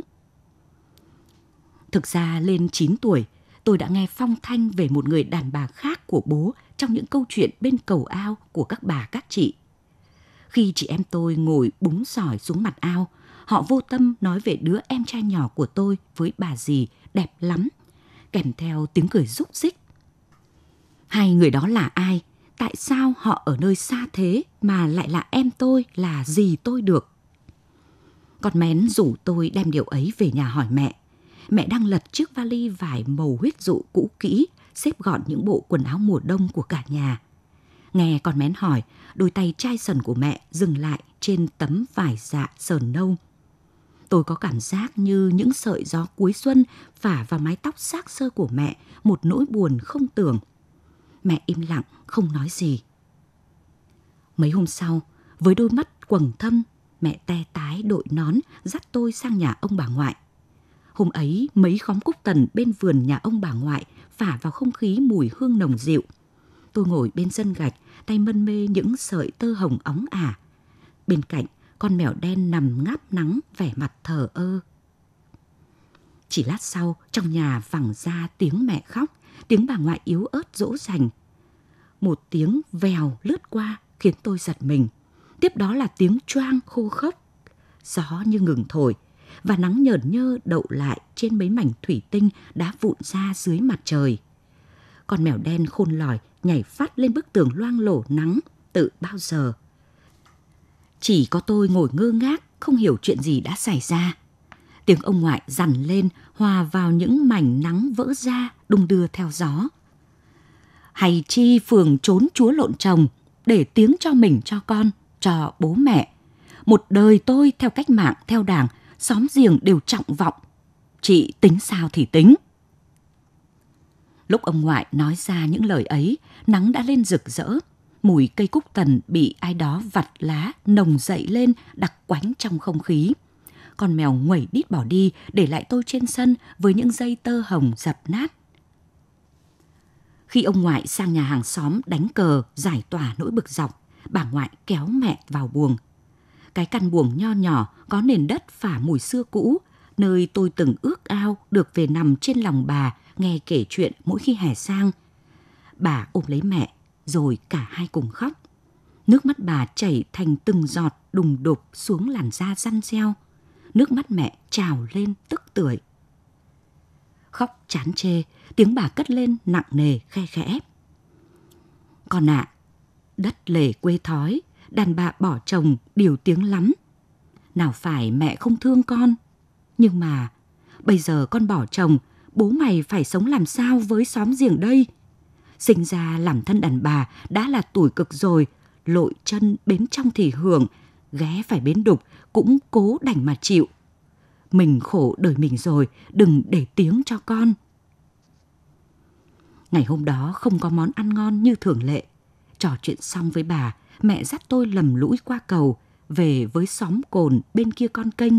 Xóm của những người đàn bà không được phép bỏ chồng như mẹ. Ở xóm cồn, đàn ông thường chỉ làm việc lớn. Tôi không rõ việc lớn ấy là những gì, vì quanh quẩn cũng chỉ thấy họ thồ vài xe lúa mùa gặt, cuốc mảnh đất mùa gieo mạ. Những việc đàn bà thậm chí phải cáng đáng nhiều hơn. Nhưng họ nhất định không bao giờ làm việc nhỏ, nghĩa là những công việc lặt vặt trong nhà.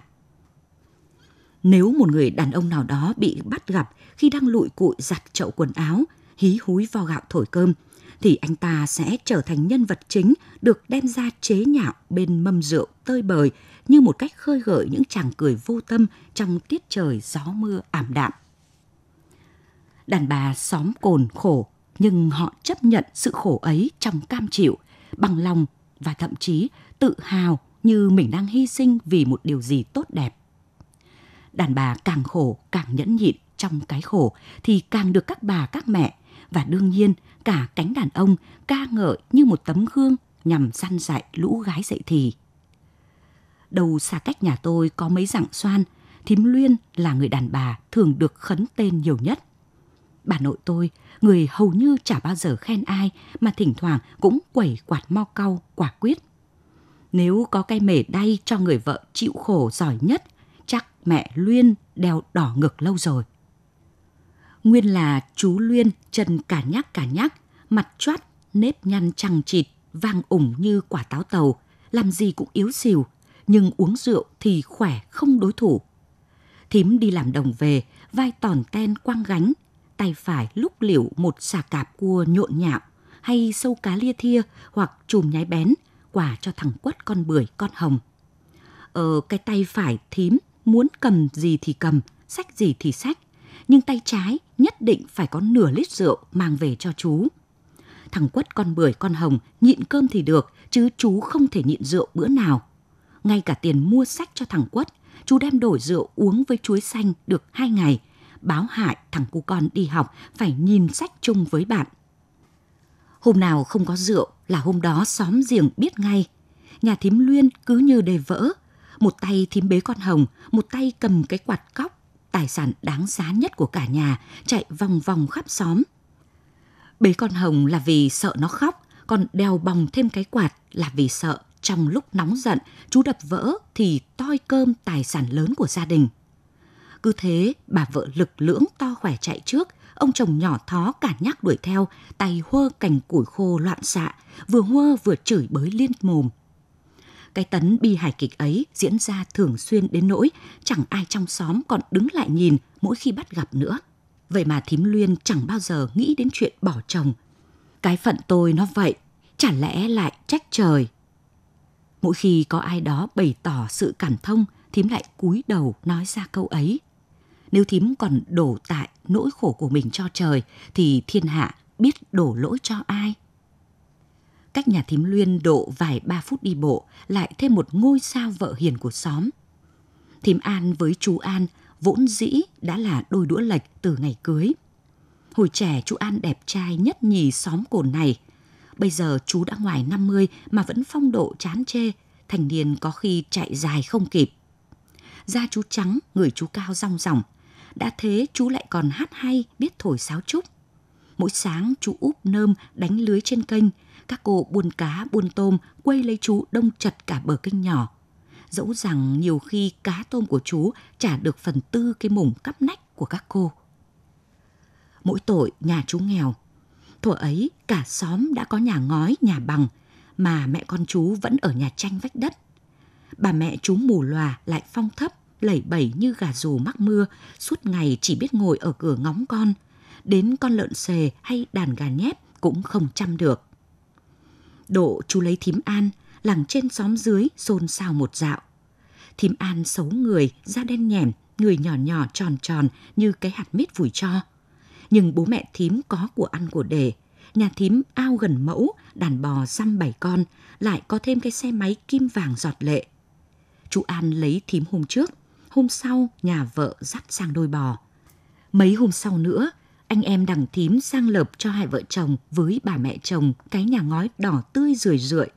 Người ta bảo chú lấy thím vì tiền. Chú lấy vợ rồi, nhưng cứ mỗi lần chú ra kênh tát cá thả lưới, kiểu gì khúc kênh ấy cũng xôn xao tiếng cười đùa của các cô buôn. Cái mùa trở gió hanh hao khi thím nằm ổ đẻ thằng cu đầu, chú có người đàn bà khác, một trong những cô buôn ấy. Lần đầu tiên thím khóc, thím hờn ghen, nhưng rồi tự dằn lòng nhịn vì nghĩ mình thua thiệt nhiều bề. Chồng chê là điều hôm trước hôm sau. Chả biết vì thương vợ thương con, vì bà mẹ mù đập đầu dọa chết hay vì chán cô nhân tình mà chú quay về.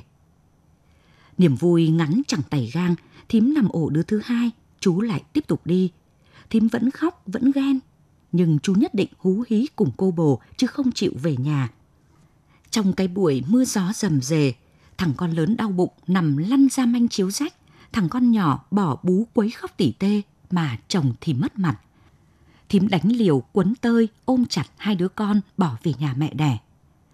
Sau chặng đường mưa trơn trượt, con khóc mẹ khóc nhòa cả mắt. Đến cổng nhà, bố thím sang tay giữ chặt hai cánh cổng tre, kiên quyết đuổi con và cháu đi. Mẹ tím đứng dưới mưa, vụt tay vào mặt khóc mà không dám nói một lời can ngăn chồng. Đã nhịn một lần rồi thì cố nhịn thêm lần nữa. Đàn ông nó đi chán nó về. Con cái vào rồi, lỡ dở chỉ khổ các cháu con ơi. Cái câu bà mẹ nói với theo con gái lúc nghẹn ngào đuổi thím quay ngược lại nhà chồng ấy, vô tình đã trở thành điểm tựa cho chú An. Chú chả còn biết sợ, chú công khai cặp bồ, một lúc với mấy cô.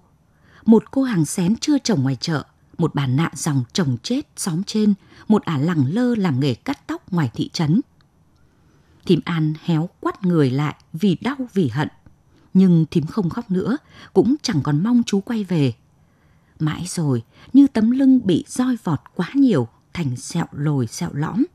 Thím trở nên trơ lì với những tin ngoại tình mới của chú bay về từ khắp nơi trong thôn ngoài xóm.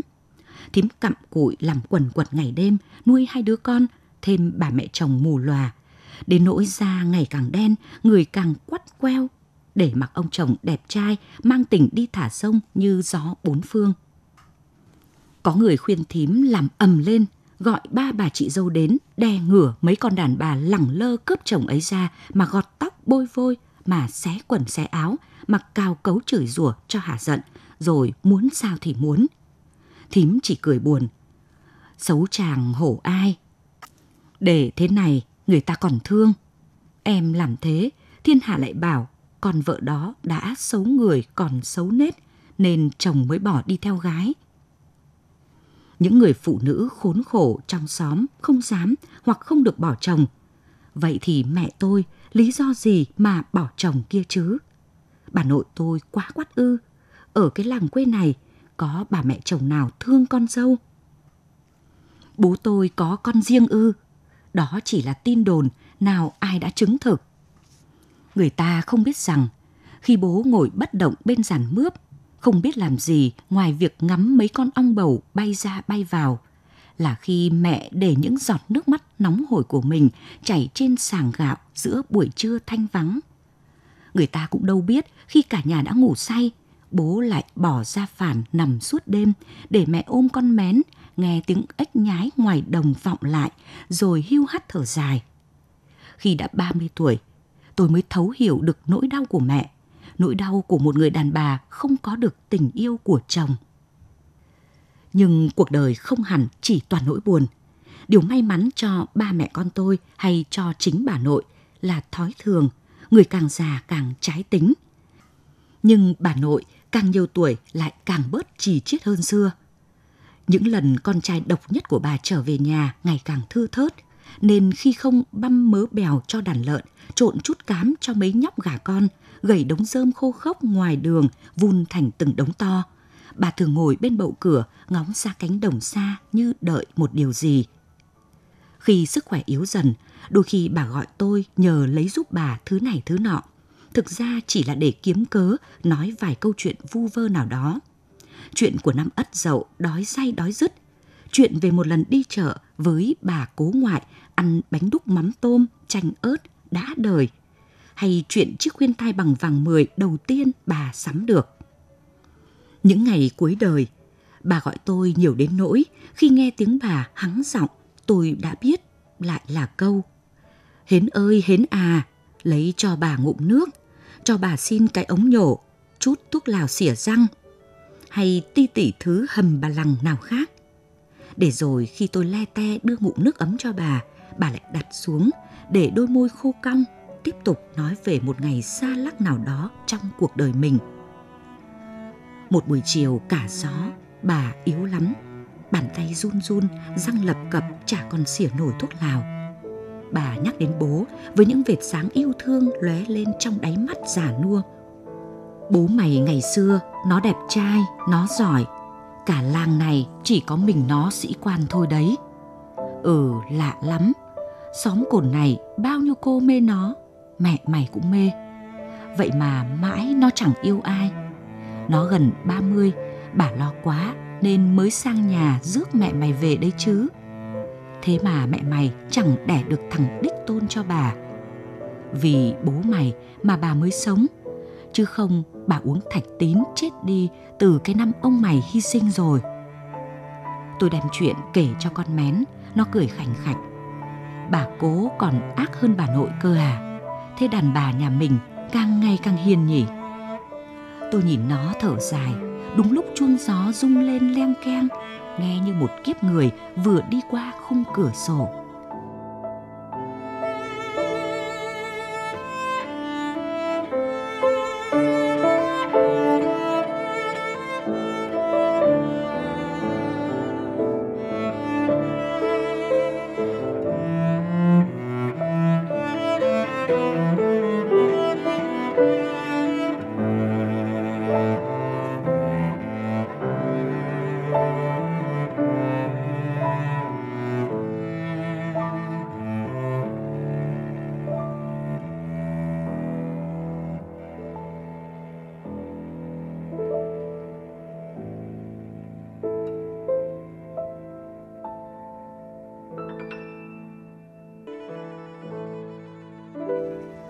Năm ấy thẩm 17 tuổi. Ở xóm Cồn, cô được xếp vào hàng xinh xắn nhất. Là con gái hạng cùng đinh, tuy đôi bàn tay thô kệch vì phải mò cua bắt ốc suốt ngày, đôi chân thâm xỉn vì lội bùn lội kênh, nhưng cái cổ cao ba ngấn, khuôn mặt có đôi gò má hơi cao nhưng rất ưa nhìn thì không mưa nắng nào làm thay đổi được. Bà mẹ điếc lác chết từ năm đói ất dậu cùng hai người anh trai. Ông bố trột mắt, cụt một bên chân, chỉ còn thẩm là con gái. Ông lại ho hen, ngày trở gió, cái cần cổ cứ sướn lên như con gà trống, dương cổ khò khứ mãi mà không gáy được. Người ta coi thường một gia đình như thế, người ta cũng ngại đèo bòng, nên nhiều trai làng mỗi sáng ngẩn ngơ nhìn thầm ra kênh giặt áo. Mỗi chiều muốn đeo hộ cái bừa nặng trĩu trên vai cô lúc đi đồng về. Nhưng không ai đủ can đảm bước qua cái định kiến để cầm tay cô ngỏ lời yêu rồi rước về làm dâu nhà họ. ấy thế mà đùng một cái, có anh sĩ quan về thăm nhà, bỏ mọi chê bai, bỏ sự chống đối dữ dội của bà mẹ cay nghiệt có tiếng khắp làng trên sóng dưới để cưới thẩm về làm vợ. Thẩm làm dâu một gia đình có nhà ngói ba gian, có sân gạch đỏ tươi được bao quanh kín cổng cao tường. Anh chồng còn là sĩ quan quân đội, mỗi chuyến về quê đạp cái xe có chuông leng keng rộn ràng cả xóm. Ông bố quẻ quạt của Thẩm cứ ngỡ như làm mơ. Dù trong đám cưới, bà mẹ chồng Thẩm dấm rằng ra mặt, dù cho họ hàng bên chồng Thẩm bóng gió đủ điều, ông cũng nhắm mắt gả con gái bằng xong.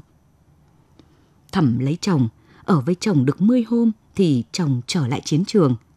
10 ngày ngắn ngủi ấy là quãng thời gian hạnh phúc nhất trong cuộc đời của Thẩm. Khi bóng anh chồng vừa khuất, bà mẹ chồng giật tung nắm tóc con dâu. Cứ thế vừa nắm tóc vừa kéo lê Thẩm dưới đất, bà vừa chửi bới bằng những lời tục tĩu. Con hồ ly, con yêu tinh, mày khuyến rũ con bà, mày bỏ bùa mê thuốc lú cho con bà. Con bà ngời ngời ra đấy mà nó lại đi lấy cây giống mả hủi như mày à? Kéo vào đến bếp, bà lấy thanh củi đang cháy dở bên dưới ấm đun nước, day đi day lại trên mái tóc dài mượt của thẩm, rồi di cả lên đùi, lên cánh tay. Mùi tóc cháy, mùi quần áo, mùi da thịt bỏng khét lẹt căn bếp, ám màu bồ hóng. Sau trận đòn phủ đầu khủng khiếp, những ngày kế tiếp là những ngày tối đen trong cuộc đời của thẩm. Bà mẹ chồng đánh thẩm nhiều đến mức cô còn không có cảm giác đau đớn là gì nữa. Sáng ngủ dậy, cái dây phơi quần áo tự nhiên đứt, đánh. Buổi trưa đàn gà vào bếp bới tung đống cho, đánh. Khi hoàng hôn xuống, cái thau ủ chấu đuổi mũi khói quá, lại đánh.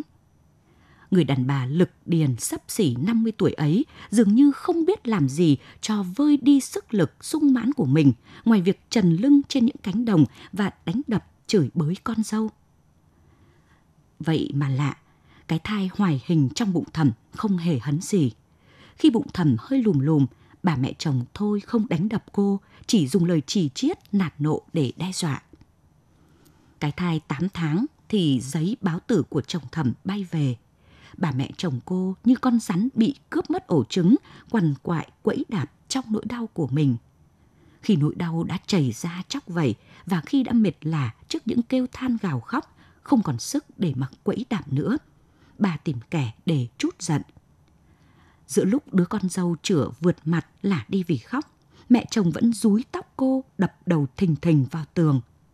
Những mảng vữa rơi xuống kèm theo máu cùng những lời chửi rủa đã khản đặc đi. Mày giết con tao, con hồ ly. Cái gò má cao của mày, tao biết, tao biết, có ngày mày giết con tao mà, thẩm ơi. Thẩm đã muốn chết đi từ ngày ấy. Cô giấu gói thạch tín xin được dưới chân tủ, mấy bận mở ra rồi lại đậy vào khi thấy đứa con giống chồng như lột, quẫy đạp oe oe đòi sữa. Cô không dám chết, cô sống để nhìn thấy con, mặc cho mỗi ngày chỉ được bắt cơm hầm độn gốc muống già đắng ngoe đắng ngoét. Có lần đói quá, chờ mẹ chồng đi làm, cô lẻn xuống bếp, húp vụng bát cám lợn cho còi sót lòng. Vừa húp vừa nhìn ráo rác, sợ người khác bắt gặp. Để rồi khi cái bụng trương ẫnh lên, tư nước nhảy nhảy đùng đục ấy, thầm ngã vật ra nền đất bẩn, khóc tức tưởi như chưa từng được khóc. May cho cô, thằng cu con bú thứ sữa chắt từ những đồ ăn kinh khiếp ấy, cứ lớn như thổi, cứ ngoan như đất, mặc cho sự hành hạ của bà nội, mặc tiếng khóc dấm dứt của mẹ mỗi ngày. Nó cho thầm cái cớ để sống, dù những đòn roi và lời nói cay nghiệt của mẹ chồng đã làm lòng cô nham nhở những vết thương. Câu chuyện về cô thẩm ngày nào khiến cho tôi lần nào nghĩ đến cũng cảm thấy buồn bã, mặc dầu không thể khóc. Khi người ta quá khổ, người ta tự cho phép mình cái quyền không bao giờ nói rằng mình sung sướng nữa. Cuộc đời của những người đàn bà xóm cồn là vậy. Họ bị cái đói rách, sự trà đạp khinh khi đè nén. Và rồi, khi trái tim với tình cảm ấm nóng nguyên sơ dần chai sạn đi vì những đau khổ, họ lại quay ra tìm cách làm khổ những người đàn bà khác. Bà nội mất trong một ngày tháng 3 xanh rười rượi, một ngày cả gió, như cái ngày bà nói với tôi câu chuyện về cô thầm khổ cùng khổ cực. Giàn hoa lý ngoài sân đung đưa những cọng lá xanh um trong nắng nhẹ. Chuông gió bên cửa sổ kêu lên những tiếng lành lót u buồn. Đôi mắt bà khép hờ, khuôn mặt vẫn động lại nét dầu dầu khó tả. Khi mẹ cất lên đầu chiếc khăn tang trắng, tôi không biết mẹ đang nghĩ gì. Mẹ không hờ khóc rền rĩ, nhưng đôi mắt lênh láng nước. Những giọt nước mắt chưa thành hình trào lên ẩn ẩn rồi lặng lẽ chảy ngược vào trong. Có lẽ những lời chỉ chiết tay nghiến của bà khi còn sống cũng đã theo gió leo lên ngọn mấy rặng xoan đang chuẩn bị trổ hoa tím, vắt vẻo trên ấy giây lát rồi tan biến trong khoảng không gian xanh trắng nhẹ nhõm của bầu trời. Ngày bà mất, người xóm cồn của tôi gác lại những câu chuyện bên cầu ao, bên gốc mít, gốc thị để đến đưa tang rất đông. Đưa một phận đàn bà về với đất, khép lại câu chuyện cuộc đời chịu nặng những nỗi buồn và rất ít niềm vui. Mấy ngày sau đám tang bà, bố lại đi. Người đàn ông duy nhất trong nhà ấy trở về với những giọt nước mắt. Nhưng rồi khi ra đi, tôi đọc được trong đôi mắt ông một cảm giác thanh thản và nhẹ nhàng. Từ đó, bố vẫn đều đặn gửi tiền về mỗi tháng, nhưng ông hầu như không trở về nhà nữa, kể cả khi đã nghỉ hưu. Không có lời giải thích nào cho hành động kỳ quặc của bố, mẹ cũng chưa bao giờ viết thư gặng hỏi. Mẹ con tôi không biết bố đang ở đâu, hoặc giả mẹ đã biết nhưng cố tình giấu kín chị em tôi. Những tin đồn về đứa em trai có khi lớn tướng lên rồi hay bà dì rất đẹp đang sống ở nơi xa lắc nào đó vẫn tiếp tục len lỏi khắp xóm cồn trong những câu chuyện ban trưa của các bà hàng xóm. Bà nội mất, tôi 16, thanh xuân giờ dỡ, nhưng cũng đã kịp để nỗi buồn và những câu hỏi không lời đáp làm ngậm ngùi thêm tuổi mình. Con mén chưa lớn hẳn nhưng cũng không còn bé nữa. Nó 14 tuổi, ngực cau nhú bên dưới cái áo phông tàu lòe loẹt, in hình con thỏ, có hai cái tai ngắn cũn cỡn, màu đỏ chót. Từ ngày bà mất, của đáng tội, cuộc sống của mấy mẹ con tôi đỡ khổ hơn nhiều. Cái cháp bà nội đưa tận tay cho mẹ trước khi mất, trong đó có chứa đến mấy chục chiếc nhẫn vàng. Số nhẫn ấy bà mua được nhờ chắt bóp rẻ sèn những đồng lương của bố từ vài xào lúa của mẹ, vài con lợn trong chuồng. Tôi thấy ngạc nhiên khi bà chưa từng cho mẹ cầm một khoản tiền cho ra tấm ra món, nhưng trước khi mất lại đưa tất cả tài sản tích cóp suốt một đời cho con dâu. Hơn thế, ánh mắt của bà khi ấy, nó chứa chan điều gì rất khó tả.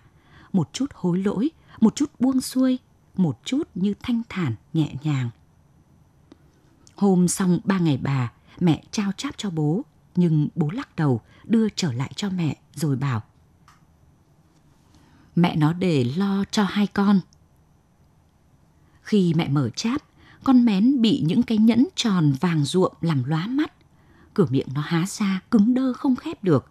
Tôi biết, trong đầu con bé ấy đã nghĩ đến một cuộc đổi đời với viễn cảnh là ngôi nhà mái bằng hoành tráng, cái tivi Sony màu hay chiếc xe đạp mini Nhật màu mận chín để lòe lũ bạn chơi. Nhưng còn mén nhầm, nó vẫn quốc bộ đến trường làng cách nhà chưa đầy cây số. Ngôi nhà ngói ba gian tuy cũ nhưng sạch sẽ, vẫn giữ y nguyên. Mẹ không tiêu đến số vàng trong chát. Mẹ bảo đó là của bố và bà, để dành khi hai chị em tôi lớn lên. Tiền bố gửi về, mẹ chỉ tiêu một phần, chủ yếu cho việc học của hai chị em. Phần còn lại được mẹ vuốt gọn gàng, bọc giấy báo rồi buộc chiếc dây nịt xanh đỏ, cẩn thận xếp vào cháp. Ba mẹ con sống thanh đạm bằng vài xào lúa, mấy lành rau trong vườn, đàn gà thịt và đôi lợn nái.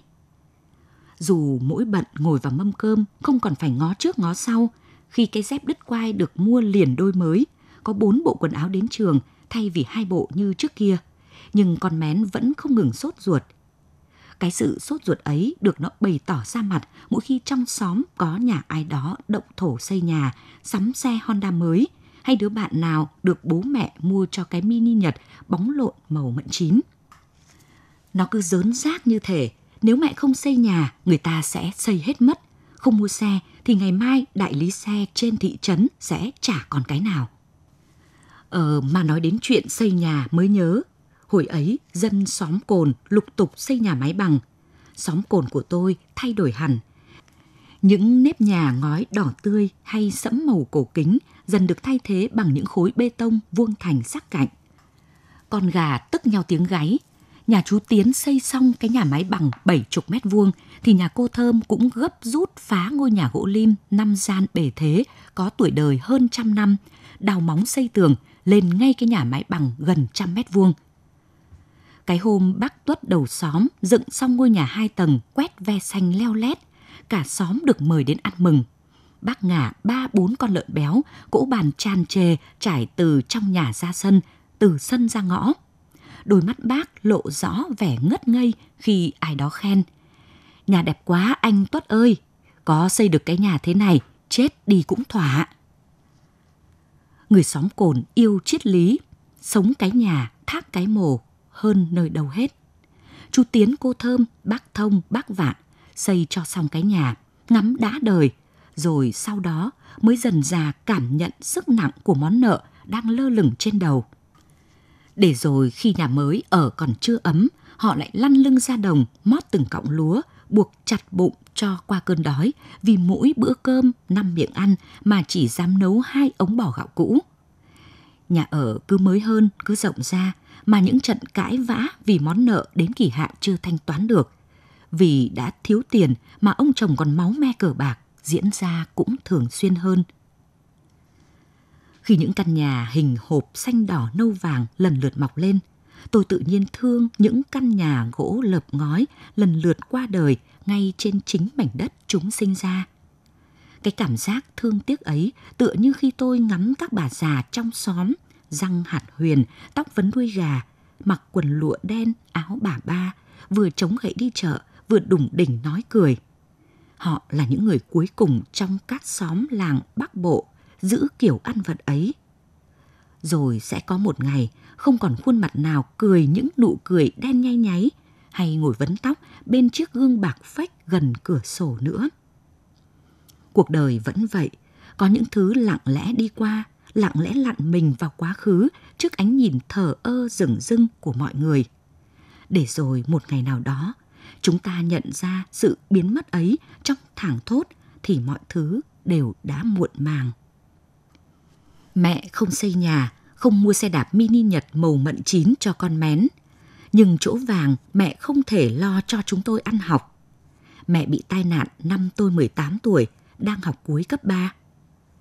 Sau 3 tháng nằm viện dòng dã, mẹ trở về nhà.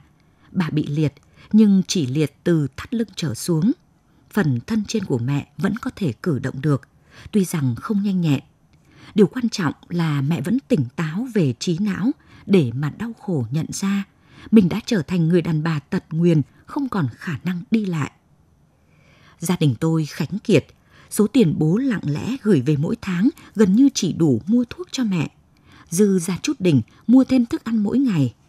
Còn mén phải được đi học cho xong bậc trung học phổ thông. Tôi không thể đi học tiếp hay không còn cách nào để đi học tiếp. Chưa bao giờ như khi ấy tôi lại cảm nhận một cách rõ ràng sức nặng của cái gia đình nhỏ bé đang đặt trên đôi vai gầy guộc của mình. Dạo đó mẹ chỉ nằm được một chỗ, thỉnh thoảng khi bà quá mỏi, tôi và con mén bế bà ra ngồi tựa trên chiếc ghế mây ngoài hàng hiên. Lúc bế mẹ lên, tôi cảm thấy trào lên trong lòng mình một nỗi đau khó tả.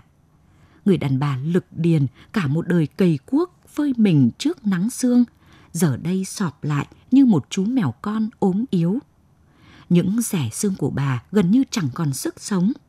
Chỉ có điều, bà không rên gì than vãn. Những ngày tháng buồn bã nhất của cuộc đời tôi trôi qua suốt một mùa chậm chạp. Mẹ không di chuyển được, nhưng bà cố để tự chăm sóc cho mình. Những ngày trời bắt đầu xe lạnh, bà bảo tôi mua cho bà mấy cuộn len. Vài hôm sau, tôi và con mén đã có thêm chiếc khăn mới. Những khi không thể nghĩ ra việc gì để làm, mẹ thích ngồi ngắm bầy chim sẻ xả xuống bên hiên nhà. Thỉnh thoảng, tôi thấy bà thò tay vào túi áo, lấy những hạt gạo, hạt đỗ xấu quăng xuống nền sân gạch với đôi mắt sáng rỡ lên trong một ý nghĩ vui vẻ kỳ lạ. Phải chăng bà đang nghĩ tới những ngày bay nhảy hiếm hoi đã qua đi cùng với tuổi thanh xuân của mình? Những ngày mà cô thiếu nữ tên Cát còn xinh đẹp, môi còn đỏ, tóc còn dài mượt, cổ ba ngấn còn đeo chuỗi hạt huyền đen mịn. Mỗi bận cô đi xem chiếu bóng ở sân đình thì cũng phải cả tá trai làng đặt dép tranh chỗ ngồi kế bên. Những ngày ấy, cô Cát còn mơ mộng khi nghĩ đến một nếp nhà ấm áp, có hai vợ chồng, vài ba đứa con, có mảnh vườn trước nhà xanh rười rượi, bầy gà bươi thóc nơi góc sân, đôi lợn ụt ịt trong chuồng. Những ngày ấy với cô đã xa như một giấc mơ, kể từ cái ngày cô bước qua cầu sang với bên xóm cồn làm dâu. Có lần trong một cơn bất nhẫn, tôi đánh liều hỏi mẹ, bố đang ở đâu? Nhưng đáp lại chỉ là cái lắc đầu của bà, kèm theo ánh mắt lạnh lùng, phảng phất chút bi phẫn. Tôi tự đặt câu hỏi cho mình rằng mẹ khổ hơn hay bà nội khổ hơn? Câu trả lời là mẹ. Bà nội dẫu phải chịu những ngày tháng kinh hoàng khi ở với mẹ chồng, dẫu mất chồng từ rất sớm, nhưng ít ra còn được người đàn ông của đời mình yêu thương. Còn mẹ, suốt một đời, tôi không biết bà trông đợi điều gì ở bố. Người đàn ông đã đến bên đời bà, cho bà hai đứa con, nhưng dường như chưa bao giờ trao cho bà dù chỉ là một chút những ấm áp yêu thương tự đáy lòng. 12 năm kể từ ngày mẹ ngồi xe lăn, tôi từ cô học trò giỏi nhất nhì lớp văn trường huyện đã miệt mài gắn với cái nhà máy may trên phố huyện. Con mén lớn lên, con mén phồng phao xinh đẹp, rồi con mén lấy chồng. Nhà chồng mén có cửa hàng buôn bán, bố mẹ chồng nó hiền lành, vậy cũng yên phận nó. 12 năm, mẹ không biết đã nuôi lớn bao bầy chim sẻ bên hiên. Bố vẫn biển biệt không về. Có những đêm mùa đông cả gió, nhìn thấy thanh xuân trôi đi trên bàn tay gầy guộc của tôi. Mẹ thẽ thọt nhắc chuyện chồng con. Tôi chỉ cười bảo mẹ, duyên con chưa tới. Để rồi khi trở về buồng, soi mình trong gương, vuốt ve đôi má tuổi 30 đã bắt đầu sạm lại. Gỡ mái tóc tuổi 30 đã khô cong, tôi tự thấy xót xa cho phận mình. Mùa thu đến, lúc giàn đậu ván buông hoa tím rủ xuống bên hiên, sức khỏe của mẹ xấu đi hơn bao giờ hết. Bà không có bệnh, chỉ là những năm tháng nằm bệt mình trên chiếc chõng tre và sự phát tác của đủ loại kháng sinh đã hút dần hút mòn sinh lực của bà. Bầy xẻ vẫn đến bên hiên nhưng không có bàn tay nào tung hạt đỗ hạt gạo cho chúng nữa. Giữa lúc mẹ bệnh, tôi gọi mén về, giao nó trông mẹ vài ngày, tôi phải đi du lịch cùng công ty. Sự thật là tôi giấu mẹ đi tìm bố. Tôi phải tìm ông về để hỏi ông vì sao bỏ mặc mẹ con tôi suốt bao năm dòng dã. Vì sao đầy đoạn tinh thần người đàn bà của cuộc đời ông. Tôi tìm ông để ít ra trong những ngày tháng cuối đời mẹ có thể trì chiết trách móc ông vài câu nếu như bà muốn. Tôi lần theo địa chỉ mà một đồng chí cũ của bố cho và tìm thấy căn nhà bé xinh của ông nằm tranh vênh bên sườn đồi vắng vẻ, cách nơi mẹ con tôi ở cả nửa ngày đường ô tô. Căn nhà có giàn hoa giấy xinh xinh, gọn gàng ngăn nắp, hệt như có bàn tay phụ nữ chăm sóc. Nhưng ra đón tôi lại là một người đàn ông ngũ tuần. Người đàn ông có đôi lông mày mảnh, bàn tay mềm mại, chuốt móng gọn gàng, cử chỉ và giọng nói cũng mềm mại như gió thoảng. Cháu gái tìm ai? Dạ, cháu nhỡ độ đường, xin chú ngụm nước. Chú sống ở đây một mình ạ. Không, chú ở cùng anh họ. Anh ấy đang có việc ra ngoài. Ở đây vắng vẻ, vào nhà uống chén trà. Tôi đã tìm cớ rời khỏi căn nhà có giàn hoa giấy ấy khi nhìn thấy tấm ảnh bố và người đàn ông đặt sau khung kính của chiếc tủ tường. Tấm ảnh chụp đã lâu, hai người đàn ông chụm đầu vào nhau. Cái kiểu chụp ảnh cổ điển của những ngày tháng cũ. Một rắn sỏi, một e ấp rụt rè như nhi nữ. Nhà gần đồi đó hả? Ông Phiên thiếu tá nghỉ hưu sống với ông em họ, dọn về đây từ mười mấy năm rồi. Hai anh em tình cảm lắm. Mà lạ, chả hiểu sao cả hai không vợ con gì, cũng chẳng biết quê đâu. Tai tôi ủ đi khi nghe câu chuyện của bà bán hàng nước đầu làng. Ngoài máy quán, những cọng gió miền Trung Du hưu hắt thổi vào lòng tôi một nỗi buồn thăm thẳm. Tôi tranh vênh trở về xóm cồn của tôi. Cái xóm có con kênh nhỏ, nước trong leo lẻo bốn mùa. Cái xóm có một người đàn bà đã chờ đợi tình yêu của chồng trong vô vọng. Cái xóm của những nỗi buồn phụ nữ cứ lặn vào năm tháng. Mẹ vẫn nằm đó, yếu ớt, mong manh bên hiên nhà có giàn đậu ván đang mùa trổ hoa tím biếc. Tôi phở phạc cả thân xác lẫn tâm hồn sau chuyến đi dài, xa vào lòng mẹ khóc như chưa bao giờ được khóc.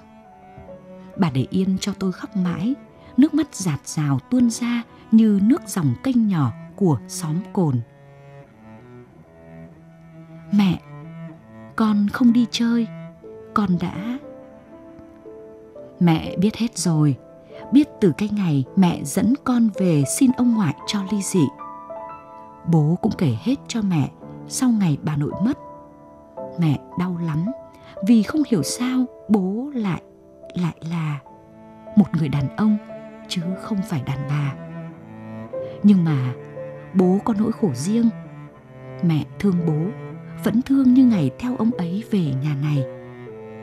Mười mấy năm qua, mẹ tha thứ cho bố rồi. Mẹ có tiếc cho đời mình không? Tôi nhìn mẹ tha thiết hỏi. Mẹ cười buồn, ngó lơ ra sân vắng.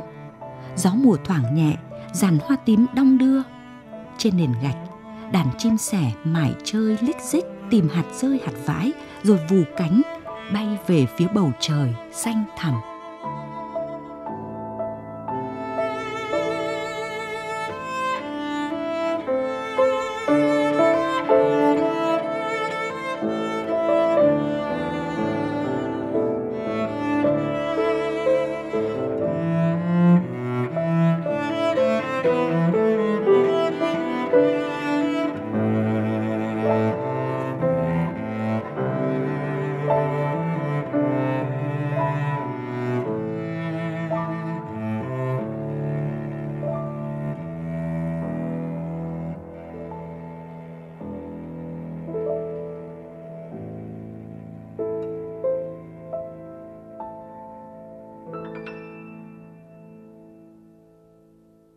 Giọng đọc Phương Hằng vừa chuyển tới các bạn phần cuối truyện ngắn Xóm Cồn của tác giả An Thư. Tác phẩm tham dự cuộc thi Làng Việt thời hội nhập do các đơn vị Báo Nông thôn ngày nay, Báo Điện tử Dân Việt, Hội Nhà văn Việt Nam và Ban Văn học Nghệ thuật VOV6 Đài Tiếng Nói Việt Nam đồng phối hợp tổ chức. Đề tài và cách kể chuyện không mới theo biên tập viên chương trình, điều đáng ghi nhận của truyện ngắn này là biết cách để các chi tiết nhỏ lẻ cất lời. Không phủ đầu người đọc người nghe bằng những chi tiết ám ảnh, ghê gớm. Chỉ bằng cách nảy lên một vài góc cạnh khuất lấp, tác giả An Thư đã tạo được sinh khí cho một đề tài không dễ gì tạo điểm nhấn. Khả năng miêu tả sự động cựa của cảm giác và lây lan cảm xúc qua chi tiết góp phần rất lớn vào nét hấp dẫn của truyện ngắn này. Để từ đây người đọc người nghe cảm nhận được từ câu chuyện ở một xóm nhỏ có những người đàn bà không bao giờ được phép ngủ trưa là cả tâm trạng nhức nhối truyền đời. Đàn bà đã xuất giá không có lựa chọn nào khác ngoài việc tuân theo những sắp đặt và hứng chịu mọi sự đối xử của chồng và mẹ chồng. Chuyện xe lòng ấy đâu phải chỉ của thời cổ tích. Lẽ ra chuyện ngắn này đã có thể viết một cách cô động hơn, tiết chế gọn hơn và thực hơn những đoạn kể tả về cảm xúc. Các tính từ có khả năng rất lớn trong việc gợi cảm giác, nhưng lại trở nên điệu đà khi phô diễn một cách hơi thái quá trong một câu chuyện cần thiết sự chặt chẽ. Chi tiết hé lộ nguyên do người bố bao năm vắng bóng cũng chưa thực sự thuyết phục, dù đó là chi tiết cởi nút thắt cho nỗi đau người mẹ. Dẫu sao, đã ngưng động tiếng thở dài cho thân phận hiu hắt của đàn bà nơi đồng bãi. Đây vẫn được xem là một chuyện ngắn có dáng dấp, có dư âm.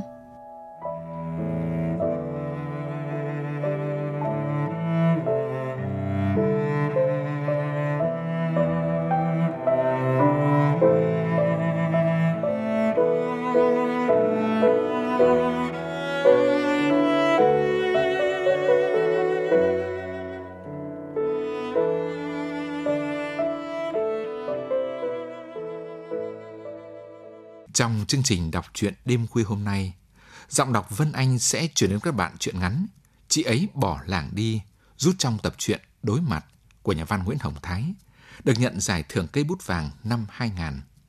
Mời các bạn cùng nghe.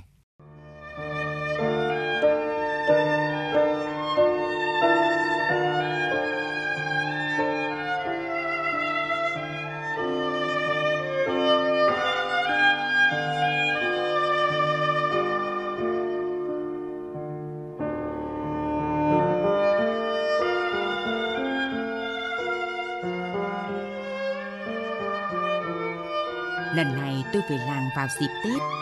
Đã thành lệ mẹ đun gấp siêu nước. Mấy đứa bạn cùng lứa đang dở việc Vất đấy cho vợ chạy sang tôi cùng uống chè thái. Thấy tôi về đứa nào cũng sướng phải sang ngay. Tôi pha chè, nâng chén, nhấp từng tí một. Chúng cũng làm theo nhấp nhé chép miệng Chứ không dám uống ực như uống rượu quê. Sau một lúc nịnh tôi mua được thứ chè hào hạng nước ngọt ở đầu môi, thơm đến vào trong ruột. Khói thuốc Hà Nội mỏng tang, tàn trắng, bong tơ mịn. Thằng Bôn nhìn tôi trịnh trọng. Này, ông biết chuyện này chưa? Con mẹ Nga ngủ lang với thằng Túc đấy, bụng lùm lùm đến nơi rồi. Thằng Cường cười hi hí, hấp cạn một chén trà, đặt cạch xuống bàn một cái rõ to, ý chừng im lặng, tạo cái giọng lè nhẹ. Có khi phải 6 tháng rồi ấy. Giáo viên mà quần âu áo thụng kiều cha đạo là phải xem xét đấy. Sướng nhất là cái thằng Túc. Thằng Tấn, thằng gù lưng vì bệnh khớp cạnh nhà tôi. Em có thấy gì đâu, hôm qua em gặp chị ấy ở chợ sàn, em đi sát lại nhìn mà chẳng thấy gì cả. Còn lại mình tôi, tôi miên man trong ý nghĩ lạ lùng. Chị Nga hơn tôi tới 10 tuổi, giáo viên trường cấp 2 của xã. Chồng chị anh Sáu trước học ở Liên Xô, sau về dạy một trường đại học ngoài Hà Nội. Những dịp anh Sáu về hè, chị Nga cũng nghỉ dạy. Đêm đêm chúng tôi ngồi với nhau kể chuyện làng, chuyện xóm, chuyện người dâm san. Có hôm chị Nga sang lạc, chúng tôi ngồi uống rượu, bóc tí tách, thỉnh thoảng nghe chuyện chị Nga cười khanh khách. Hai hàm răng đều tăm tắp như hai hàng ngô nếp. Những ngày hè như thế, bao giờ tôi cũng ở nhà chị về rất muộn. Làng xóm đã tắt đèn, rượu quê ngấm vào bụng ấm nóng. Tôi lần đi trong không gian yên ắng mới thấy yêu cái làng quê nghèo sơ xác của mình đến mức nào. Cứ vậy, ba tháng hè anh Sáu về, chúng tôi hầu như đêm nào cũng chơi ở nhà chị. Chị Nga anh Sáu sống với nhau như thế, hai mặt con không mảy may chuyện gì. Giờ nghe chị ngoại tình với anh Túc hàng xóm, quả là điều khó tin. Tối hôm đó tôi sang nhà chị cả. Chị cả là chị gái của anh Sáu có đứa con tên là Lan, một thùa nhờ tôi phụ đạo cho môn toán thi vào trường sư phạm. Biết tôi thân anh Sáu, chị cả coi tôi như em trai. Lúc chú lúc cậu rất thân tình. Lúc tôi bước vào nhà chị, chị hỏi ngay với cái giọng giật từng tiếng một. Thế thằng Sáu có về với chú không? Em tưởng anh ấy về hôm chợ phiên 25 rồi. Em có đến trường rủ anh ấy cùng về tàu nhưng mà không gặp. Chị cả có vui hơn một chút. Về làm gì nữa chú? Về với cái con đĩ ấy thì làm gì? Cho tan cửa nát nhà. Vừa tơn tớn vui, thoát cái chị cúi xuống, dùng cùi tay quét hai con mắt, giọng thin thít eo éo như người bị cảm cúm. Tôi thường thằng Sáu quá, đi nước ngoài về được bao nhiêu nhét vào váy vợ. Mấy chị em gái bọn tôi nhổ cỏ cùn cả 10 đầu ngón tay thay mẹ nuôi em ăn học. Mà em nó về chẳng được một tấm vải may áo. Vợ nó cuỗm hết, giờ lại cho trai. Học cao mà làm gì hở trời. Tôi hoang mang thật sự, tưởng chị cả đã khô nước mắt vì khóc thương chồng chết bom hồi chống Pháp. Ngờ đâu chị còn dành, khóc căm cái thằng em ngu ngốc dạy đại học. Thế tôi ngơ ngác im lặng, chị gọi con gái. Lan ơi, con ra đây, nói cho chú Hồng biết kẻo chú lại nghĩ mẹ là điêu thuyền ác khẩu. Cái Lan xa nó béo và đẹp hơn trước nhiều. Nó hiện là giáo viên dạy cùng trường với chị Nga, nó kể. Hôm buổi trưa cháu xa tìm cái Ngọc để cho nó mấy bắp ngô. Cửa nhà mợ đóng kín khóa trong, cháu gọi mãi, mợ không ra mở cửa. Lúc mợ chạy xa, cháu thấy đầu tóc mợ rối tung lên, cái Ngọc lại không có nhà, cháu đã nghi rồi. Vào nhà một lúc, cháu để lại mấy bắp ngô cho Ngọc rồi về. Mợ cứ giữ cháu lại để mợ đi gọi cái Ngọc. Cháu tức quá nên bỏ về.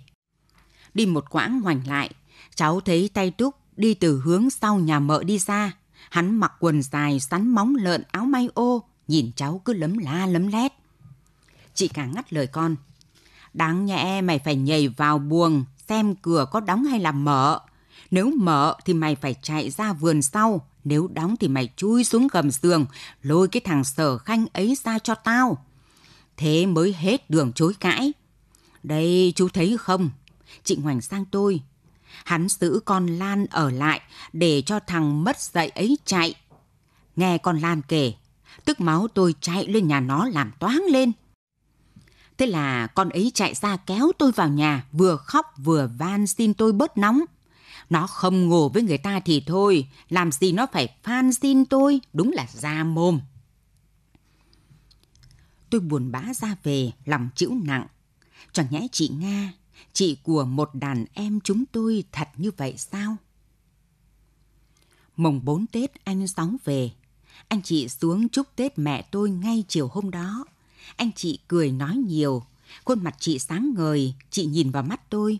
Tôi cảm nhận được ở ánh mắt ấy sự thanh thản mà tôi thường gặp ở những đêm hè nhâm nhi rượu quê, cả hội chờ trăng muộn. Anh Sáu cầm chén rượu, chị Nga đỡ một tay vào chén rượu của chồng cùng cụm chén với tôi. Tôi uống ực hết chén rượu, nghe dâm gian trong lồng ngực đập vội. Anh Sáu uống gần cạn chén, trao phần còn lại cho vợ. Chị Nga nhìn anh đắm đuối rồi chị nhìn sang tôi. Chúc anh em nhà chú làm nên sự nghiệp, anh đi nước ngoài chót lọt. Chú chờ anh về lấy quà mừng đám cưới của chú nhé. Tôi và anh Sáu cười vang nhà. Mẹ tôi tùm tìm bê mâm cỗ lên. Anh chị từ chối để sang chúc Tết nhà chị cả. Tôi hồi hộp thay cho anh chị. Lát sau tôi nhìn qua cửa sổ thấy anh chị đã quay về. Chị lướt qua cửa sổ nhà tôi rất vội. Nhìn anh chị đi bên nhau thật hạnh phúc. Nếu họ không quay lại nhìn vào nhà tôi, thì tôi không thể biết rằng trong một khoảnh khắc tôi thấy đôi mắt chị mở to, nhưng hình như khuôn mặt lại đầy nước mắt. Chẳng bồ lúc chị ở nhà tôi đi xa. Trên đường tiễn anh Sáu ra ga hàng cỏ, tôi được anh giải thích cho những gì đã xảy ra. Anh bảo, vừa rồi mình phải chạy thủ tục đi Ba Lan, sát Tết mới xong. Chạy cuống cả đít, thế là đành ở lại Hà Nội. Thật là có lỗi với người mẹ đã khuất, lỗi với Nga. Mình về quê, tuy niềm vui đến với Nga hơi muộn, nhưng là niềm vui có thật. Nga của mình không bao giờ như thế. Cậu đừng tin. Nói riêng Hồng biết thôi, những giây phút âu yếm cuồng nhiệt và đam mê trong tình cảm vợ chồng càng thấy Nga là người vợ tuyệt vời. Nếu không có sự thủy chung thương yêu, làm sao chúng mình có những giây phút như thế? Giờ ra đi thương Nga đến phát khóc đi được ông ạ. Hồng có uy tín với chị cả. Những dịp về quê cậu khuyên xài chị ấy giúp mình. Hôm bọn mình xuống chúc Tết, chị cả cứ trùng chẳng nói kháy những câu ác nghiệt, khiến Nga đau đớn quá. Phận làm em đành nén chịu. Có lẽ do chồng mất lâu, chị cả ở vậy nuôi con bị sơ cứng trong tình cảm, nên chị mình trở nên người hay đanh nghiến, đặt điều. Tôi nói với anh Sáu, anh đi xa sớm ít hiểu về người làng ta. Mẹ con chị cả là người trong nhà vui cho chị Nga ngoại tình. Nhiều người cứ thế mà tin. Họ hy vọng anh về ít ra cũng mắng mỏ, làm ngơ với chị ấy. Mọi động tĩnh của anh đều được bao con mắt người làng nhìn vào để khẳng định ai là người thấy trước. Để làm gì nào? Để đi nói chuyện thôi. Thế mà anh chị vẫn ngang nhiên, anh không mảy may đếm xỉa gì tới lời tố cáo của họ. Như thế khác gì là anh chọc tức chị cả. Lẽ ra anh phải cảm ơn chị cả, nhờ chị cả từ nay thay anh chăm sóc phần hồn chị Nga. Như thế là êm tất. Anh bỏ ngoài tai, nghĩa là anh thách thức. Người làng, nhất là chị cả, sẽ không buông tha cho anh đâu. Sáu trầm ngâm, giá rời, nắm tay tôi, lùi lũi bước ra tàu liên vận.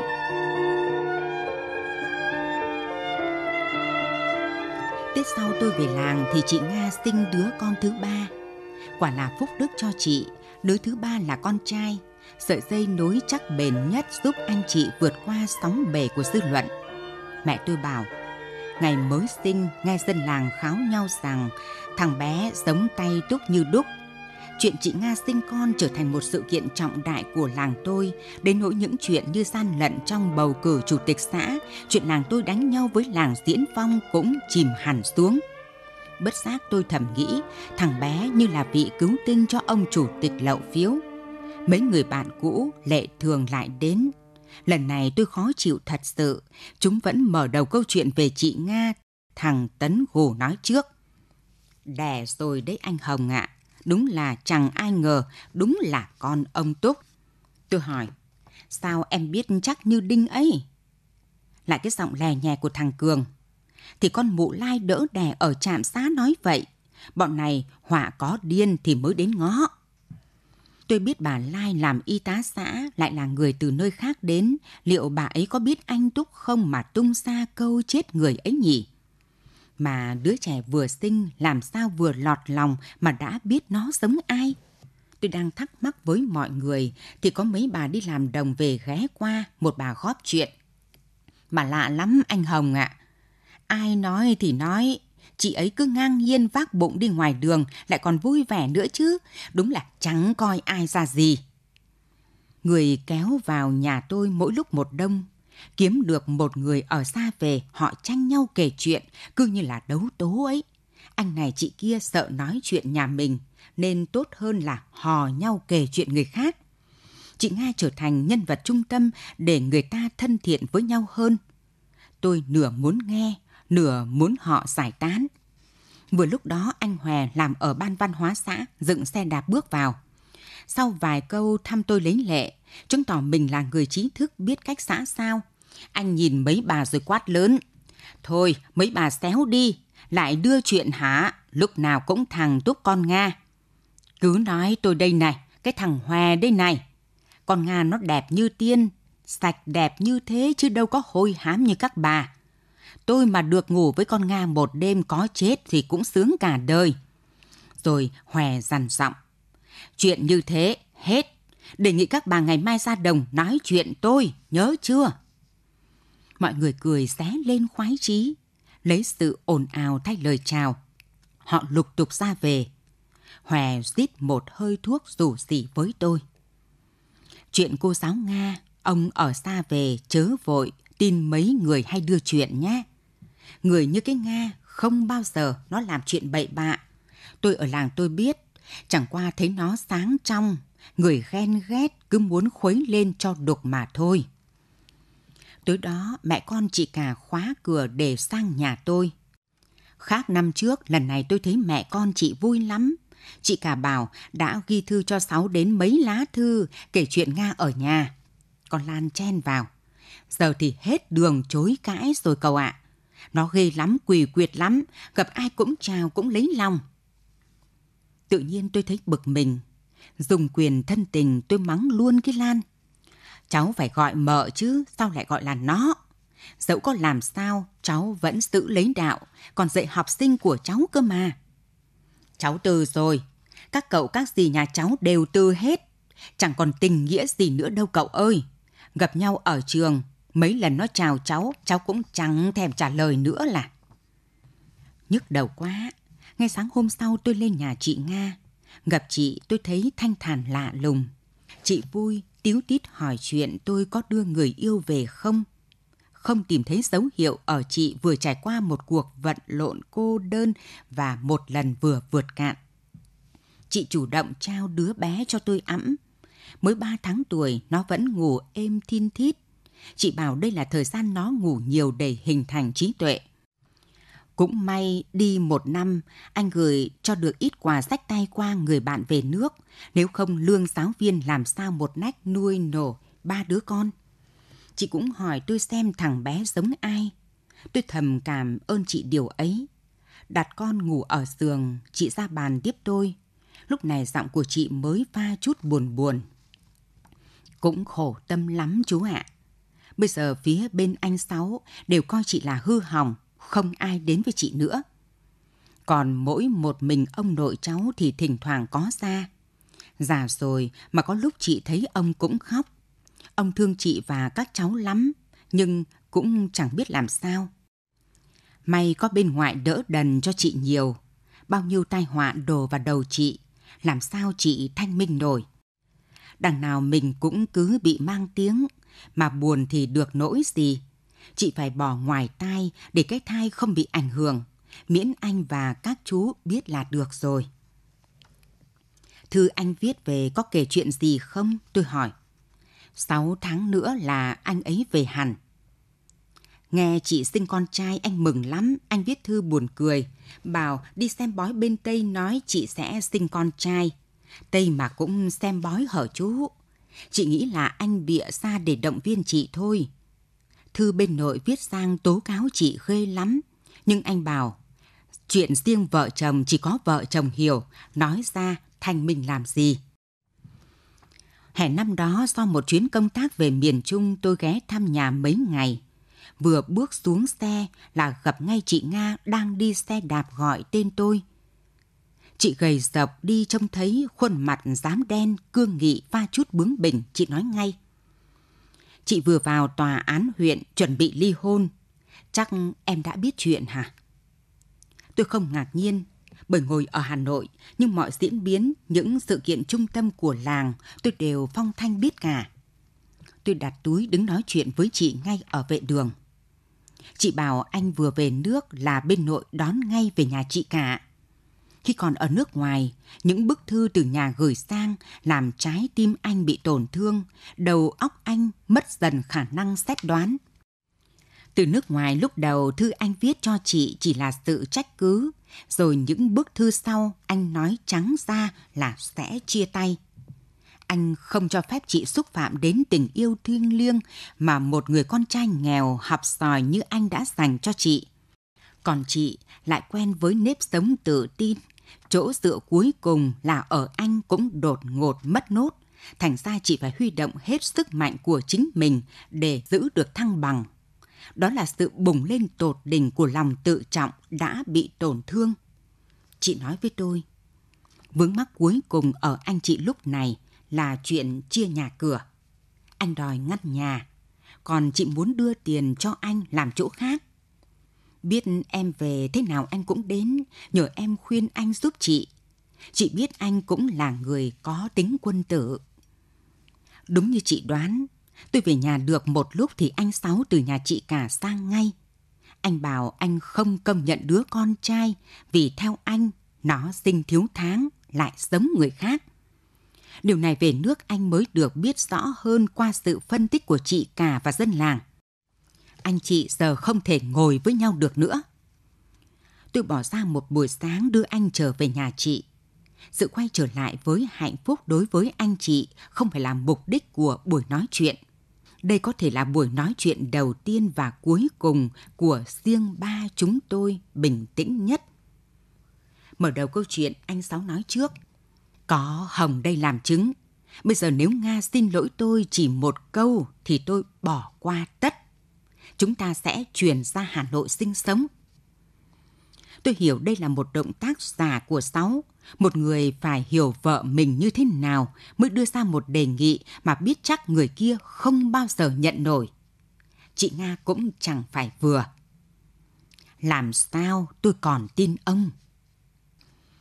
Sáu ra khỏi nhà mình trước không ngoái lại. Tôi mệt mỏi ngồi thêm một lát. Như một quan tòa thất bại. Ngồi phía đối diện, chị Nga ngước sang tôi. Chị nhìn rất lâu, nước mắt cứ như vậy mà tràn ra. Rồi chị gục xuống bàn khóc dưng sức, đôi vai rung lên từng đợt từng đợt. Hai năm sau, tôi được mời về quê dự lễ khánh thành trường cấp 2 của xã. Vừa về tới ngõ là thầy Quảng đến ngay. Thầy Quảng là hiệu trưởng trường cấp 2 xã tôi, người dạy văn cho tôi suốt những năm tôi học ở trường làng. Thầy thông báo cho tôi một tin bất ngờ. Chị Nga mang ba con bỏ nhà đi mất tích đã mấy tháng nay. Không ai biết chị đi đâu và bao giờ. Chỉ biết khi bố đẻ chị không thấy các cháu vào, ông ra tìm thì thấy cửa nhà đã khóa, nền giếng khô sang. Ông phá cửa vào nhà thấy lạnh tanh. Nga để lại mấy chữ trên bàn viết nắn nót. Vĩnh biệt thầy, con không thể trở về được nữa. Xin thầy mẹ tha tội cho con. Ông cứ đứng yên như vậy mà khóc. Thầy Quảng nói giọng pha chút ân hận, buồn buồn về những điều thầy suy nghĩ từ lâu lắm. Thầy không tin cô giáo Nga của thầy có chuyện như dân làng đồn đại. Nhưng để bảo vệ nhân viên của mình như thế nào thì thầy không biết bắt đầu từ điều gì. Thậm chí cũng như tôi, có lúc thầy thoáng chút nghi ngờ, nhưng để cắt nghĩa cho tới tận cùng thì quả là thầy bất lực. Trước khi Nga bỏ nhà ra đi, Nga bị một học sinh lớp 6 xúc phạm ngay trăm giờ lên lớp. Cậu bé không thuộc bài bị Nga chê trách. Nó phản công lại Nga bằng cách lợi dụng giờ chơi, vẽ lên bảng hai người đang ôm nhau và chú thích bên dưới là Túc Nga. Nga vào, sững người, lặng lẽ lau bảng. Chị không tra hỏi cả lớp mà tiếp tục sờ sàng. Giọng chị lạc đi. Cả lớp sợ sệt im phăng phắc Nga cho lớp nghỉ sớm, báo với thầy Quảng rồi về. Nga nghỉ liền mấy hôm không đến trường. Lúc bố đẻ chị gặp thầy thông báo thì hội đồng giáo viên mới biết. Tôi lấy vợ, những đợt về làng thưa thớt hơn, nhưng mọi diễn biến của làng tôi đều được biết. Nhiều năm sau, ngày đầu bố mẹ chị lần lượt qua đời. Trước khi mất, ông bà vẫn thường xuyên chăm sóc căn nhà của chị. Tôi được nghe bạn bè nói lại, anh Sáu lâu lắm cũng không về. Biệt vô âm tín, một dòng thư cũng không có. Mấy người làng tôi đi nước ngoài về bảo hiện anh vẫn đang lưu lạc ở bên Tây, vẫn khắc khoải một mình mà chưa lấy ai. Tự nhiên tôi lại thấy xót xa, giận cả làng mình. Làng vô cớ đầy hai con người mà một thời tôi đã yêu về phương trời nào không rõ. Họ mang đi theo cả kỷ niệm của tôi, những kỷ niệm nhỏ nhoi thôi và mỏng manh nữa. Nhưng đấy là trăm ngàn những sợi dây vô hình neo tôi lại ở bến làng. Bao nhiêu năm rồi, có ai ở làng tôi say dứt về chuyện này không?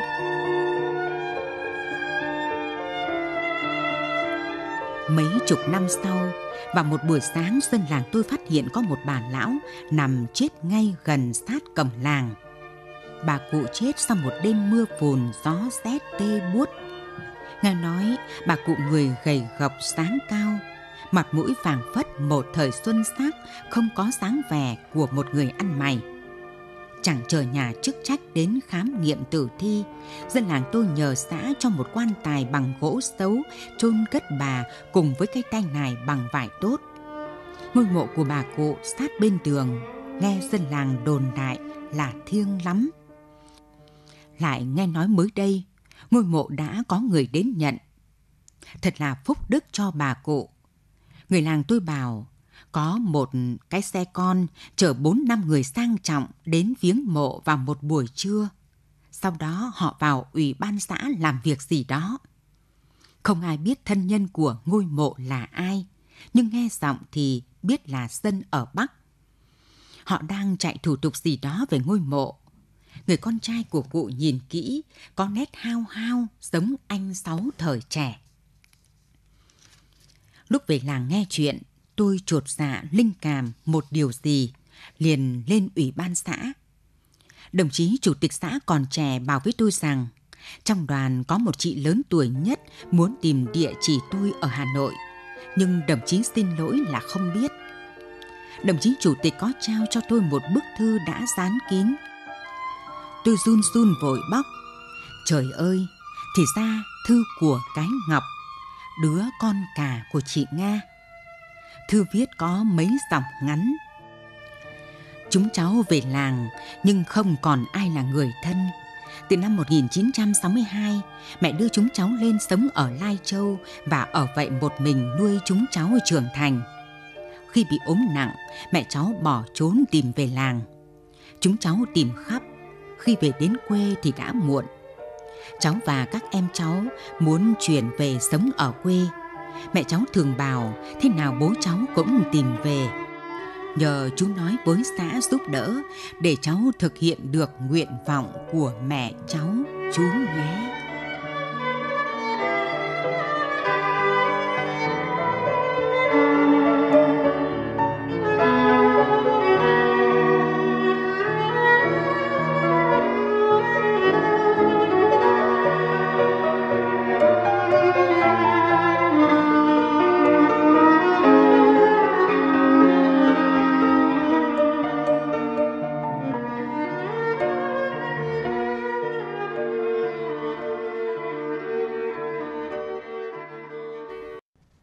Bạn thân mến, nhà thơ Chế Lan Viên từng nói, khi ta ở chỉ là nơi đất ở, khi ta đi đất bỗng hóa tâm hồn. Tuy nhiên, trong bối cảnh hiện nay, sống lâu và sống cùng với một vùng đất cũng chưa chắc đồng nghĩa với sự gắn bó với thương yêu với tình người. Có những nơi sống mãi giữa những bon chen chèn ép, những thương thân tủi phận, người ta chỉ thêm hoài nhớ mảnh đất quê hương mà ngày một xa xôi vời vợi. Trong chương trình đọc truyện đêm khuya hôm nay, chúng ta sẽ cùng trải nghiệm những đắng cay đất lạ qua truyện ngắn Đường về xa lắm của nhà văn Phạm Duy Nghĩa.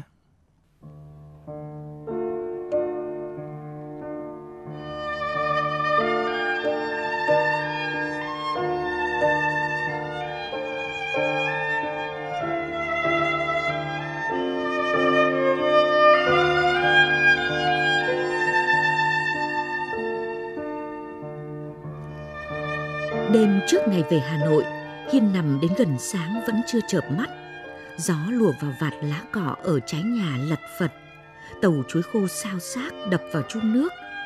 Trên khu rừng sau nhà, gió thổi ào ào. Trong tiếng gió có tiếng vạt lau khua lá lồng lộn, tiếng chim chiêu chít trong vòng cây lùm cỏ. Và nghe như có cả tiếng mõ lắc cắc của con trâu con bò nào đó lạc trên đồi xa. Bên kia thùng lũng trồng ngô, chắc gió gào dữ lắm và gió sẽ thổi rỗng mấy dải đồi bạt ngàn bồ đề. Ngày mai xa rồi, chẳng biết có khi nào lại được trèo lên đỉnh đồi và lao như trượt tuyết xuống thung lũng nữa nhỉ. Chắc là đến Tết. Bây giờ là tháng 10, ban ngày còn nắng ấm, mùa thu đổ vàng xuống những trái đồi khe lũng, nhưng đêm trời đã lạnh rồi. Bữa ăn lúc tối khá đông người, mấy nhà quanh xóm đến chia vui và hai đứa bạn cùng lớp đại học báo chí với Hiên cũng từ thị xã vào. Nhà mổ con lợn 25 cân thổi sôi, lúc ăn phải thắp đèn trải chiếu ra sân mới đủ chỗ ngồi. Ánh sáng và tiếng cười nói xua đi cái tĩnh mịch tù động của miền rừng. Ông Vần nâng chén rượu cao giọng. Mừng cho ông bà Nhâm có phúc, cháu Hiên tốt nghiệp đỗ thủ khoa lại được nhận công tác ở Hà Nội. Việc này làm danh giá cho cả làng. Thím Soan lanh chanh nói nhiều nhất. Nào là nhờ có thím trước kia vận động, ông bà Nhâm mới cho Hiên đi học đại học. Ngay từ chiều, khi Hiên ra đầu bếp bổ quả gấc lấy hạt thổi sôi, thím đã bảo.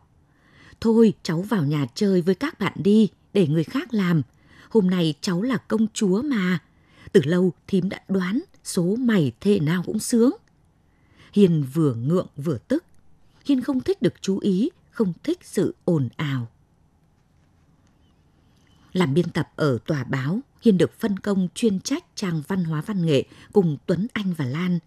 Tuấn Anh là trưởng ban biên tập, đầu cạo chọc, dâu ria xồm xoàm, lúc nào cũng thất bật, mải lo chuyện buôn bán hơn làm báo. Anh ta gần như khoán trắng trang báo cho Hiên. Chuyện thơ gửi đến, đọc thấy không động đến chính trị là được. Anh ta bảo, còn chất lượng nghệ thuật nữa chứ? Hiên ngạc nhiên hỏi. Lan đang gõ máy tính, nghiêng mặt cười khẩy. Tuấn Anh bảo, nghệ thuật vừa phải thôi, muốn nâng cao chất lượng thì chịu khó đi lại với thằng viết có tên tuổi, nịnh nó gửi bài thường xuyên cho. Con gái chúng mày mới làm động lòng chúng nó được, tao thì chịu, mà tao cũng đếch cần. Một hôm Tuấn Anh gõ bút lên bàn bảo Hiên. Này, xếp tổng yêu cầu từ nay mỗi tháng phải có cho báo ít nhất một bài ký đấy. Hiền chịu trách nhiệm khoản này. Nếu không kiếm ở đâu được bài thì liệu mà viết, đem thân mình lấp lỗ châu mai.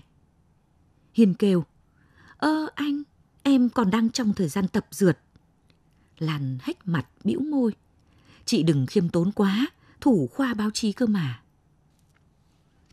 Làm việc chừng một tháng, Hiền thấy Lan là người không thể hòa hợp được.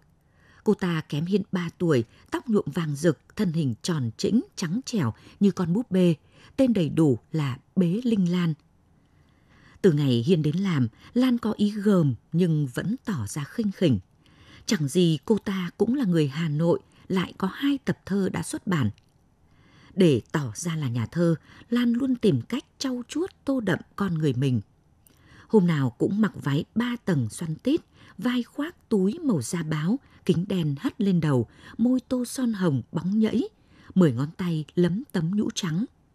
Chân thì ngắn, nhưng để tạo phong cách nghệ sĩ, khi đi cố bước thật nhanh. Cái tên Linh Lan được rút gọn thành Lila làm bút danh. Đến đâu được ai giới thiệu? Đây là nhà thơ trẻ Bế Linh Lan tức Lila, tức thì đầu gật gật, mắt nheo nheo, tay chìa ra một cách lỏng lẻo thờ ơ, rõ tầm một cây bút đang trên đà nổi cồn nổi váng. Có lần nói chuyện với Hiên, Tuấn Anh cười khủng khục. Bế Linh Lan ôi, bế Linh Lan, có mà bế lên giường. Bế lên giường là biệt hiệu làng báo làng văn đặt cho nó. Bế lên giường, hiền tròn mắt. ờ vì nó ngủ với nhiều thằng, ngủ cho vui, ngủ để cho có thằng lăng xê thổi phồng tên mình trên báo. Tóm lại, nhiều mục đích. Tuấn Anh buông một tràng. Ban ngày, mọi thứ bị lãng quên, nhưng cứ đêm về, nỗi nhớ quê thầm thì chợt đến, kỷ niệm thời thơ ấu lại trở về. Nhớ về thời thơ ấu, Hiền nhớ nhất mùa đông. Mùa đông với bếp lò đắp bằng đất, gác bếp đen xỉ bồ hóng và những cột bương vàng bóng ám khói hễ đi đâu về là muốn xà vào cái bếp rừng rực lửa, suýt xoa tận hưởng hơi nóng bốc lên từ những gộc củi cháy đỏ lừ. Mùa đông, quanh bếp lúc nào cũng nồng nã hơi trầu của mẹ. Mẹ vừa nhai vừa nhổ quét trầu vào cho bếp. Đêm nằm ngủ bên mẹ, cả giấc mơ cũng thoang thoảng hương trầu ấm sực, cay nồng. Nhớ đến mùa đông là nhớ đến những buổi chiều chăn bò trên đồi căm căm gió rét. Hồi ấy bố mẹ chắt bóp dành dụm mãi mới mua được một con bò cái giao cho Hiên chăn thả. Phía sau nhà, mênh mông đồi rừng đồng bãi, trời rét cứ theo tiếng mõ lốc cốc của bò mà tha thần từ đồi này sang lũng khác. Đi đến đâu đốt lửa sưởi đến đấy, đốt lá nứa khô, thích nhất là đốt dạ khô ở những nương lúa vừa gặt. Lửa bốc rồi thì run rẩy lùa cả tay vào lửa. Suốt mùa đông, hai bàn tay khô khẳng lúc nào cũng ám khói khét lẹt vàng khè. Nhà có con bò là tài sản quý giá nhất nên Hiền thương bò lắm. lồng nó màu cánh rán, đến mùa đông dựng xù lên. Hiền thích cọ vào má, đám lông ấm mềm. Và ngày nào cũng lần tay trong đó dứt ra những con ve no máu căng tròn. Một đêm gió rét vào lúc gần sáng, Hiền nghe thấy một tiếng ọ đau đớn. Tung chăn vùng dậy, chạy ra chuồng bò, Hiền reo ầm lên. Trên khoảng đất lồi lõm, một chú bê bé tí xíu ướt nhoèn đang nằm trúc đầu trên hai khoeo chân. Con bỏ mẹ mải miết liếm vào lớp lông và lỗ mũi đầy nhớt trắng của đứa con vừa ra đời. Liếm đến đâu, con bê như khỏe khoắn phồng phao đến đó. Bố vạch đuôi bê, thốt lên mừng rỡ. Bê cái! Ông vào bếp nổi lửa, đun nồi cháo để bỏ mẹ ăn cho lại sức. Còn mẹ mang cái chậu ra đợi hứng nhau thai bò. Những ngày đó, cả nhà vui như Tết. Hiền và em út Huệ hăm hở lên đồi, chui rúc vào cả các khe lũng rậm rạp.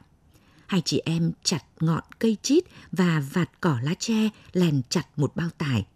Còn một bao nữa nhồi đầy lá ngõa, lá sung có nhựa trắng để bỏ ăn có sữa. Hàng ngày cho bò uống nước vo gạo pha muối và giải rơm vào chuồng để hai mẹ con nằm đỡ lạnh. Chỉ ít ngày, con bê đã cứng cáp bốn chân đú đờn nhảy nhót. Có lúc phởn trí, nó co giò chạy quanh đồi mấy vòng rồi phóng vút xuống thung lũng, trông vàng loang loáng như một chú hươu con. Cũng trong những ngày thơ ấu ấy, tâm hồn Hiên được mở rộng ra thế giới xa xôi nhờ những cuốn sách. Nhà có ông chú làm trưởng phòng văn hóa huyện, có rất nhiều sách. Ông vui tính, thích cho các cháu mượn chuyện về đọc. Ngày đông mưa phùn gió rét, ngày hè rực rỡ nắng tràn, theo vết chân bò tha thủi trên ngàn, cũng là những ngày Hiên chìm đắm trong xứ sở của Imatop, Flaubert, Hector Malot, Dickens, Jack London.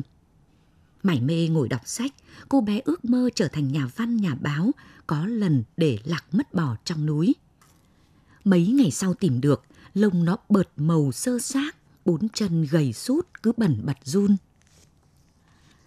Tháng ngày dần trôi, Hiền học hết cấp 3 ở thị trấn. Em Huệ cũng lớn, đỡ chị làm nương, lấy củi chăn bò.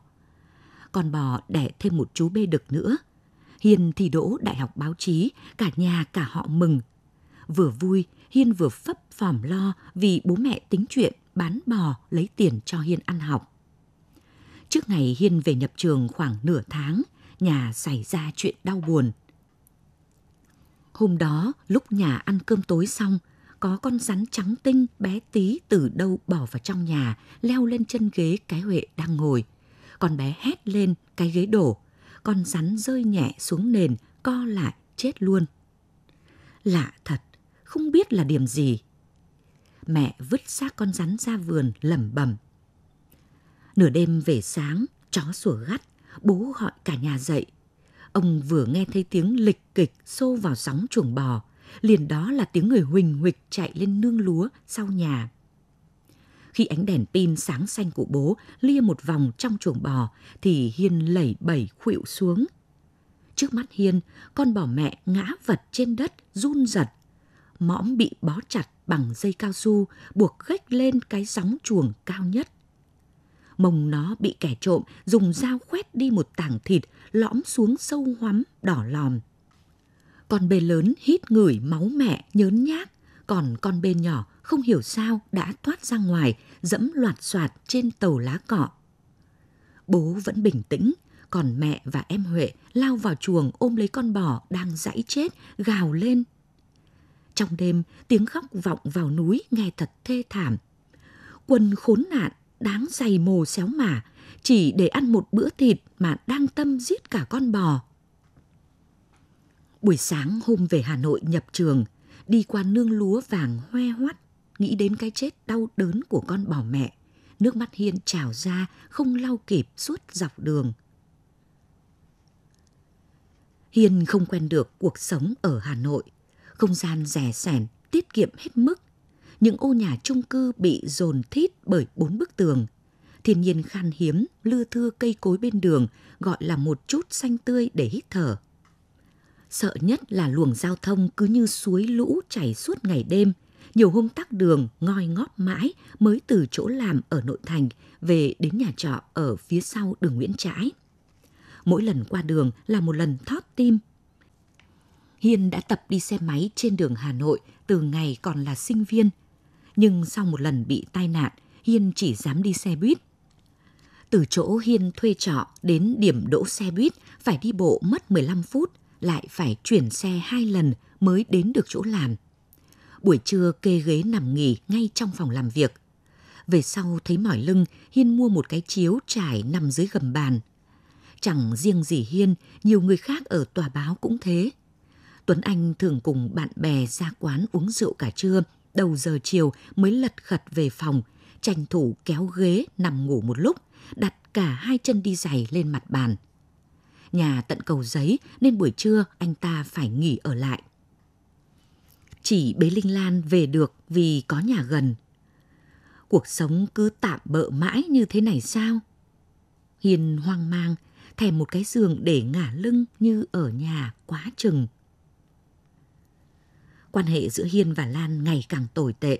Hiên cố tránh va chạm, cố thu mình vào vỏ ốc, thì Lan luôn tìm cách chọc gai vào. Đôi lúc Hiên chưa quen việc, Lan không góp ý với Hiên mà đi nói với người khác. Cô ta phản nàn với Tuấn Anh. Cứ bảo là giỏi, hừ, mó vào việc mới biết là thật giả. Thủ khoa báo chí, ôi giời, chỉ lý thuyết xuông. Gặp tổng biên tập, Lan lại bóng gió với ông ta. Từ ngày các chú nhận thêm người về chỗ cháu, cháu làm việc thấy tự tin hơn hẳn. Có lần Hiền thật thà. Chỗ này mình chưa có kinh nghiệm, Lan bảo mình biết với. Lan cười, vẫn điệu nhếch mép. Về đây làm phải sống thật với nhau, đừng khiêm tốn quá, thành ra giả tạo.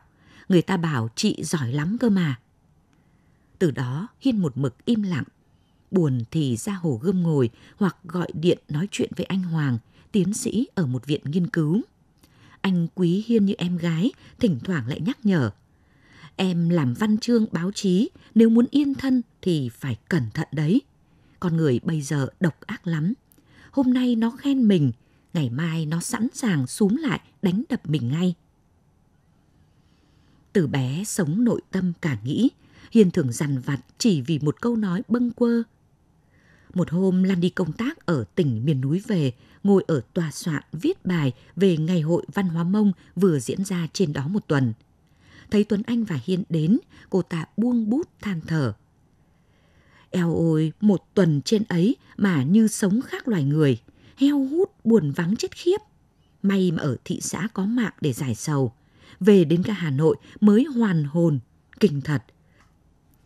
Không thể hiểu làm sao người ta lại sống được ở miền núi. Hiền lặng lẽ đến ngồi sau máy vi tính, mặt nóng gian, cổ họng đắng ngắt. Tuấn Anh nói giọng khô khốc. Mày thì cũng từ nhà quê lên đây, vương tôn quý tộc gì mà đi chê vùng cao. Buổi tối, Hiền thường vào Internet hoặc đọc sách báo để cập nhật thông tin. Khi thấy có tờ báo dành cả một trang in bài viết về Lan với nhan đề Lila vầng trăng trinh bạch nhú mầm. Hiền sững sờ. Tác giả bài viết là Đan Lẫm. Ông ta viết Lila là vầng trăng trinh khiết nhú mầm trên cánh đồng thi ca đương đại. Hành trình của chị là cuộc giáo diết tìm kiếm đáy cùng bản thể, thèm khát sờ mó những con chip, những vi mạch tinh xảo trong cõi tâm linh nhằng dối. Thơ chị nén dồn cương cứng xúc cảm thần bí linh diệu và âm thầm tung phá cựa đạp từ thẳm sâu vô thức, lột bỏ xiêm áo ngôn ngữ và chối bỏ những ràng buộc bởi lớp nghĩa lộ thiên. Cái bản thể lila hiện lên nguyên thủy thiêng liêng trinh trắng đến nghẹn ngào đau xót.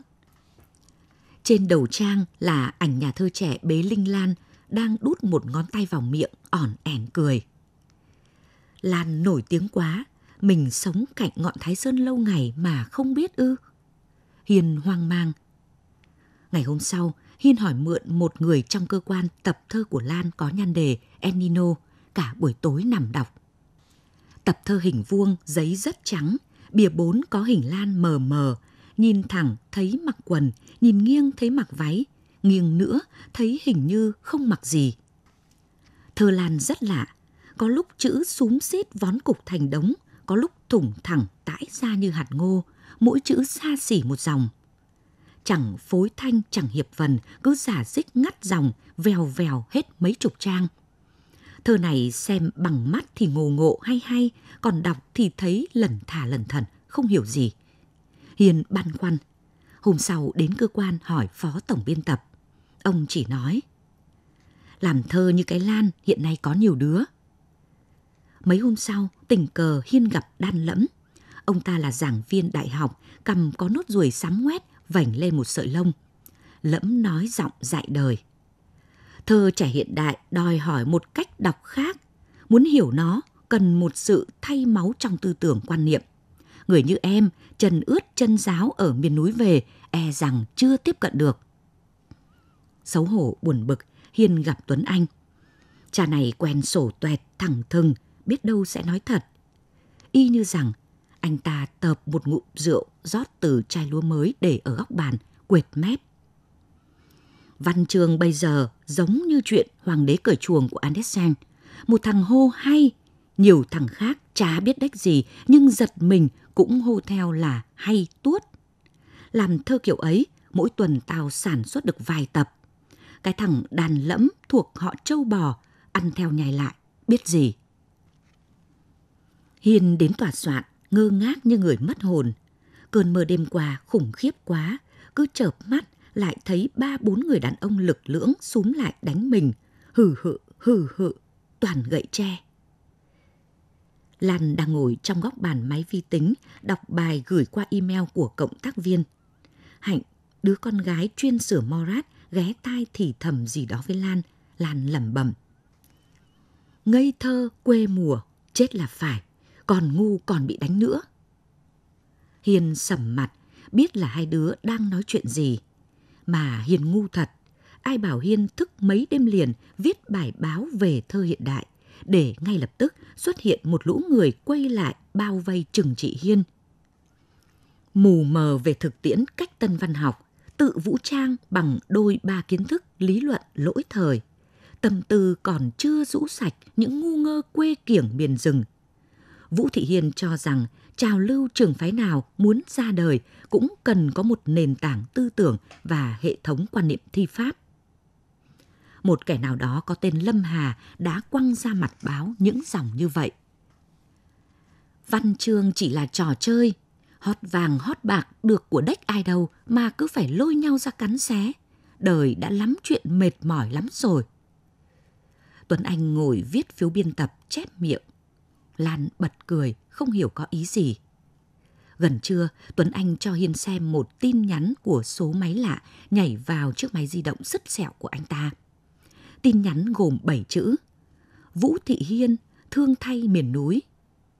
Tuấn Anh bảo, Tao vừa nói chuyện với hai sếp, thì ra máy các ông ấy cũng nhận được tin nhắn này. Thằng Tâm lúc nãy gọi điện cho tao bảo, bên báo nó cũng nhận được tin như thế. Mắt Hiên cụp xuống rưng rưng. Tuấn Anh cười.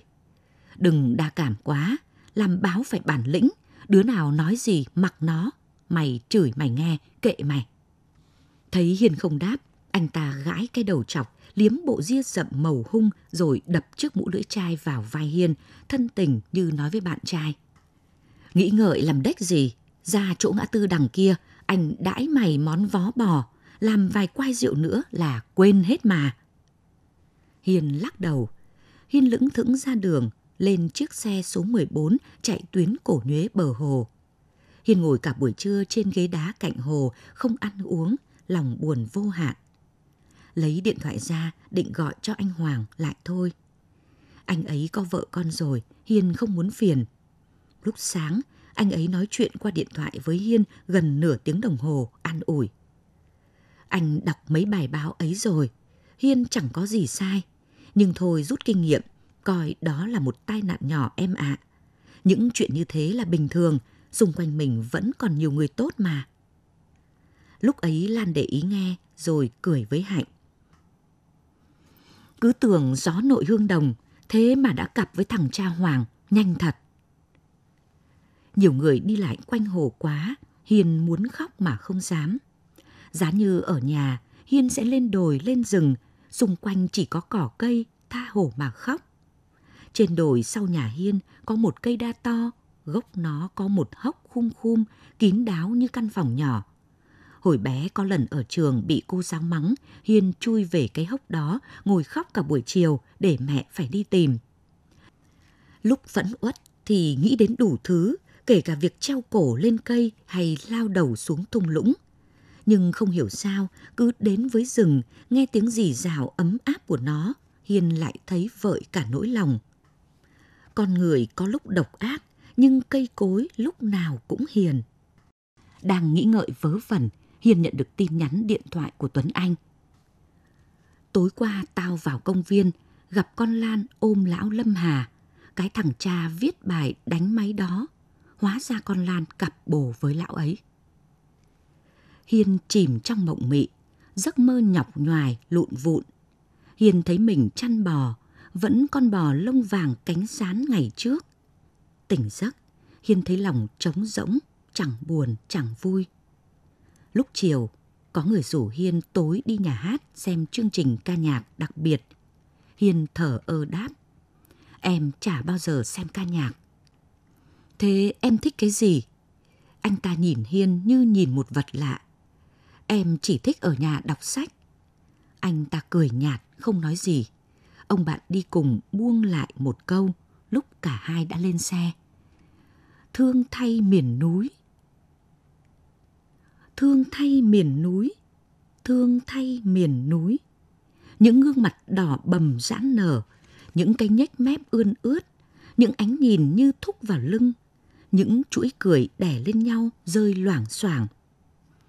Thương thay miền núi, ừ cũng được. Cái đất nước này tựa lưng vào miền núi mà đi lên. Sau trận khốn nhục vì bài luận thơ, nghe lời Tuấn Anh, Hiền viết thêm bài nữa như tiếng sỏi rơi xuống lòng giếng cạn, không có phản hồi, chỉ có một tin nhắn, lại theo gió mây tìm đến các tòa báo, lẳng lặng chui vào máy điện thoại của khá nhiều người. Vũ Thị Hiên là con ma rừng. Hiên dậy mở cửa đi ra ngoài. Gần 24 giờ đêm, mấy căn phòng trọ cùng dãy im lìm, mỗi phòng chỉ vài mét vuông. Lối ngõ vàng vọt ánh điện, khu nhà chung cư án ngữ trước mặt phơi ra những chuồng cọp lủng lẳng áo quần đung đưa tã lót. Một con chuột to xù run run hít đất bên trên cái cống ngầm, đuôi trụi lông chờ mấy đốt sần sùi. Quánh một thứ không gian dùng xẻng sắn ra được. Ngày mai lại phải nín thở đi qua cái làn đường ngùn ngụt những người inh ỏi còi xe, lại bắt xe buýt hai lần mới đến được tòa báo lại phải đi nhẹ nói khẽ, phải liên tục cảm ơn xin lỗi và trau chuốt ngôn từ khi tiếp xúc những người quan trọng. Lại ăn tranh thủ, ngủ vội vàng, dắt mặt bon chen vì một cái đích xa vời mà thực ra Hiên không hiểu nó là cái gì. Công danh, tiền bạc, Hiên đều không ham hố. Hiên chỉ thèm được sống thoải mái tự nhiên, thèm có thiên nhiên tươi xanh, có không gian để hít thở nhưng đi đâu bây giờ trở về quê hương để dân làng xì xào họ hàng thất vọng ư nghĩ đến đồi núi thân thương lại dưng dưng muốn ùa về tây bắc nhưng chân đã bước ra khỏi cửa mất rồi. Đường bao đèo dốc, thăm thẳm khói xương. Mỗi lần nghĩ đến ngược xuôi hà nội, lại dùng mình. Đường về xa lắm.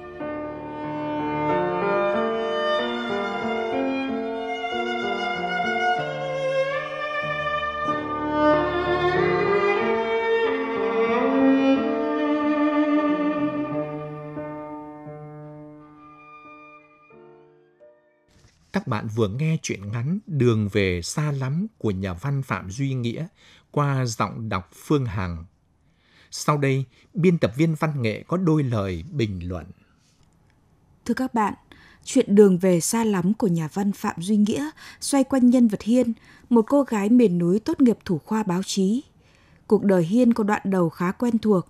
Sinh viên nghèo vượt khó, trụ lại được ở thủ đô, vinh danh cho cả dòng họ, vân vân. Có điều, mọi chuyện sau những ồn ào còn lại là những chuân chuyên không biết chia sẻ cùng ai.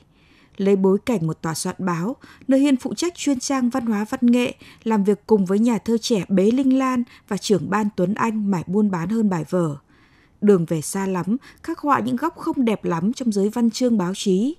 Ở đó, không phải chuyện tháp ngà nghệ thuật mà là chuyện gian díu với nhau để lăng xe tên tuổi, sự bẻ phái, yếu kém về chuyên môn. Đối với Hiên, một người chân chất thật thà, tự tin vào sự học và sự đọc của mình, thế giới ấy xa lạ và độc ác đến nhường nào. Chuyện đan xen giữa quá khứ và hiện tại, giữa làng quê lam lũ và phố thị phồn hoa để làm bật sự tương phản giữa hai không gian và thời gian. Còn Hiên chập chờn giữa hai miền xa lạ, như tỉnh như mê.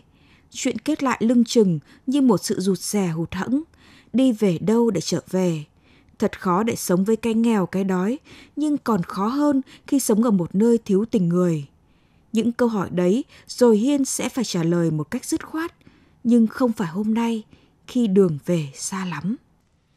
Chương trình đọc truyện đêm khuya hôm nay do biên tập viên Nguyễn Hà thực hiện xin dừng ở đây. Thân ái chào các bạn. thank you